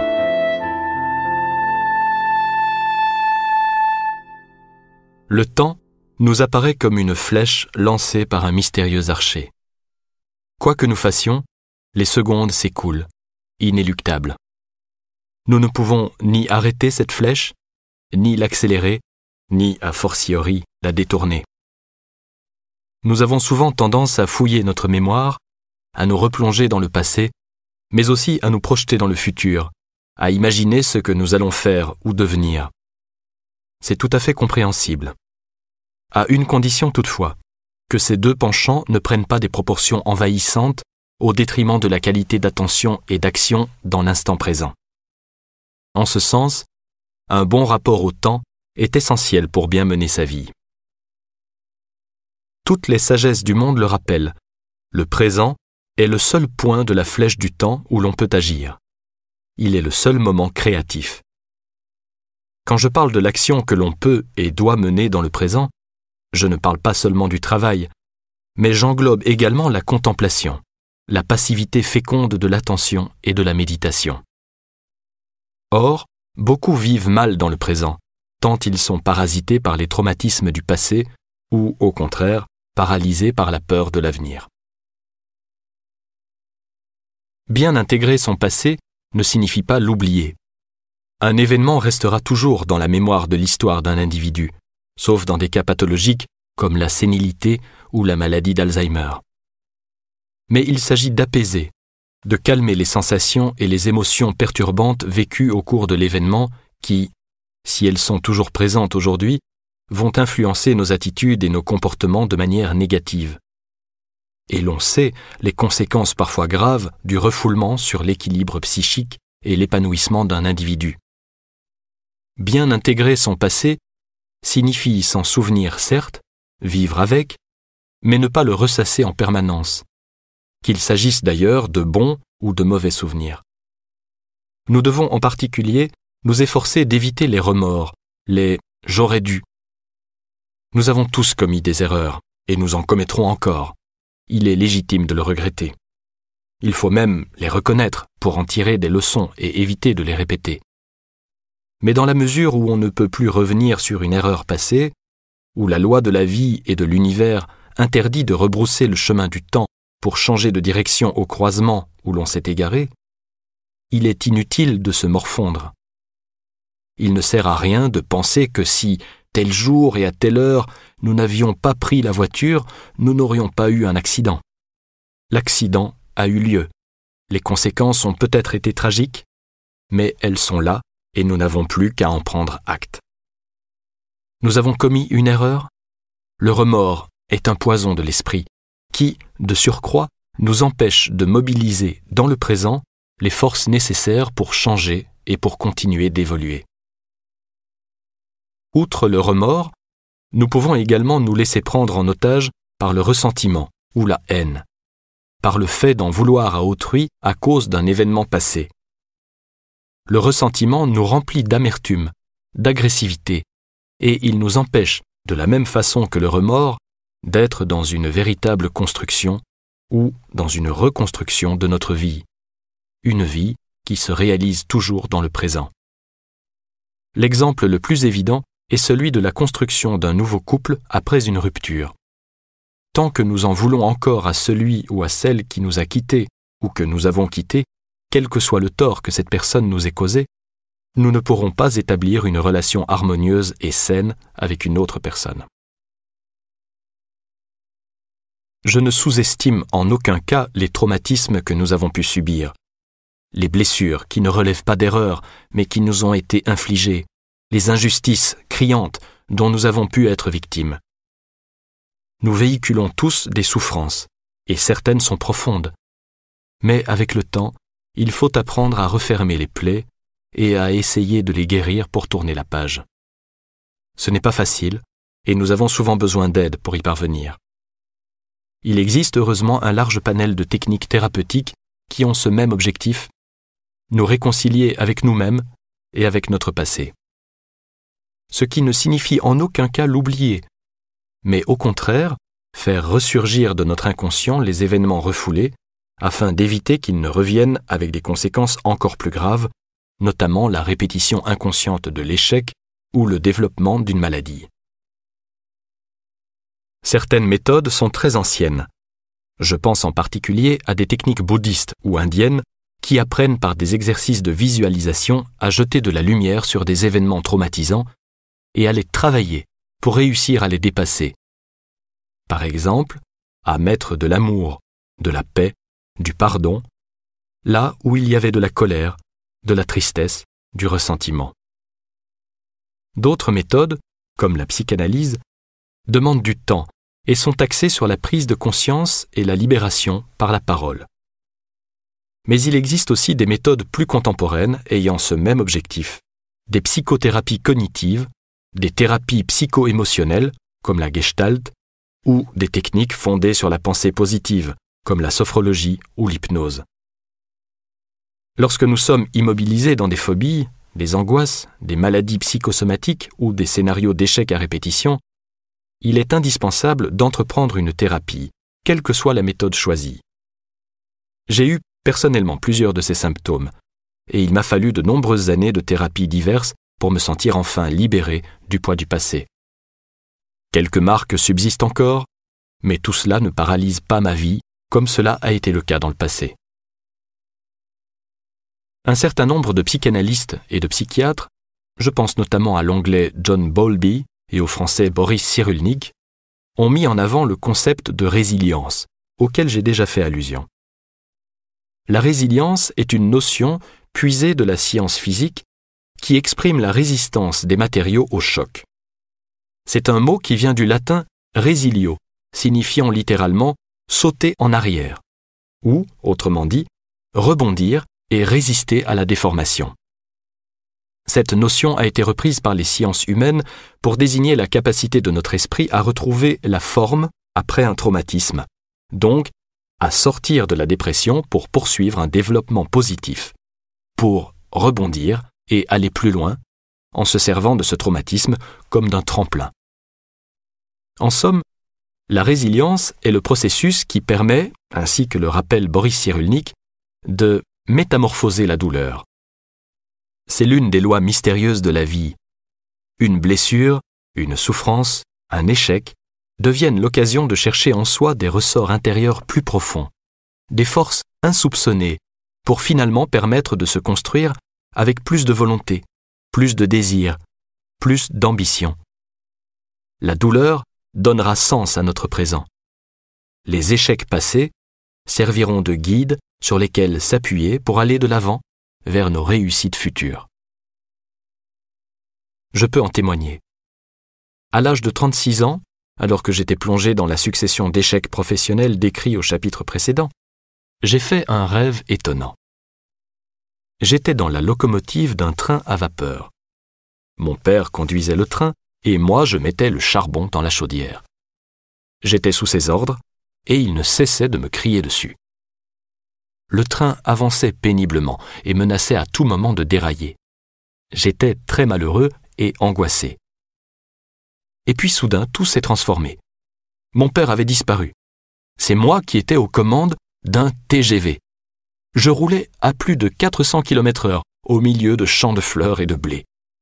J'étais radieux dans un sentiment de force intérieure et de plénitude. Je me suis réveillé et j'ai réalisé que ce jour-là, je devais me rendre à mon premier stage de Gestalt thérapie. J'ai suivi cette thérapie pendant trois ans et elle a été décisive dans la résolution de la névrose liée à mon père. J'ai compris par la suite que cette névrose, bien que douloureuse, a été un tremplin pour aller plus loin. D'une locomotive à charbon, je suis en effet passé à un TGV. Si je n'avais pas été lancé dans la vie par cette relation difficile et chaotique, peut-être n'aurais-je jamais été chercher au fond de moi les ressources pour grandir, pour me libérer d'un lien intérieur négatif. Je n'aurais pas pu me développer et m'exprimer pleinement. Je n'aurais pas non plus réussi à construire la relation positive et harmonieuse que j'entretiens aujourd'hui avec mon père. Alors, plutôt qu'avoir du remords, plutôt que ressasser, regardons notre passé, aussi pénible soit-il, de manière positive. Il peut être une chance qui nous est donnée pour aller encore plus loin dans la construction de nous-mêmes et de notre vie. Ce n'est pas uniquement le passé qui a la faculté de polluer notre vie. Le futur peut être tout aussi paralysant. Nous avons tous une propension à nous projeter dans l'avenir, et l'une de ces façons, de prime abord positive, est le rêve. Nous rêvons de la maison que nous voudrions avoir, du métier que nous voudrions exercer, de la famille que nous voudrions fonder. Cela peut nous rendre heureux pendant que nous rêvons, mais certaines personnes se laissent tellement transporter par leur imaginaire qu'elles en oublient le présent. Autrement dit, elles ne mettent rien en œuvre pour que ces rêves deviennent réalité. J'ai longtemps vécu avec ce travers. Comme je l'ai évoqué, je rêvais depuis l'enfance d'écrire des romans ou des scénarios de cinéma.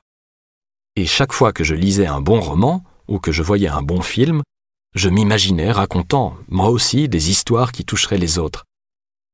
Mais, hormis un petit récit écrit à l'âge de 11 ans, je n'écrivais pas. Je ne passais pas à l'acte, par manque de confiance en moi. Aussi sans doute parce que le fait de me projeter de manière imaginaire me procurait une petite dose de plaisir et m'empêchait de passer à l'action.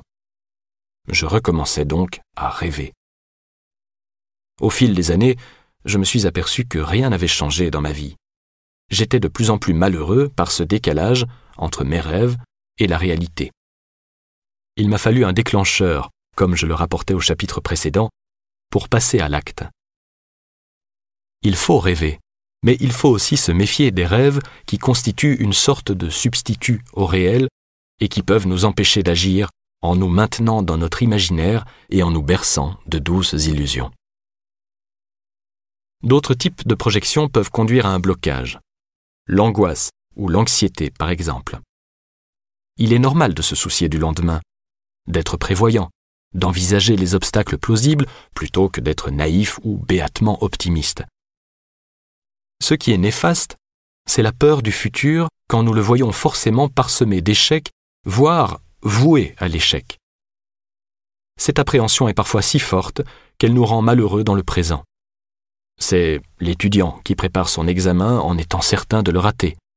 Le candidat à une embauche qui, avant même de se rendre à son entretien, ne doute pas que sa candidature ne sera pas retenue. L'amoureux persuadé qu'il sera éconduit par la personne qui lui plaît. Cette attitude a pour conséquence d'empêcher toute jouissance du présent, l'esprit étant entièrement absorbé par la peur du lendemain, de la même manière que pour d'autres personnes, il est pollué par les remords du passé. La pensée négative a en plus de fortes chances de créer l'événement redouté. Vous êtes certain d'échouer à votre entretien d'embauche? À force de le croire, vous vous comporterez de telle sorte que votre candidature ne sera probablement pas retenue, tant vous vous montrerez tendu. C'est l'histoire de cet automobiliste qui, en rase campagne, s'aperçoit qu'il a un pneu crevé et qu'il n'a pas de cric. Il est à 5 km de la bourgade la plus proche, le soleil tape dur, et, après avoir vainement attendu de l'aide, il décide de s'y rendre à pied. Chemin faisant, il espère trouver un garage et que le garagiste lui prêtera un cric. Puis, il s'angoisse à l'idée que celui-ci le lui refuse. Au fur et à mesure qu'il avance, ses pensées s'assombrissent. Il arrive au bourg, trouve le garage, mais il s'est tellement persuadé que le garagiste refusera de l'aider qu'à peine le pas de la porte franchi, il lui lance, rouge de colère, Vous savez ce que vous pouvez en faire de votre putain de cric? La manière dont on visualise un événement à venir, dont on se représente son déroulement, peut influer sur l'événement en question. Si nous nous rendons à notre entretien d'embauche après avoir imaginé le bon déroulement de celui-ci, nous serons confiants et au meilleur de notre forme pour faire en sorte que cet entretien se déroule effectivement dans des conditions qui nous seront favorables. Ce pouvoir de la pensée positive a été intégré, en particulier dans le monde du sport. Ainsi, la majorité des sportifs de haut niveau pratiquent des techniques de visualisation positive. Ils se voient en train de gagner. Et il est établi que cette vision leur offre en effet des chances supplémentaires de gagner. Personnellement, je suis de ceux qui ont tendance à rêver plutôt qu'à s'angoisser pour l'avenir. Cependant, il m'arrive, comme tout le monde, de tomber dans les travers de la pensée négative. J'ai appris à réagir aussitôt, et j'ai effectué un travail sur moi, dans cet objectif, à travers la méditation et la sophrologie. Par exemple, j'ai toujours le trac avant d'intervenir à la télévision. Avant chaque émission, j'ai pris l'habitude de m'isoler quelques instants, et j'essaie de me visualiser détendu et serein. L'effet de cette préparation psychologique est souvent efficace. De la même manière, je n'aime pas voyager en avion. Et j'évite autant que possible ce mode de transport, lui préférant le train. Or, pour de longues distances, je n'ai pas le choix. Avant un voyage, donc, je me visualise arrivant à bon port, et je parviens à prendre l'avion, même si c'est toujours une épreuve. Pour être dans la vérité et dans la joie de l'instant présent, il nous faut donc nous dépolluer l'esprit du passé et de l'avenir, de nos remords, de nos angoisses, de nos peurs et de nos rêves, c'est-à-dire appliquer la maxime de sagesse édictée au deuxième siècle par Marc Aurèle, cet empereur romain pétri de philosophie stoïcienne. Ne te laisse pas troubler par la représentation globale de toute ta vie. Les stoïciens avaient prôné comme attitude fondamentale de vie ce que l'on appelle en grec la prosoké, c'est-à-dire la vigilance à chaque instant de la vie, la concentration sur le moment présent, délivré des attaches du passé et de l'avenir, source de passions vaines et néfastes. Ils insistaient sur la valeur infinie de ce moment présent, l'ici et le maintenant, le seul sur lequel on peut agir et où l'on peut agir. Au premier siècle avant notre ère, le poète latin Horace lancera une devise restée célèbre, Carpe diem, qui signifie littéralement cueille le jour, mais que l'on traduit plus volontiers par profite du jour présent. L'un des vers les plus connus de ces odes dit Pendant que nous parlons, le temps jaloux a fui. Cueille l'aujourd'hui, carpe diem, sans te fier à demain. Seul l'instant présent est créateur. Il n'y a que dans l'ici et maintenant que nous pouvons vraiment jouir de la vie, c'est-à-dire être dans la vraie joie. Celle-ci n'est pas un souvenir du passé, ni un rêve d'avenir, source sans doute de belles émotions, mais pas aussi puissante que la joie.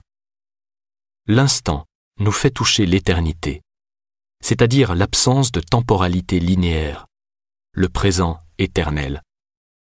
Nous pouvons ainsi arriver à comprendre, en le vivant pleinement, à quoi pourrait ressembler le bonheur perpétuel dont parlent les grandes religions, et qui consiste à être fixé dans une sérénité, une harmonie, une paix, une réconciliation avec soi-même et avec le monde. C'est ce que le maître bouddhiste Thich appelle la plénitude de l'instant. Une grâce qu'il trouve jusque dans les gestes les plus anodins, ceux que nous effectuons le plus souvent en pensant à autre chose. Ainsi, dit-il, quand vous buvez votre tasse de thé, appréciez l'instant présent. Oubliez le passé et le futur. Souriez à votre tasse prenez-la en pensant simplement ⁇ Je prends la tasse ⁇ Parce qu'en la prenant, en mettant tout votre corps et votre esprit, vous êtes en contact avec les merveilles de la vie.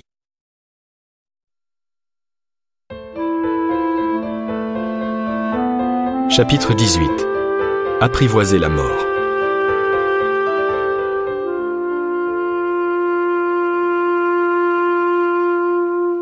La vraie sérénité, la paix intérieure s'acquiert, je l'ai montré tout au long de ce livre, à la seule condition d'accepter le donné de la vie.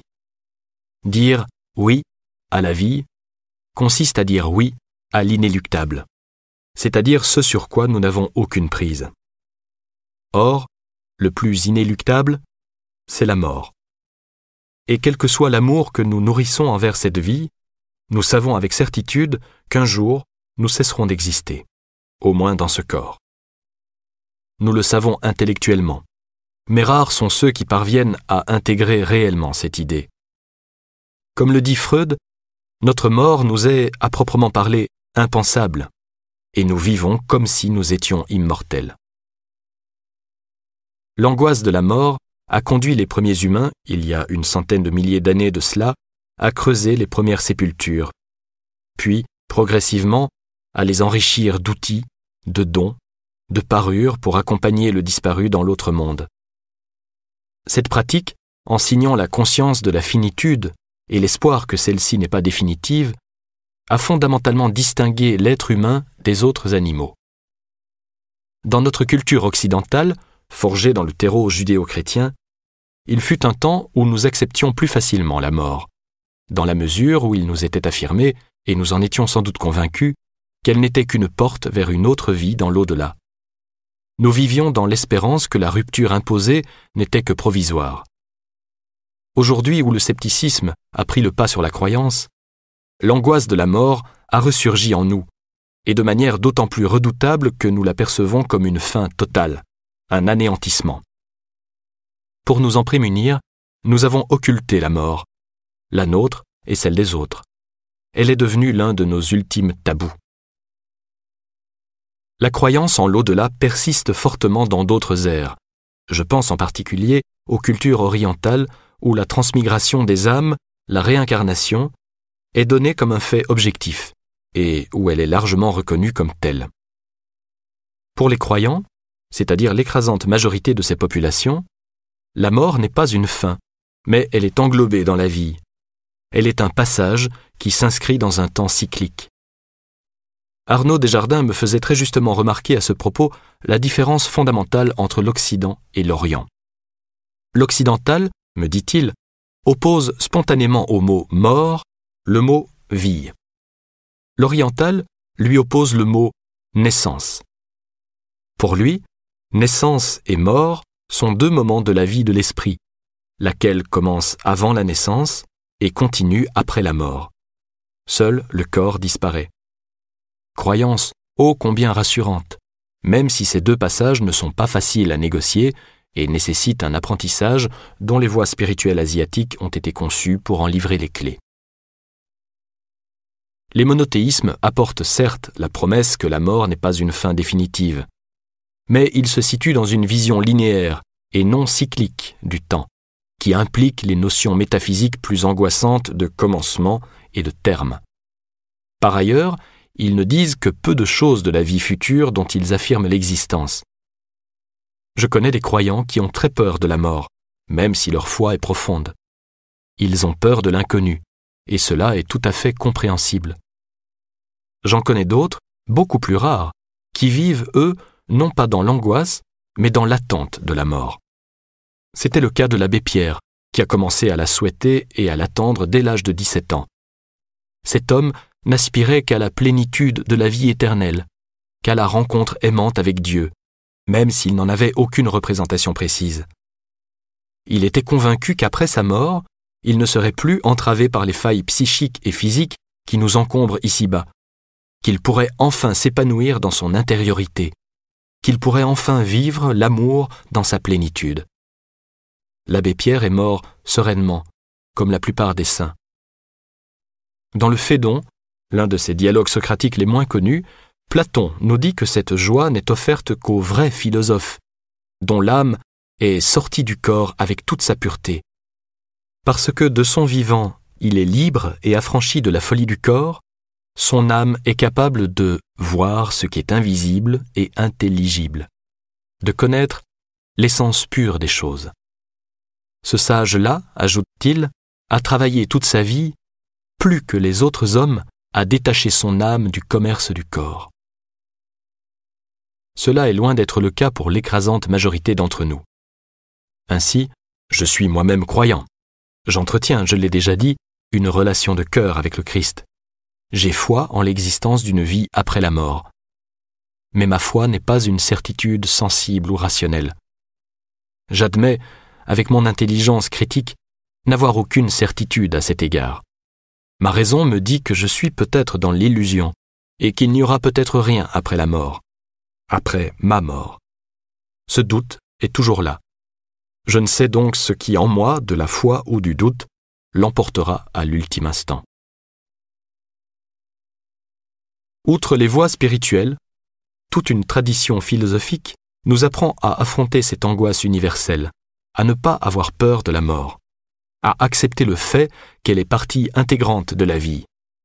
En somme, à essayer de vivre lucidement avec l'idée que nous allons mourir, plutôt que de refouler cette idée. Mais peut-être est-ce là l'un des principaux objectifs de la philosophie. Montaigne en était en tout cas convaincu quand il affirmait que philosopher, c'est apprendre à mourir. L'un des premiers philosophes à s'être explicitement déclaré athée était le grec Épicure. Pour lui, il ne faisait pas de doute que la mort signe la disparition totale, corps et âme, de l'individu. Pour autant, il enjoignait ses disciples à ne pas la craindre. Crainte qu'il disait totalement inutile, d'une part parce qu'elle n'empêche pas la mort, d'autre part parce qu'elle empêche la pleine jouissance du plaisir de vivre. Dans sa lettre à Ménécée, il résume ainsi ce qu'il n'aura de cesse d'affirmer par ailleurs. Habitue-toi à penser que la mort n'est rien pour nous. En effet, il n'y a de bien et de mal que dans la sensation. Or, la mort est absence de sensation. Par conséquent, savoir que la mort n'est rien pour nous rend cette vie mortelle heureuse. Il n'y a plus rien à redouter de la vie quand on sait qu'il n'y a rien à redouter après la vie. Car il est vain de souffrir par avance de ce qui ne cause aucune douleur quand il est là. Le plus terrifiant des maux, la mort, n'est rien par rapport à nous, puisque, tant que nous sommes, elle n'est pas, et quand elle est, nous ne sommes plus. Donc, la mort n'existe ni pour les vivants, ni pour les morts. Le sage ne craint pas la vie, il ne craint pas non plus de ne pas vivre. Le sage est celui qui s'est préparé à la mort. J'entends par préparation le fait d'agir tout au long de sa vie de telle sorte que, lorsqu'advient le moment de notre mort, nous pouvons nous en aller sans regret, avec le sentiment d'avoir accompli cette vie le mieux possible, d'avoir bien vécu, c'est-à-dire d'avoir mené une existence juste, droite, bonne, d'avoir été, autant que possible, dans le vrai. Car il est terrible de mourir avec le regret d'avoir gâché sa vie. Chaque matin, je me prépare à ma mort, mais à la manière de Spinoza, pour qui l'homme libre ne pense à rien moins qu'à la mort, et sa sagesse est une méditation non de la mort, mais de la vie. Je me réveille en me disant que ceci est peut-être ma dernière journée, et que je dois donc la vivre en pleine conscience, sans jamais abdiquer mes valeurs, c'est-à-dire la vivre de la meilleure manière possible, sans me laisser envahir par des émotions perturbatrices, pour moi ou pour les autres, sans accomplir un acte que je regretterai. Je dois, pour reprendre Marc Aurel, agir, parler, penser toujours comme quelqu'un qui peut sur l'heure sortir de la vie. En somme, la vivre de telle sorte que je puisse, le soir venu, m'endormir avec une conscience apaisée. Peut-être que je ne me réveillerai pas. Telle est la manière dont j'intègre, au jour le jour, dans ma vie, la dimension de notre finitude. Et ce n'est pas au fond à la mort, mais à la vie que je me prépare ainsi chaque jour.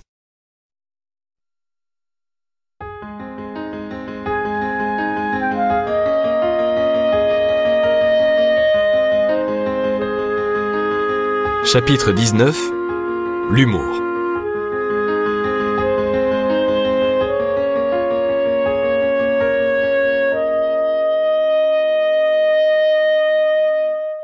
L'humour est une des qualités les plus précieuses de l'esprit humain. L'homme sait rire dès sa naissance, avant même d'apprendre à parler. Son premier rire exprime le contentement, mais, très vite, avant même de savoir baragouiner les premiers mots, le tout jeune enfant rit de situations qui lui semblent cocasses. Il perçoit le caractère comique, absurde ou décalé d'une situation, ce qui implique du recul par rapport à cette situation. Le rire Étant éminemment spirituel, les philosophes lui ont consacré de nombreuses pages. Mais comme la plupart des philosophes ne sont pas drôles, ces pages sont souvent très austères et presque risibles. Descartes en fait le sujet central de trois chapitres, assez féroces, des Passions de l'âme, qui fut son dernier ouvrage. Spinoza vante les mérites du rire dans le quatrième livre de l'Éthique, où il le qualifie de pure joie, et le présente comme une arme fondamentale de la liberté en ce qu'il nous libère de la peur, source de toutes les superstitions qu'il n'aura de cesse de combattre. Et de décrire ainsi l'homme de bien. Autant que le permet l'humaine vertu, il s'efforcera de bien faire, comme on dit, et de se tenir en joie.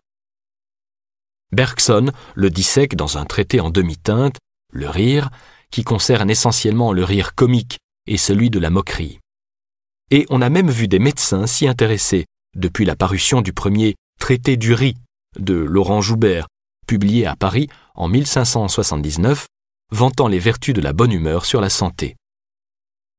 Hormis les quelques lignes de Spinoza, Je dois toutefois admettre que ces théories ne me satisfont pas pleinement, car elles sont parcellaires et surtout omettent ce qui me paraît être la vertu principale de l'humour, ses effets très bénéfiques sur la vie intérieure par une prise de distance lucide avec le réel. Pour ma part, je ne distinguerai pas ici le comique proprement dit, le burlesque, du trait d'esprit raffiné ou de l'ironie acide. Bien que fort différents les uns des autres, ils expriment tous, à des degrés de profondeur divers, une forme particulière de l'intelligence et remplissent des fonctions similaires qui sont essentielles à l'équilibre de tout individu. On voit bien le trouble que peuvent susciter en nous des personnes dénuées de tout sens de l'humour, chez lesquelles nous percevons instinctivement un défaut d'humanité qui nous glace. L'une des premières fonctions de l'humour est, à mon avis, de créer un lien d'humanité entre des individus qui, parfois, ne se connaissent même pas. Je me souviens ainsi m'être perdu, au cours d'un voyage, dans un pays où je me rendais pour la première fois et dont je ne parlais pas la langue. Je cherchais vainement ma route sous une pluie battante avec un sac à dos trempé et la nuit tombait. Je n'avais vraiment pas le cœur à rire. Il a suffi qu'un individu, dans un café où j'étais entré me renseigner, lance une plaisanterie tournant ma situation en dérision, pour que nous partions tous, à commencer par moi-même, d'un grand éclat de rire. Celui-ci a suffi pour que chacun se sente personnellement concerné par mon histoire et cherche les moyens de me venir en aide. L'humour rassemble, crée immédiatement une communion, fait tomber toutes les barrières sociales et culturelles. Il est une vertu d'humanité comme la connaissance ou la compassion. J'ai eu l'occasion d'assister à plusieurs rencontres entre le Dalai Lama et des intellectuels ou des journalistes occidentaux. Le personnage impressionne, et malgré sa grande simplicité, ou peut-être à cause d'elle, il intimide ses auditoires. C'est toujours un silence un peu solennel qui prélude à ces rencontres. Chaque fois, j'ai vu le Dalai Lama lancer une boutade et partir d'un grand éclat de rire dont l'effet a toujours été instantané. Les personnes présentes éclataient de rire à leur tour. En un instant, le froid était brisé, une communion était créée. La deuxième vertu de l'humour, que l'on voit à l'œuvre dans l'anecdote personnelle que j'ai rapportée plus haut, est sa capacité à dédramatiser une situation en créant une distance ô combien nécessaire. Brusquement, dans ce pays dont j'ignorais tout, avec ces personnes que je ne connaissais pas, je me suis retrouvé spectateur de mes propres déboires, ce qui m'a permis d'en rire. Et le rire a fait fondre en quelques secondes mon énervement. L'humour a cette vertu extraordinaire de déjouer le tragique.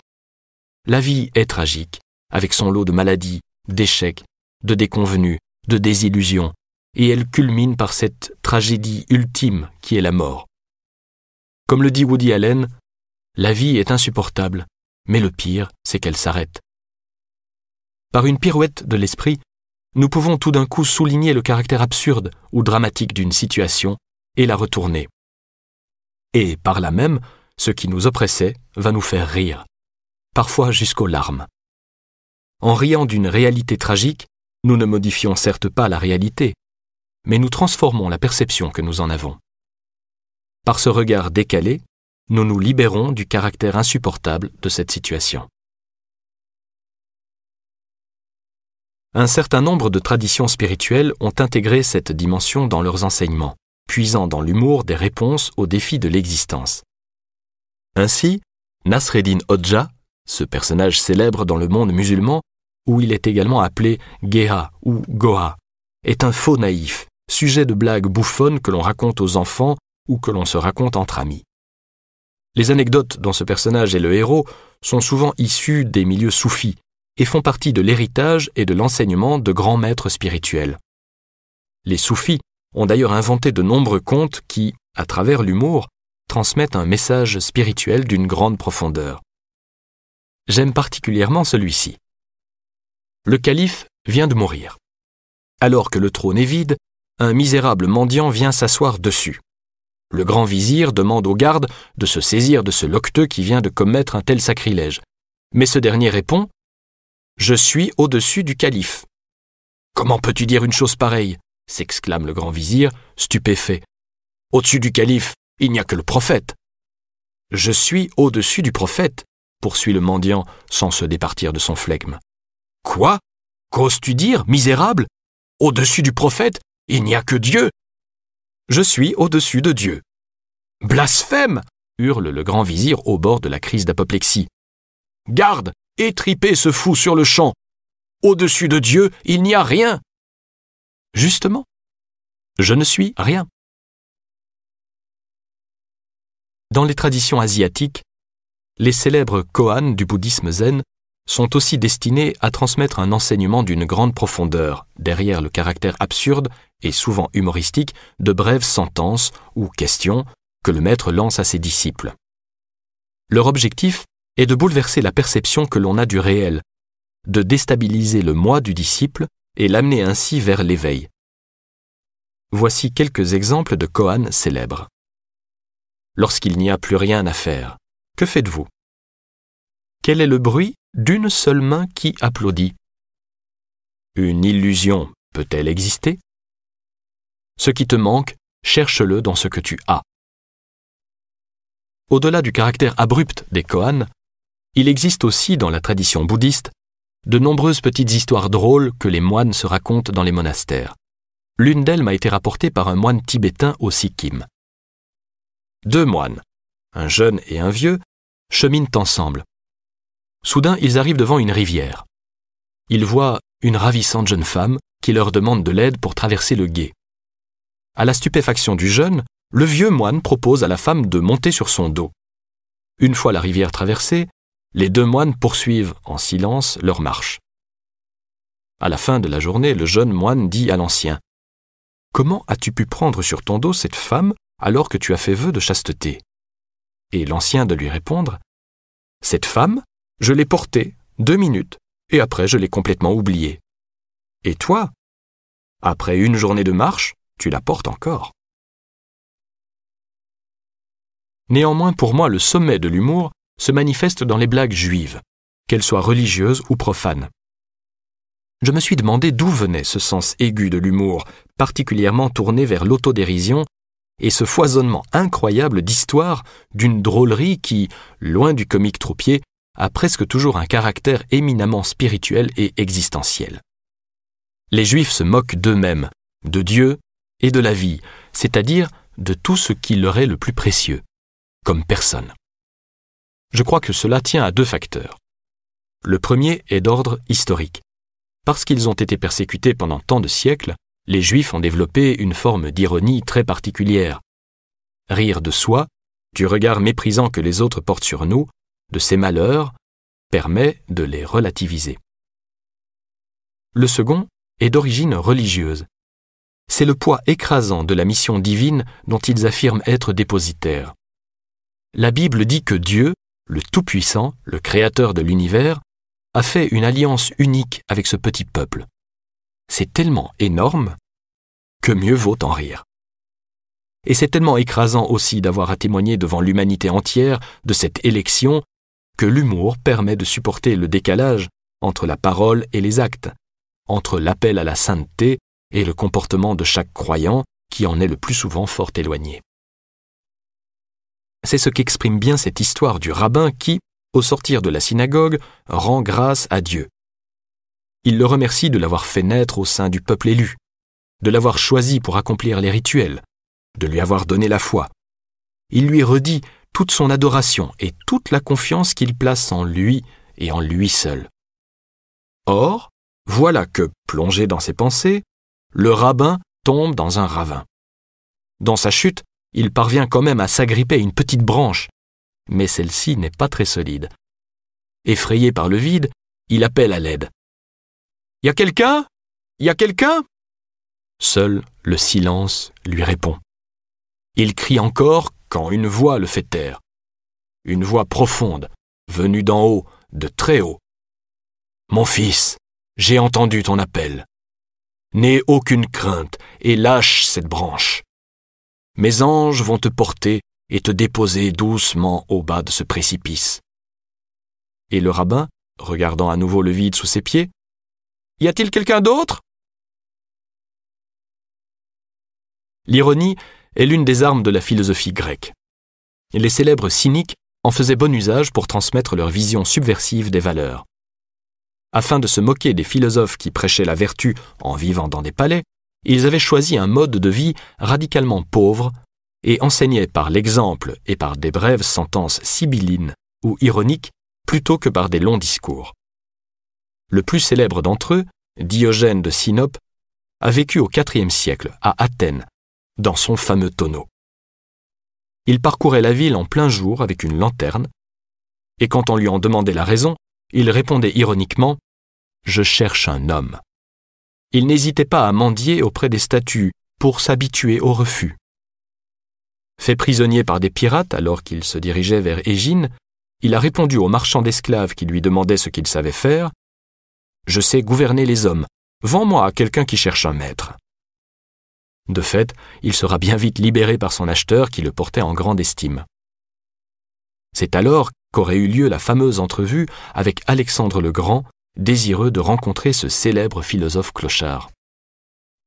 Demande-moi ce que tu veux, je te le donnerai, lui dit le monarque. Ôte-toi de mon soleil, répondit Eugène. N'as-tu pas peur de moi?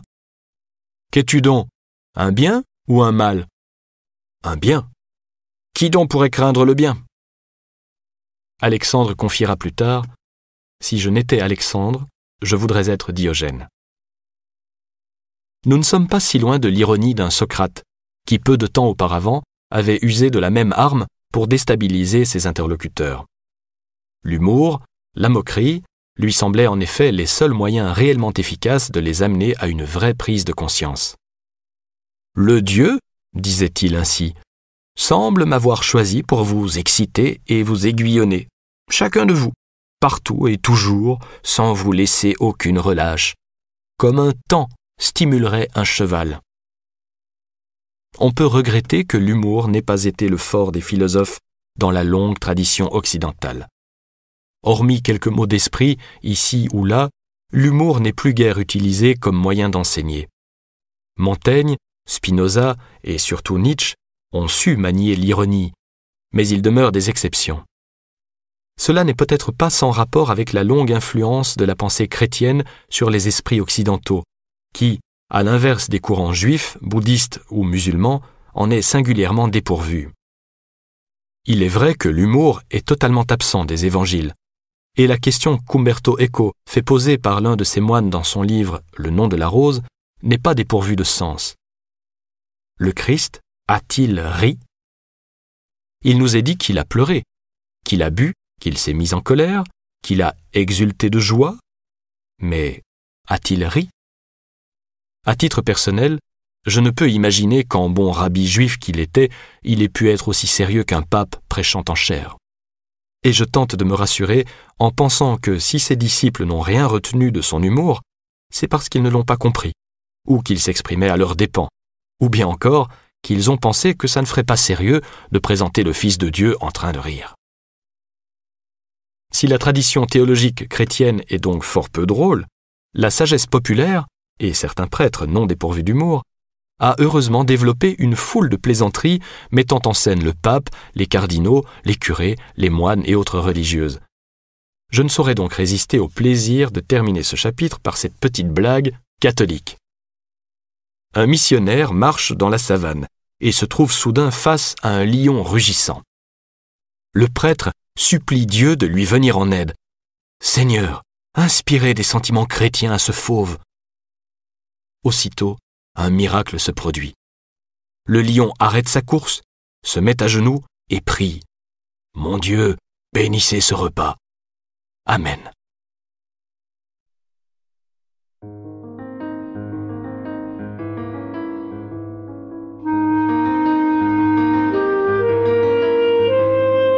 Chapitre 20 La beauté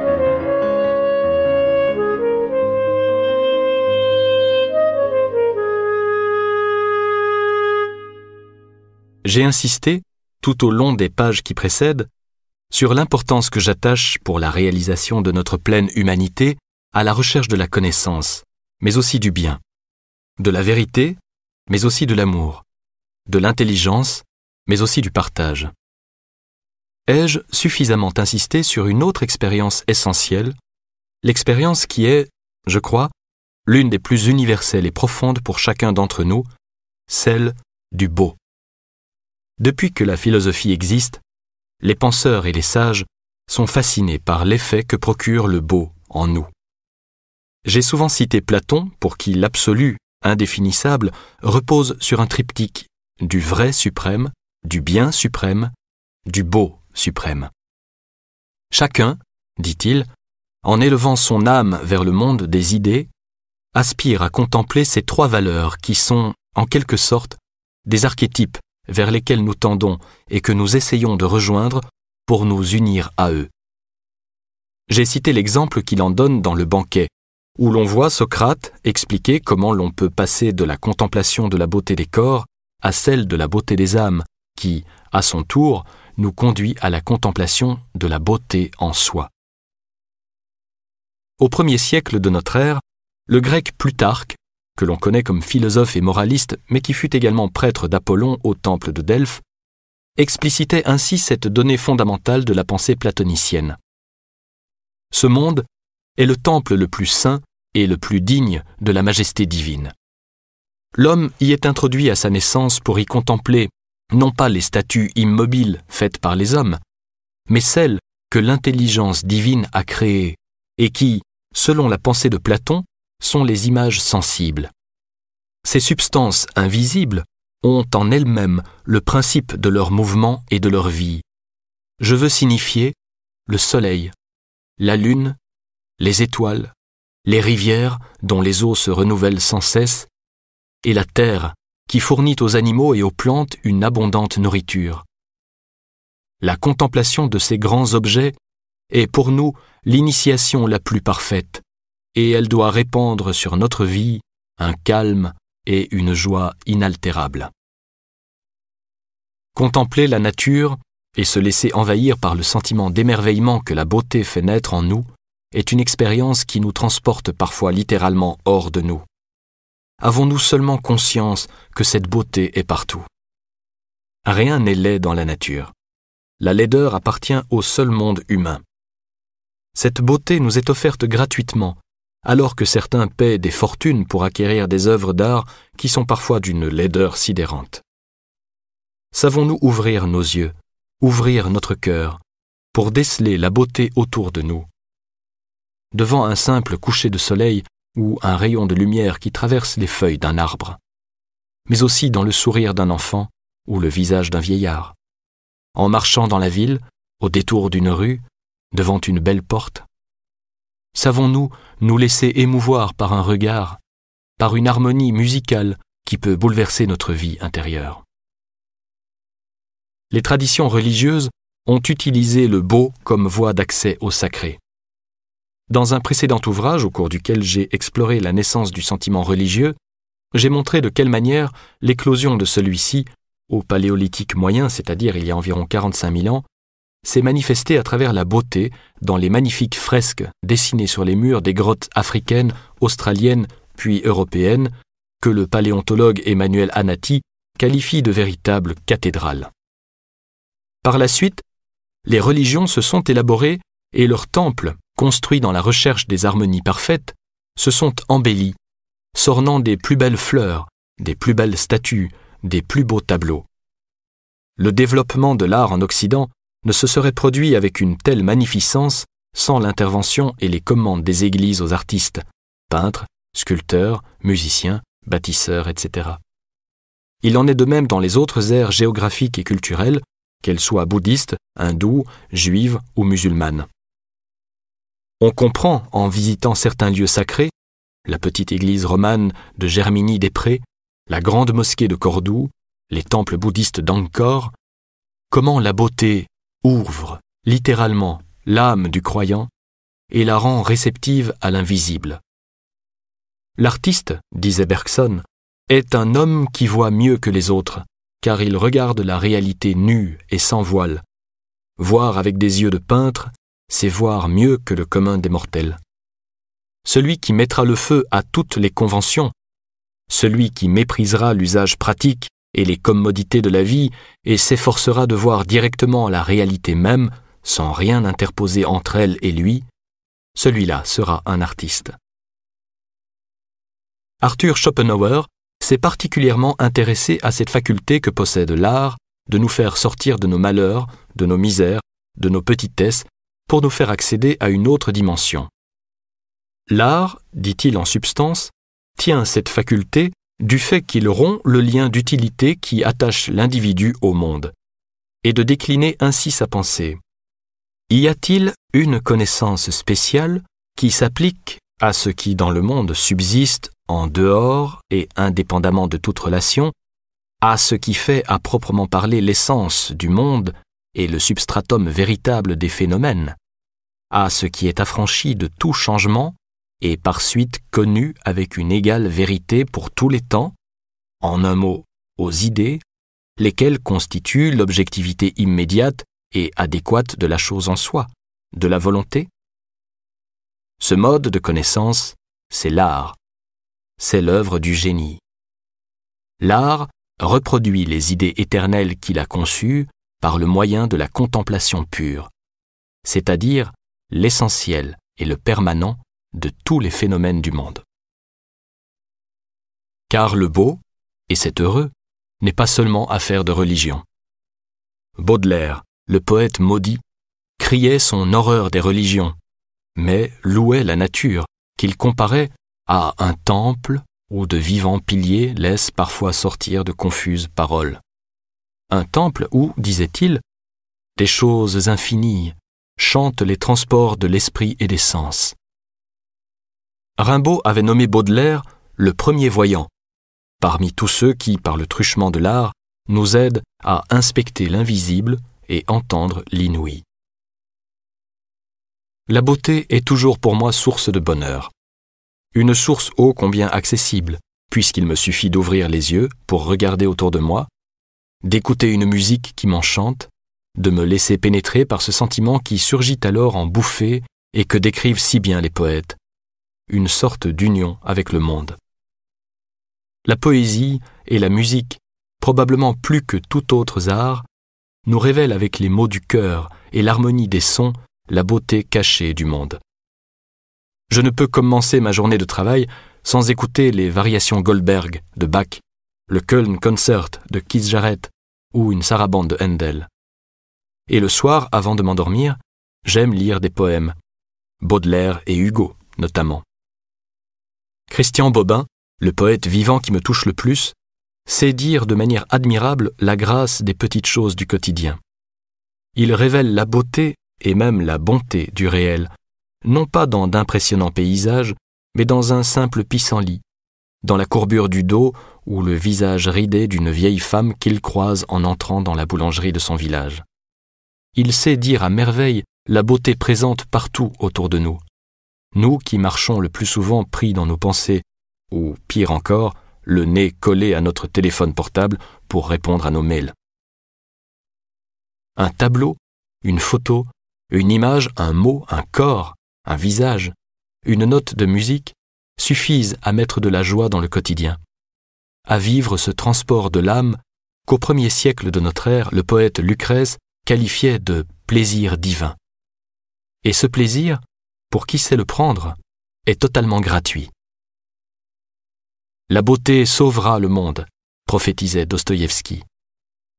C'est sans doute exagéré, mais elle le rend assurément plus supportable, et en révèle parfois la vérité et la bonté cachées.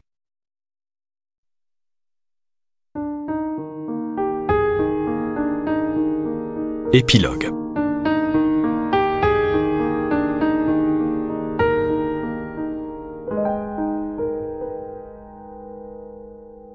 Au terme de ce parcours philosophique et spirituel, loin de conclure, je voudrais apporter quelques précisions qui me semblent essentielles quant au bonheur.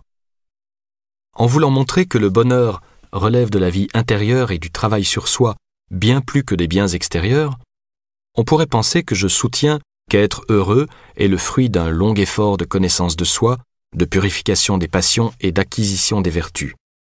Cela est à la fois vrai et faux. Faux, parce que le bonheur relève d'abord et avant tout des dispositions naturelles de chacun. Un dérèglement hormonal peut rendre le bonheur presque inaccessible, et un tempérament optimiste et enjoué dispose à être heureux bien mieux que toute quête de sagesse. C'est ce qu'exprime fort bien Arthur Schopenhauer dans ses aphorismes sur la sagesse dans la vie. Notre bonheur dépend de ce que nous sommes, de notre individualité, alors qu'en général on ne tient compte que de ce que nous avons ou de ce que nous représentons. Mais le sort peut s'améliorer, et celui qui possède la richesse intérieure ne lui réclamera pas grand-chose. Mais un bonnet reste un bonnet, et un lourdeau reste un lourdeau pour l'éternité, fût-il entouré de houris au paradis. C'est pourquoi le bonheur suprême est la personnalité, dit Goethe. Car la chose essentielle pour le bien-être de l'individu est manifestement ce qui se passe à l'intérieur de lui-même. C'est là, en effet, que réside son bien-être ou son malaise, qui est le résultat de ce qu'il ressent, veut, pense. Avec le même environnement, chacun vit dans un autre monde. Les mêmes événements du dehors affectent chacun fort différemment. Certains individus ont la chance de naître avec des dispositions qui les rendront beaucoup plus aptes au bonheur que d'autres. C'est d'ailleurs ce que dit explicitement l'étymologie grecque du mot bonheur, eudaimonia, avoir un bon daimon, ce qu'on traduirait en termes contemporains par avoir une bonne étoile. Vrai, cependant, parce que pour ceux qui ont un tempérament moins disposé au bonheur, ou qui ont eu un vécu douloureux dans l'enfance, le travail sur soi permet de guérir des blessures et de comprendre certaines clés de sagesse qui aident à vivre. C'est ce que j'ai expliqué par rapport à mon propre parcours. J'ai un tempérament plutôt heureux, mais le bonheur m'a été longtemps difficilement accessible du fait de certaines blessures douloureuses. Un travail philosophique, psychologique et spirituel m'a aidé à me connaître, à comprendre mes difficultés et à les résoudre en grande partie. Comme je le disais dans le prologue de ce livre, ma vie est aujourd'hui plus harmonieuse que dans le passé grâce à cette quête de sagesse. Mais cette quête me paraît aussi utile à tous, quelle que soit notre sensibilité, parce que la connaissance et la maîtrise de soi, la relation juste et aimante aux autres, permettent d'accéder à une sérénité plus stable et plus durable que la simple émotion passagère. Le bonheur, en effet, est une chose fragile, jamais définitivement acquise, qu'un rien peut troubler, alors même qu'on se pense parfaitement heureux. La sagesse permet de mieux résister aux aléas de la vie. Elle nous aide à savourer pleinement les moments heureux et à ne jamais désespérer dans les moments douloureux. Elle nous apprend à accepter la vie comme elle se présente, avec son lot de joie et de tristesse, en essayant de faire reculer le malheur autant que faire se peut. Elle nous permet d'accompagner le mouvement permanent de l'existence avec souplesse et attention. Elle nous fait comprendre que nous ne pouvons être en paix sans les autres, sans vouloir aussi le bonheur des autres. En cela, elle nous aidera toujours à vivre mieux, que l'on soit par nature peu ou bien disposé au bonheur. J'ajouterai pour finir une chose importante, une chose que je n'ai peut-être pas assez soulignée dans ce petit traité. Comme le dit Spinoza dans son Éthique, il y a dans l'essence même de la vie et de l'être une joie profonde. La joie est là, et il nous faut apprendre à la voir, à l'accueillir, à la laisser émerger. Le travail psychologique ou philosophique permet d'éliminer les obstacles qui l'empêchent bien souvent de jaillir. C'est parce qu'on aura goûté à cette joie, ne serait-ce que de manière fugace, que l'on s'engagera véritablement dans la quête du vrai du bien, du beau. Et c'est parce qu'on y goûtera de plus en plus que cette quête de sagesse ne cessera de grandir. De la même manière que c'est parce qu'on a goûté à l'amour que l'on apprendra à aimer, c'est parce qu'on a goûté à la béatitude que l'on souhaitera progresser dans la vertu. C'est la joie qui mène au renoncement, et non l'inverse.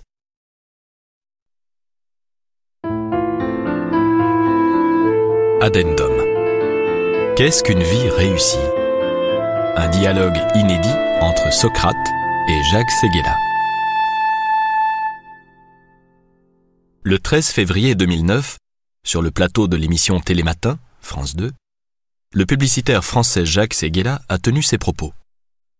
Comment peut-on reprocher à un président de la République d'avoir une Rolex? Tout le monde a une Rolex. Si à 50 ans on n'a pas une Rolex, on a quand même raté sa vie. Lecteur assidu de Platon, je me suis demandé ce que Socrate aurait pensé d'une telle parole. Le problème, c'est que les montres Rolex n'existaient pas encore à son époque, ce qui révèle de manière incidente combien les hommes du passé ont dû être malheureux. Mais peu importe, il devait bien exister dans l'Antiquité un symbole équivalent. J'ai eu beau chercher, je n'ai pas trouvé chez les historiens de l'Antiquité ce que pouvait être la Rolex du monde gréco-romain, cet objet à la fois non indispensable et prestigieux qu'il importe de posséder comme gage d'une vie réussie.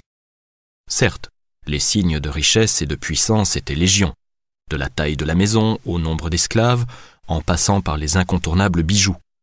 Mais point de trace de quelque chose d'aussi ridicule qu'une montre qu'on aurait pu considérer comme le signe d'une existence admirable. Je me suis alors tourné vers l'un des meilleurs historiens modernes du monde antique, René Goscinny. Le père d'Astérix m'a donné la clé.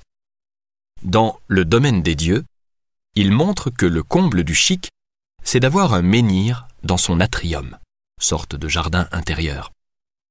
Alors, avec un petit anachronisme de quelques siècles, j'imagine bien Socrate assistant au jeu du cirque à Rome.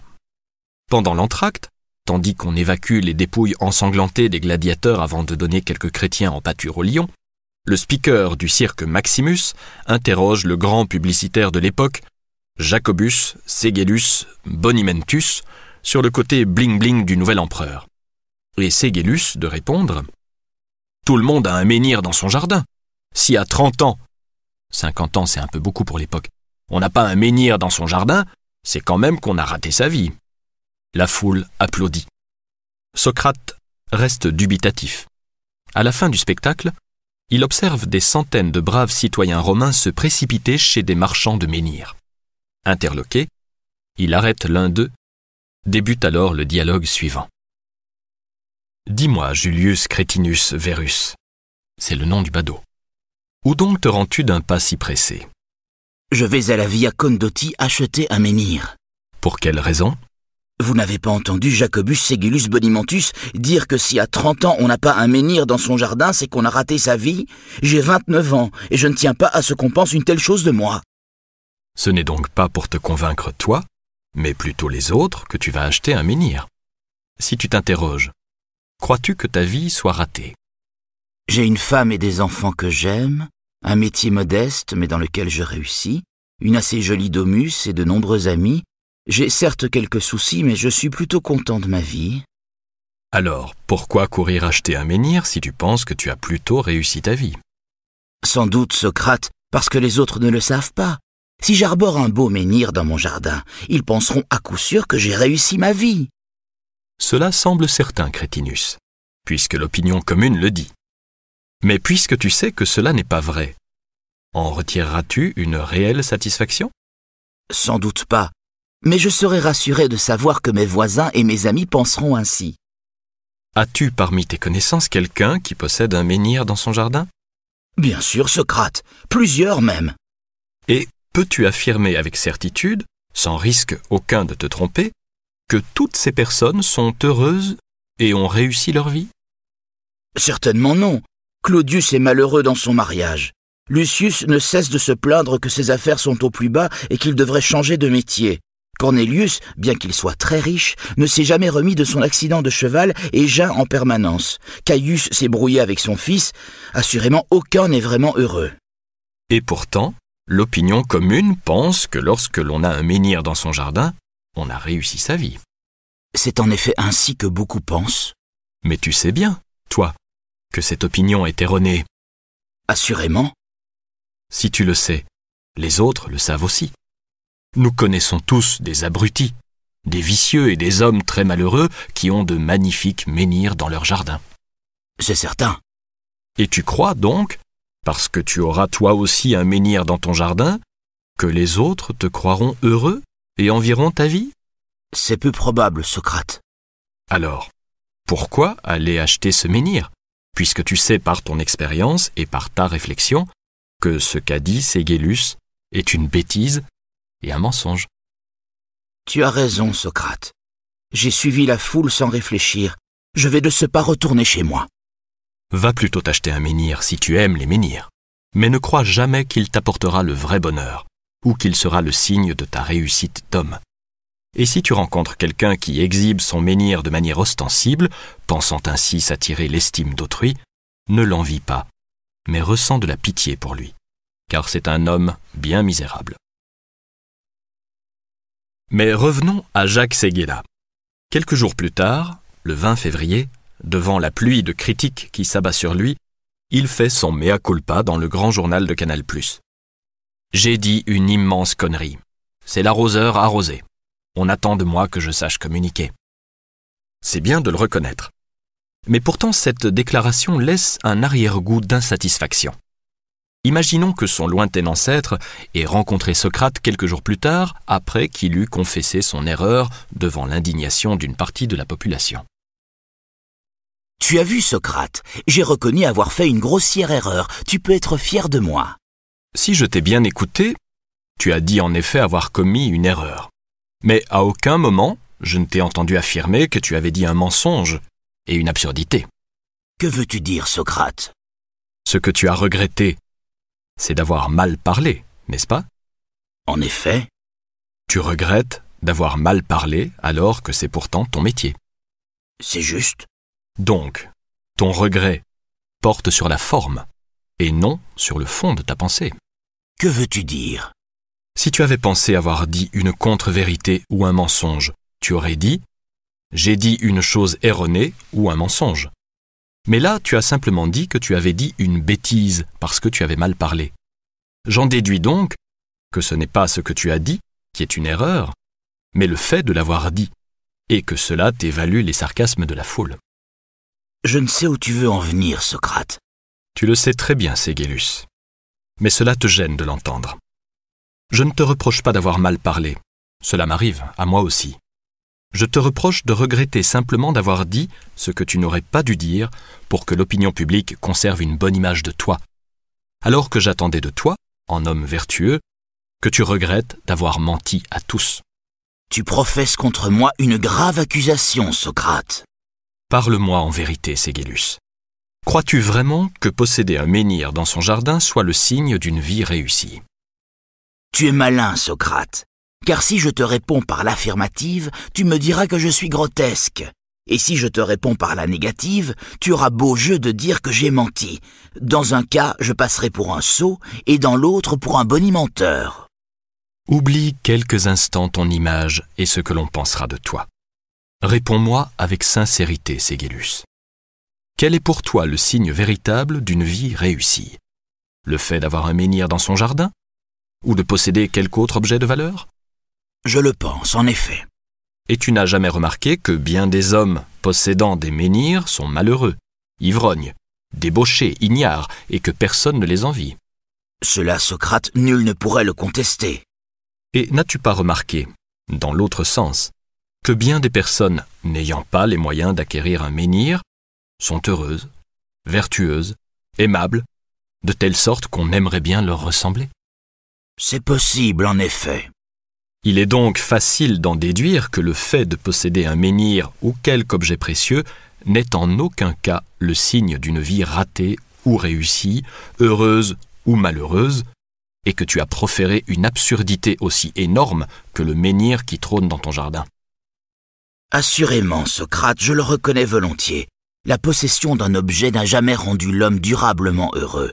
J'ai dit cela par jeu, pour voir où cela nous conduirait, et je constate que tu n'as pas failli à ta réputation. Si tu t'observes, et si tu observes les gens autour de toi, que diras-tu qui puisse les rendre heureux et être le gage d'une vie réussie? Ségélus reste songeur. Avoir une bonne renommée? Des coffres remplis d'or? De nombreux esclaves? Ou bien plutôt des choses plus intérieures de vrais amis, une âme sereine et paisible, une connaissance joyeuse du vrai, du bien et du beau, une vie vertueuse, respectueuse de soi et des autres. Assurément ces dernières choses, Socrate. Tu n'es donc pas un idiot, mais un menteur. Le mot est trop fort. J'ai tenu ces propos par des formations professionnelles. Que veux-tu dire? À force d'inventer des annonces mensongères pour vendre des objets, je finis par ne plus reconnaître ce qui est vrai de ce qui est faux. Tu avoues donc que tu t'es habitué à ne plus savoir discerner la vérité de l'erreur, le bien du mal. Je fais un métier difficile, Socrate. Je dois vanter les qualités d'un objet, aussi inutile soit-il. Je ne réfléchis plus depuis longtemps en termes de vrai ou de bon, mais en termes d'efficacité et de gain. Tu es donc un parfait sophiste. Un de ces beaux parleurs obsédés par l'argent et qui ne cherchent qu'à convaincre leur auditoire par l'art oratoire, du style proféré de grossières erreurs et de piteux mensonges. Chacun son métier, Socrate. Toi, tu es philosophe et tu recherches la vérité. Moi, je suis bonimenteur et je cherche à gagner de l'argent. Tu es honnête, Ségélus. Mais qu'au moins ceux qui t'écoutent le sachent.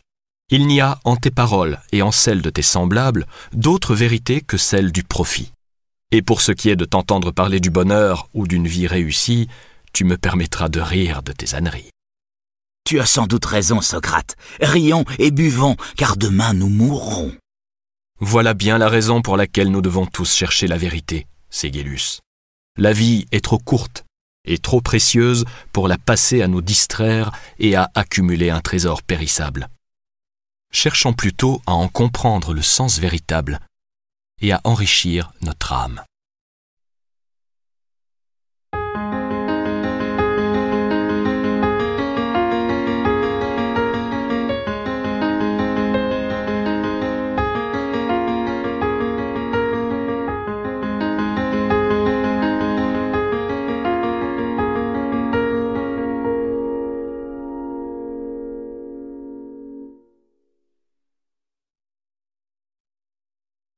Remerciements.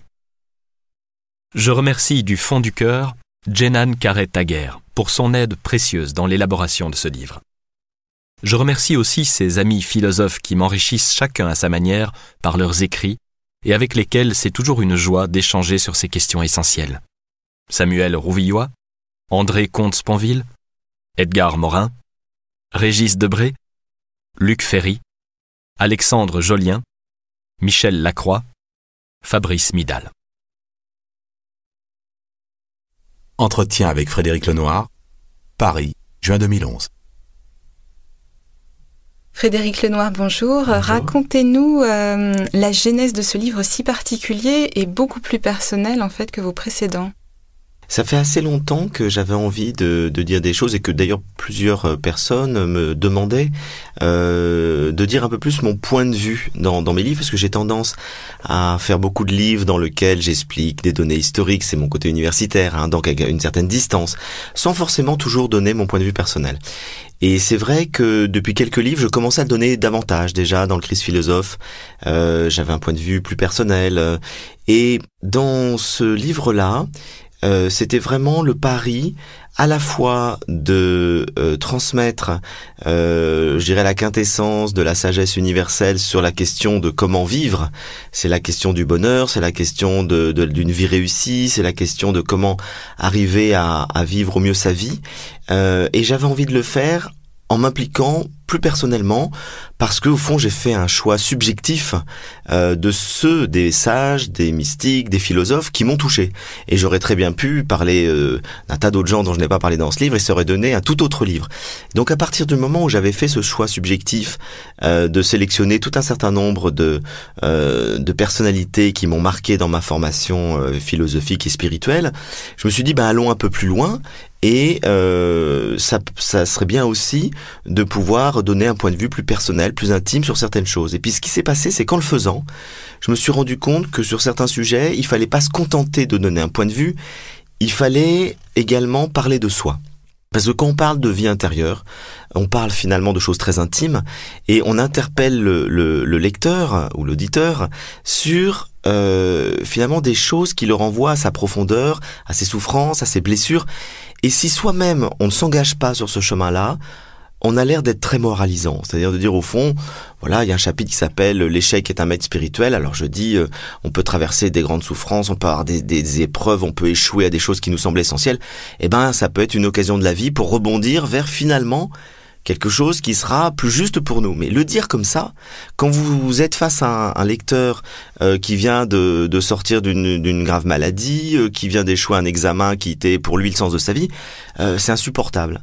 Alors du coup, euh, je le dis, mais je dis, mais moi aussi j'ai connu ça. Et donc je raconte des anecdotes personnelles. Bah voilà, euh, j'ai échoué à tel, j'ai été viré de mon boulot, euh, je voulais faire telle chose, ça n'a jamais marché, j'ai eu telle épreuve affective, et, et voilà comment j'en suis sorti. Voilà au fond comment le destin entre guillemets m'a permis de rebondir autrement. Et du coup, le lecteur, je dirais, peut être en amitié euh, avec moi parce qu'il sent que je suis comme lui, un compagnon de vie dans lequel on a des hauts, des bas, des difficultés, des doutes. Et, et je pense que c'est ce qui a fait en grande partie le, le succès du livre. Euh, c'est le fait d'avoir joué le jeu finalement, euh, de me livrer lorsque cela m'apparaissait nécessaire pour que le lecteur puisse se retrouver euh, et se sentir à l'aise dans les sujets qui étaient abordés. On sent en effet que vous avez donné beaucoup de vous-même, parce que quelque part, on sent aussi que vous avez fait ce parcours de mieux vous connaître. Et en fait, se connaître soi-même, c'est la première démarche à effectuer. Vous nous dites si on veut une vie plus heureuse. Mais comment s'y prendre en fait concrètement? Est-ce qu'il faut euh, se mettre à lire les philosophes grecs? Est-ce qu'il faut aller voir un psy dans ce cas-là lequel? Il y a, une telle, un tel choix? Est-ce qu'il faut se mettre à méditer? Par quoi commencer? Alors moi dans mon chemin personnel, j'ai commencé par une lecture.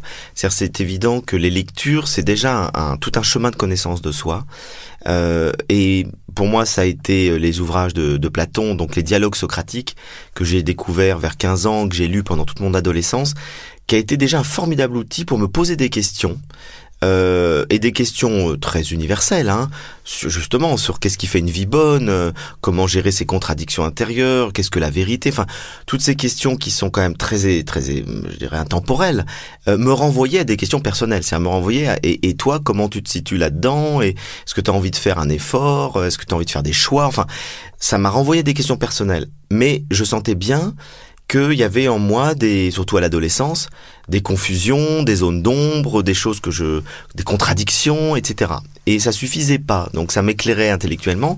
Ça suffisait pas et j'avais pas en face de moi Socrate pour me faire accoucher à travers une maïeutique. Bon, je n'ai pas rencontré un Socrate. Et alors du coup, je suis parti à ce moment-là. C'est une période de ma vie où j'ai pas mal voyagé. Je suis parti en Inde. Et là, j'ai rencontré effectivement à travers des, des maîtres indiens, notamment des, des lamas tibétains, euh, des gens qui proposaient des techniques d'introspection, c'est-à-dire de connaissance de soi à travers la méditation, euh, à travers un travail aussi euh, qu'on appelle le lying, c'est-à-dire lequel on revit des des, euh, des choses du passé qui reviennent à la mémoire. Bon, donc c'est un travail, j'ai au carrefour de la psychologie et de la spiritualité. Et en faisant ce travail-là, ça m'a permis déjà d'aller beaucoup plus loin. Et puis j'ai continué de lire et, et pas simplement des auteurs spirituels ou philosophiques, tout simplement des romanciers. Et j'ai lu beaucoup de romans, euh, entre 15 et 25 ans, j'ai lu énormément de romans, et je me suis rendu compte que le roman, c'était une école de vie intérieure. C'est-à-dire que c'est vraiment, euh, quand on lit Balzac, euh, tous les personnages sont extrêmement forts et nous parlent de nous. Euh, et à travers ce qui se noue dans, l'intrigue du roman, à travers la psychologie des personnages, on découvre l'humanité entière et on se découvre soi-même. Et donc à travers les romans, j'ai aussi fait tout un travail de d'introspection, de connaissance de moi. Et puis après, j'ai eu d'autres euh, biais par lesquels j'ai fait ce travail. J'ai fait euh, diverses psychothérapies, euh, plutôt j'ai fait un peu de psychanalyse, mais au bout d'un certain temps, j'ai l'impression de tourner en rond et de, de, redire un peu la même chose. Donc j'ai fait des, des thérapies comportementalistes ou ou plutôt émotionnelles, comme de la Gestalt thérapie ou du Rebirth, qui m'ont été très utiles. J'ai je dirais, euh, nettoyer un certain nombre de, euh, de souffrances, de, de, perturbations émotionnelles qui me, qui me parasitaient dans le présent, qui m'empêchaient certainement de, de m'épanouir, d'être plus heureux, plus serein. Euh, et puis tout en continuant de pratiquer la méditation quotidiennement, donc avec tous ces outils assez divers qu'on peut trouver finalement qu'on est un peu ouvert, hein, quand il n'y a pas besoin de, c'est pas très compliqué, que si on a le envie, je dirais, de faire quelque chose, envie de, bouger, envie de, de se connaître on rencontre, comme par hasard, des livres ou des gens qui vous aident à avancer sur le chemin. Aujourd'hui, si on est euh, parents, grands-parents et qu'on lit votre livre, on se dit qu'on en aimerait beaucoup justement transmettre à nos descendants les valeurs que vous défendez, que vous avez trouvées à travers ces livres, à travers cette recherche, l'ouverture à l'autre, le oui à la vie, le pardon, la compassion. Mais comment enseigner ces valeurs dans un monde de plus en plus consumériste? Et comment faire pour qu'ils ne se sentent pas à côté des autres plutôt qu'avec les autres en défendant ces valeurs? Vous savez, on, défend les, valeurs euh, principalement les vivants. C'est-à-dire, ça sert à rien d'expliquer à un adolescent, euh, je dis prendre n'importe quoi, euh, euh, tu seras plus heureux si tu prends un peu le temps de euh, de t'intérioriser ou de méditer ou de te recueillir plutôt que d'être tout le temps dans le bruit, l'agitation. Si soi-même on est tout le temps dans le bruit, dans l'agitation, ça sert à rien. Si nous voit vivre, et que dans notre vie, on a euh, bah, un certain nombre de valeurs déjà dans la qualité de relation aux autres, de respect d'autrui, euh, de ne pas partir dans ses émotions, de ne pas partir dans des colères qu'on peut pas maîtriser, d'être toujours juste dans le ton, avec la, fermeté quand il faut, mais la douceur, euh, que soi-même on prend du temps pour soi, qu'on je vois les, ados, ils regardent, ils imitent. Hein. Donc, euh, si on est avec entouré d'adultes admirables, on devient admirable. Si on est entouré d'adultes qui sont en contradiction entre ce qu'ils disent et ce qu'ils font, on est perturbé. Et, et, du coup, on a du mal, effectivement, à, adhérer au discours. C'est très souvent ce qui se passe avec la religion. La religion, c'est souvent un discours qui est transmis, mais on voit que les, adultes qui le transmettent, et, et bien souvent les clercs, les prêtres, les rabbins, donnent pas envie de leur ressembler. Et si on se dit on n'a pas envie de ressembler à celui qui nous parle comme ça, ben le message euh, il nous intéresse pas. Alors que quand on rencontre et c'est ça le succès assez euh, fort des, des orientaux, c'est que quand on rencontre des, je en parlais tout à l'heure, des maîtres indiens, euh, pas tous, hein, mais certains, euh, ils sont tellement rayonnants qu'on se dit bah on a envie d'être comme eux, on a envie d'avoir ce, ils rient tout le temps, ils ont cette espèce de joie permanente. Bon, on se dit c'est un modèle qu'on a envie d'imiter. C'est pour ça que je crois que c'est vraiment l'exemple qui est le meilleur moyen de transmettre euh, un enseignement. Alors après, une fois que j'ai dit ça, euh, bien évidemment, il y a des discours, il y a des choses euh, qu'il faut faire comprendre. Et là, je crois qu'il faut mettre des bonnes lectures euh, dans les mains des, des jeunes. Euh, moi, j'ai eu la chance, bon, il se trouve que j'avais un père qui s'était passionné de philosophie et qui m'a mis le banquet de Platon euh, entre mes mains lorsque j'avais 15 ans. Et ça a été un déclic extraordinaire. Et il y a d'autres ouvrages comme ça qui m'ont été donnés par des amis. et c'est des ouvrages qui ont que j'ai lu et ça m'a bouleversé. Et après, j'ai fait tout un chemin euh, de fil en aiguille euh, qui, qui m'a permis de progresser. Donc, je crois que voilà, on peut on peut donner euh, des bonnes clés, mais plus à travers certainement des ouvrages que des discours moralisateurs. Ça, ça marche jamais parce que la morale, ça ça nous casse un peu les pieds. Donc, faut soi-même avoir envie de bouger, chercher quelque chose, et puis on trouve toujours plus ou moins une réponse qu'on va voilà dénicher à travers une rencontre, à travers un livre, à travers un voyage. Vous nous parliez de l'Orient et je sais que vous avez longtemps étudié en fait le bouddhisme, notamment sa place en Occident. J'ai fait un doctorat là-dessus, oui. Voilà. Alors comment expliquez-vous euh, le succès en fait du bouddhisme dans nos sociétés modernes alors que à la base c'est très éloigné? Mais je pense que ça vient du besoin d'intériorité. C'est-à-dire qu'au fond, euh, l'homme occidental, euh, il, il, a progressivement perdu son intériorité il est de plus en plus sollicité par l'extérieur, c'est-à-dire par des stimulations sensorielles, sensibles. Donc on en, voilà, on est on est touché par la musique qu'on écoute tout le temps, on est touché, euh, on est tout le temps en relation avec les autres, par les portables, par les mails et les. Donc on est dans des sollicitations extérieures permanentes et on n'arrive plus à connecter notre profondeur d'être, notre esprit on est à la superficie de notre esprit. On n'est plus à l'intérieur et donc on a du mal à s'intérioriser dans le silence. Euh, on a du mal à faire un travail d'introspection au sens où l'entendait les anciens euh, ou les psychologues modernes d'ailleurs. Euh, et donc je pense que c'est ce que l'Orient nous rappelle et nous rappelle que c'est bien de changer le monde, que c'est bien d'être actif, de transformer les choses, mais que si on n'a pas une capacité de rentrer à l'intérieur de nous et de prendre du temps en silence avec soi-même pour se connaître et pour vivre avec soi, dans une intimité avec soi-même et dans sa profondeur, pour aller dans la profondeur de son esprit, finalement, on sera toujours dans l'agitation, dans le stress, euh, dans des émotions, qu'on n'aura pas de distance vis-à-vis de tout ça. Et on risque d'être assez malheureux. Et je crois que c'est ce qui se passe aujourd'hui. On a été jusqu'au bout d'une logique dans lequel euh, eh ben on est toujours à consommer plus, à gagner plus d'argent, à essayer d'avoir plus d'objets, et on s'aperçoit que c'est pas ça qui fait le bonheur de l'homme. Euh, il en faut un peu. C'est bien d'avoir du confort, des objets qui sont très agréables, mais arrive à un moment donné, dans ce toujours plus dans l'ordre de l'avoir, ne compensera pas euh, ce vide dans l'ordre de l'être. Et il faut compenser. Et donc, je crois que l'Orient est arrivé à un bon moment dans l'histoire, et c'est pas un hasard, dans l'histoire de l'Occident, euh, à partir des années 60-70, où effectivement, euh, il y a eu besoin d'une forte compensation euh, au niveau de l'intériorité, et c'est ce que les, les techniques orientales, ce que la méditation notamment, c'est ce que le mode de vie oriental nous apporte. Et je crois que c'est la principale raison. Alors après, on pourrait dire, il y a aussi voilà des des gens qui sont rayonnants, c'est-à-dire qui qui sont plus cohérents entre ce qu'ils disent et ce qu'ils font, qui parce qu'ils font des pratiques et des techniques, c'est concret. on, c'est aussi une critique d'une certaine manière euh, de la religion en Occident, hein, qu'elle soit euh, juive ou chrétienne, euh, qui était devenue peut-être trop formaliste, trop dogmatique. On avait tendance à transmettre ce qu'il faut croire et ce qu'il faut pas croire, c'est-à-dire du dogme, ce qu'il faut faire et ce qu'il faut pas faire, une morale.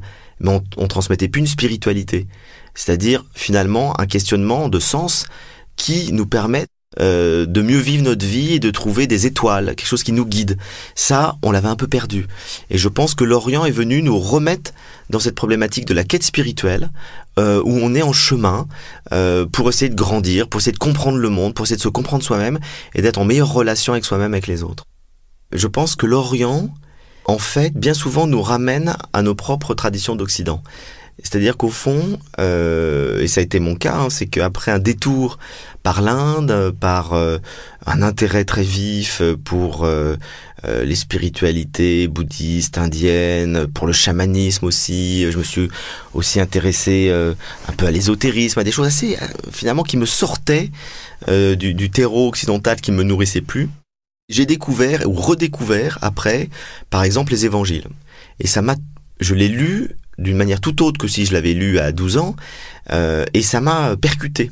Parce que j'étais déjà dans un chemin de questionnement avec un certain nombre de balises, de repères qui me permettaient d'être dans un questionnement de sens assez euh, déjà assez approfondi.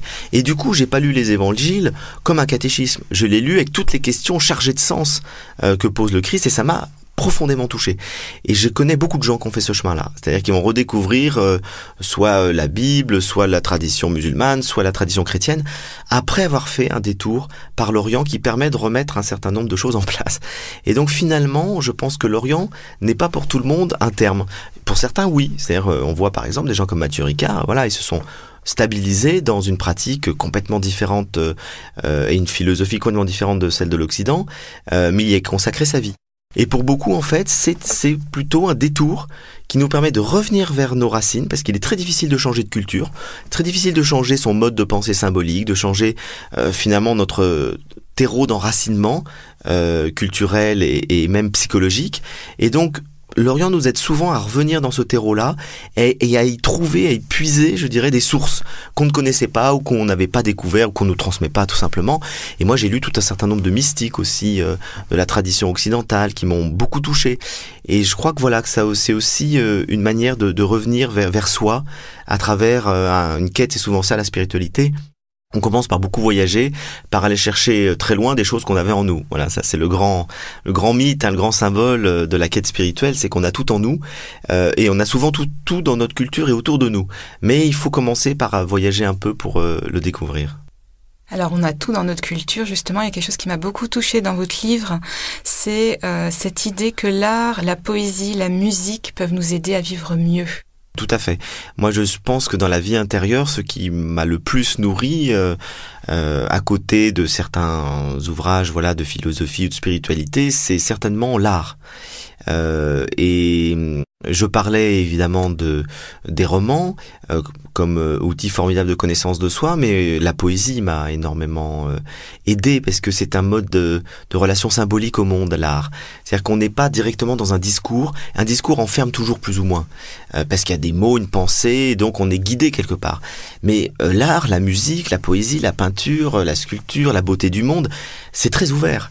Et donc finalement, on est dans un langage symbolique qui nous touche, qui nous émeut qui peut toucher à la fois notre sensibilité à un niveau assez superficiel, mais aussi le plus profond de notre âme. On est, euh, notre âme est bouleversée euh, par certaines œuvres d'art. Quand on écoute certains morceaux de musique, on peut avoir un frisson de la tête aux pieds. On sent bien que c'est pas simplement joli. C'est quelque chose qui nous émeut très en profondeur. Donc le l'émotion artistique renvoie finalement à de l'amour. Et je, je, moi, mes premières expériences d'amour, c'est pas euh, une vie amoureuse avec une fille à 15 ans. Ça, j'ai connu, bien sûr. Mais j'ai avant ça, j'ai connu de l'amour par la beauté. Et le fait d'entendre certains morceaux de musique, le fait de regarder des paysages, euh, de me promener dans la forêt, de voir un, rayon de lumière avec un, papillon, des choses comme ça, mais même enfant, je me souviens à 7-8 ans, je pleurais de joie. C'est-à-dire que j'avais une émotion, je trouvais ça beau. Et donc la beauté ouvre notre cœur. Euh, et cette ouverture du cœur, bah, c'est ça la spiritualité. C'est finalement aller dans la profondeur de notre esprit pour que le cœur et l'esprit soient unifiés et qu'on soit relié aux autres, qu'on soit relié au monde, qu'on soit relié à nous-mêmes dans cette ouverture du cœur. Et, du coup, on vit tout à fait autrement qu'on a le cœur ouvert, mais on accueille tout le monde, on accueille la vie, on accueille même les difficultés, les obstacles avec un autre regard. Le but de la vie, c'est d'arriver à ouvrir son cœur. Finalement, je l'ai pas dit comme ça dans le bouquin, mais en, vous parlant, ça me vient comme ça. Et une fois que le cœur est, est carapassonné, qui est blindé, qui une fois que le cœur est ouvert, on a un autre regard sur l'existence, sur soi-même, sur les autres, qui fait qu'on accueille tout autrement, de manière beaucoup plus positive, euh, constructive, que les choses prennent du sens. Euh, on, on, arrive à, à, à voir de, de, de l'amour, de la beauté euh, à trouver de la joie là où on pourrait passer complètement à côté. Euh, et donc je pense que la poésie, par exemple, nous ouvre à ça. Lorsque je lis moi certains poètes, je, vois que ils ont un regard extraordinaire sur le monde. Je lis beaucoup Bobin en ce moment. Il vous décrit euh, le café de son village, les, les, les gens qui sont là, mais ça devient extraordinaire. Ce, qu'on pourrait voir au quotidien les yeux fermés, on le voit d'un coup les yeux ouverts et on s'émerveille de petites choses euh, tellement simples du quotidien, accessibles à tout le monde. Il n'y a pas besoin d'être riche, il n'y a pas besoin d'être puissant. Euh, il suffit simplement d'ouvrir les yeux autrement. Alors justement, ouvrir son cœur, je pense que c'est ce que vous avez fait aussi pour vos lecteurs et vos auditeurs. Euh, et suite à la publication justement du livre, est-ce que vous avez reçu des retours de vos lecteurs? Qu'est-ce que vous avez retiré des échanges que vous avez pu avoir? Est-ce qu'il y a quelque chose qui vous a particulièrement touché? Alors ça, c'est effectivement une chose qui m'a assez surpris, c'est que je reçois assez souvent des mails euh, ou des lettres pour des livres, mais là j'en ai reçu infiniment plus. Je, je crois que j'en suis à plus de 3000 mails depuis la sortie du livre il y a 10 mois au moment où je vous parle. Euh, donc c'est évidemment un livre qui a suscité, parce que je pense je me suis livré de manière plus intime, euh, bah, une sorte de complicité, d'amitié, euh, je le disais, avec le, le, lecteur, et qui fait que beaucoup de gens m'ont dit d'abord euh, merci. J'ai eu énormément de mails de simplement quelques mots pour dire qu'ils avaient été extrêmement touchés, que ça faisait écho à ce qu'ils vivaient et que finalement je disais les avec des mots qui sont évidemment plus travaillés, plus élaborés parce qu'ils sont souvent empruntés au vocabulaire philosophique, euh, ceux qui vivaient de manière toute simple, qu'ils avaient compris après 10 euh, ans, 15 ans de, de réflexion, de vie euh, euh, spirituelle ou de recherche philosophique. Donc beaucoup de, de témoignages dans ce sens-là et de gens qui ont envie de partager leur expérience. Alors malheureusement, quand je reçois trop de mails, je peux pas répondre à tout le monde. Donc je réponds des fois merci, vous voyez, mais l'échange peut pas aller loin. Parce que si je répondais de manière qualitative à tout le monde, je ne ferais plus que ça tout le temps. Et malheureusement, j'ai d'autres projets, j'ai une vie, je voilà, je peux pas. Donc euh, c'est la difficulté de, de ça, c'est quand on a beaucoup de euh, de, de lettres très belles, très ouvertes, qui demanderaient, qui mériteraient vraiment de créer une relation. C'est pas possible de le faire avec des milliers de personnes. Hélas, parce que euh, ce que j'explique aussi dans mon livre, c'est qu'il faut savoir faire des choix, il faut savoir se limiter. Et, il faut ça, on peut pas tout faire, sinon on est sollicité en permanence et du coup on se nourrit plus intérieurement si je répondais en permanence à ces sollicitations, qui sont très touchantes et qui me touchent beaucoup, euh, ben finalement, je, n'aurais plus de temps du tout, moi, pour me nourrir, pour méditer, pour me promener dans mon jardin euh, et regarder mes fleurs et les papillons et, tout ce qui m'émeut et qui me permet euh, d'être pleinement vivant. On vient d'enregistrer un petit traité de vie intérieure. Vous allez trouver d'autres lecteurs. Est-ce que le livre audio, c'est une expérience que vous connaissez? Et oui, je l'ai connu de deux manières différentes. Je l'ai connu d'abord parce que j'ai, euh, on m'a prêté, c'était tout début du livre audio. Euh, c'était Proust, la recherche du temps perdu, enregistré par euh, André Dussolier. Et ça a été un émerveillement, parce que j'avais lu Proust il y a 20 ans. Euh, j'avais déjà beaucoup aimé hein, son, la musicalité de son, son écriture. Mais là, quand vous l'entendez, ça ressort encore plus. Et donc, le, en plus, son, son phrasé est tellement spécial que Dussolier lit à merveille Proust. Et c'est éblouissant. Et je me suis dit, mais ça me permet de redécouvrir toute la musicalité d'un texte. Euh, alors l'auteur était évidemment particulièrement bien choisi. Et ça m'a donné envie justement de certains livres que j'avais beaucoup aimés, dont je sais que l'écriture euh, apporte ce rythme, cette musique. Euh, ça m'a donné envie de, réécouter des livres que j'avais lus. Et puis la deuxième expérience que j'ai fait, c'est que j'ai entendu mon propre livre, puisque euh, certains de mes livres ont déjà été donc euh, enregistrés et, et, et, lus. Et là, ça m'a fait un choc aussi, mais plus négatif. C'est que je me suis rendu compte que la lecture ne pardonne pas la moindre faute de style dès qu'il y a c'est un peu lourd, qu'il y a trop et je me suis rendu compte que je mettais un peu trop d'adverbes, un peu trop de donc, de euh, d'adjectifs, etc. Il fallait que j'allège mon écriture et je m'en suis rendu compte grâce au livre audio. Et alors maintenant, j'essaye de de lire à haute voix. Enfin, c'est tout récent, hein, c'est vraiment une découverte qui fait que je me dis, il faut pas que je, je publie un livre sans l'avoir lu à haute voix. D'accord. Et justement, quels sont vos projets? Alors actuellement, je suis sur euh, euh, la fin d'un livre de dialogue euh, sur Dieu. Grande question. Qui est Dieu? Quand est-il apparu dans l'histoire de l'humanité? Quelle est différence entre le Dieu de la Bible, du Coran et le Dieu des philosophes? Qu'est-ce que la science dit de Dieu? Toutes ces questions-là sont des questions que évidemment presque tout le monde se pose, euh, même si on a déjà une opinion, mais euh, c'est un livre d'entretien avec une journaliste, Marie Drucker, que je connais depuis longtemps, puisqu'on a fait beaucoup d'émissions de télévision ensemble, elle anime beaucoup d'émissions spéciales quand il y a des choses sur la religion, donc on se connaît comme ça. Et on a fait ce livre qui devrait sortir euh, cet automne, au mois d'octobre, chez Robert Laffont.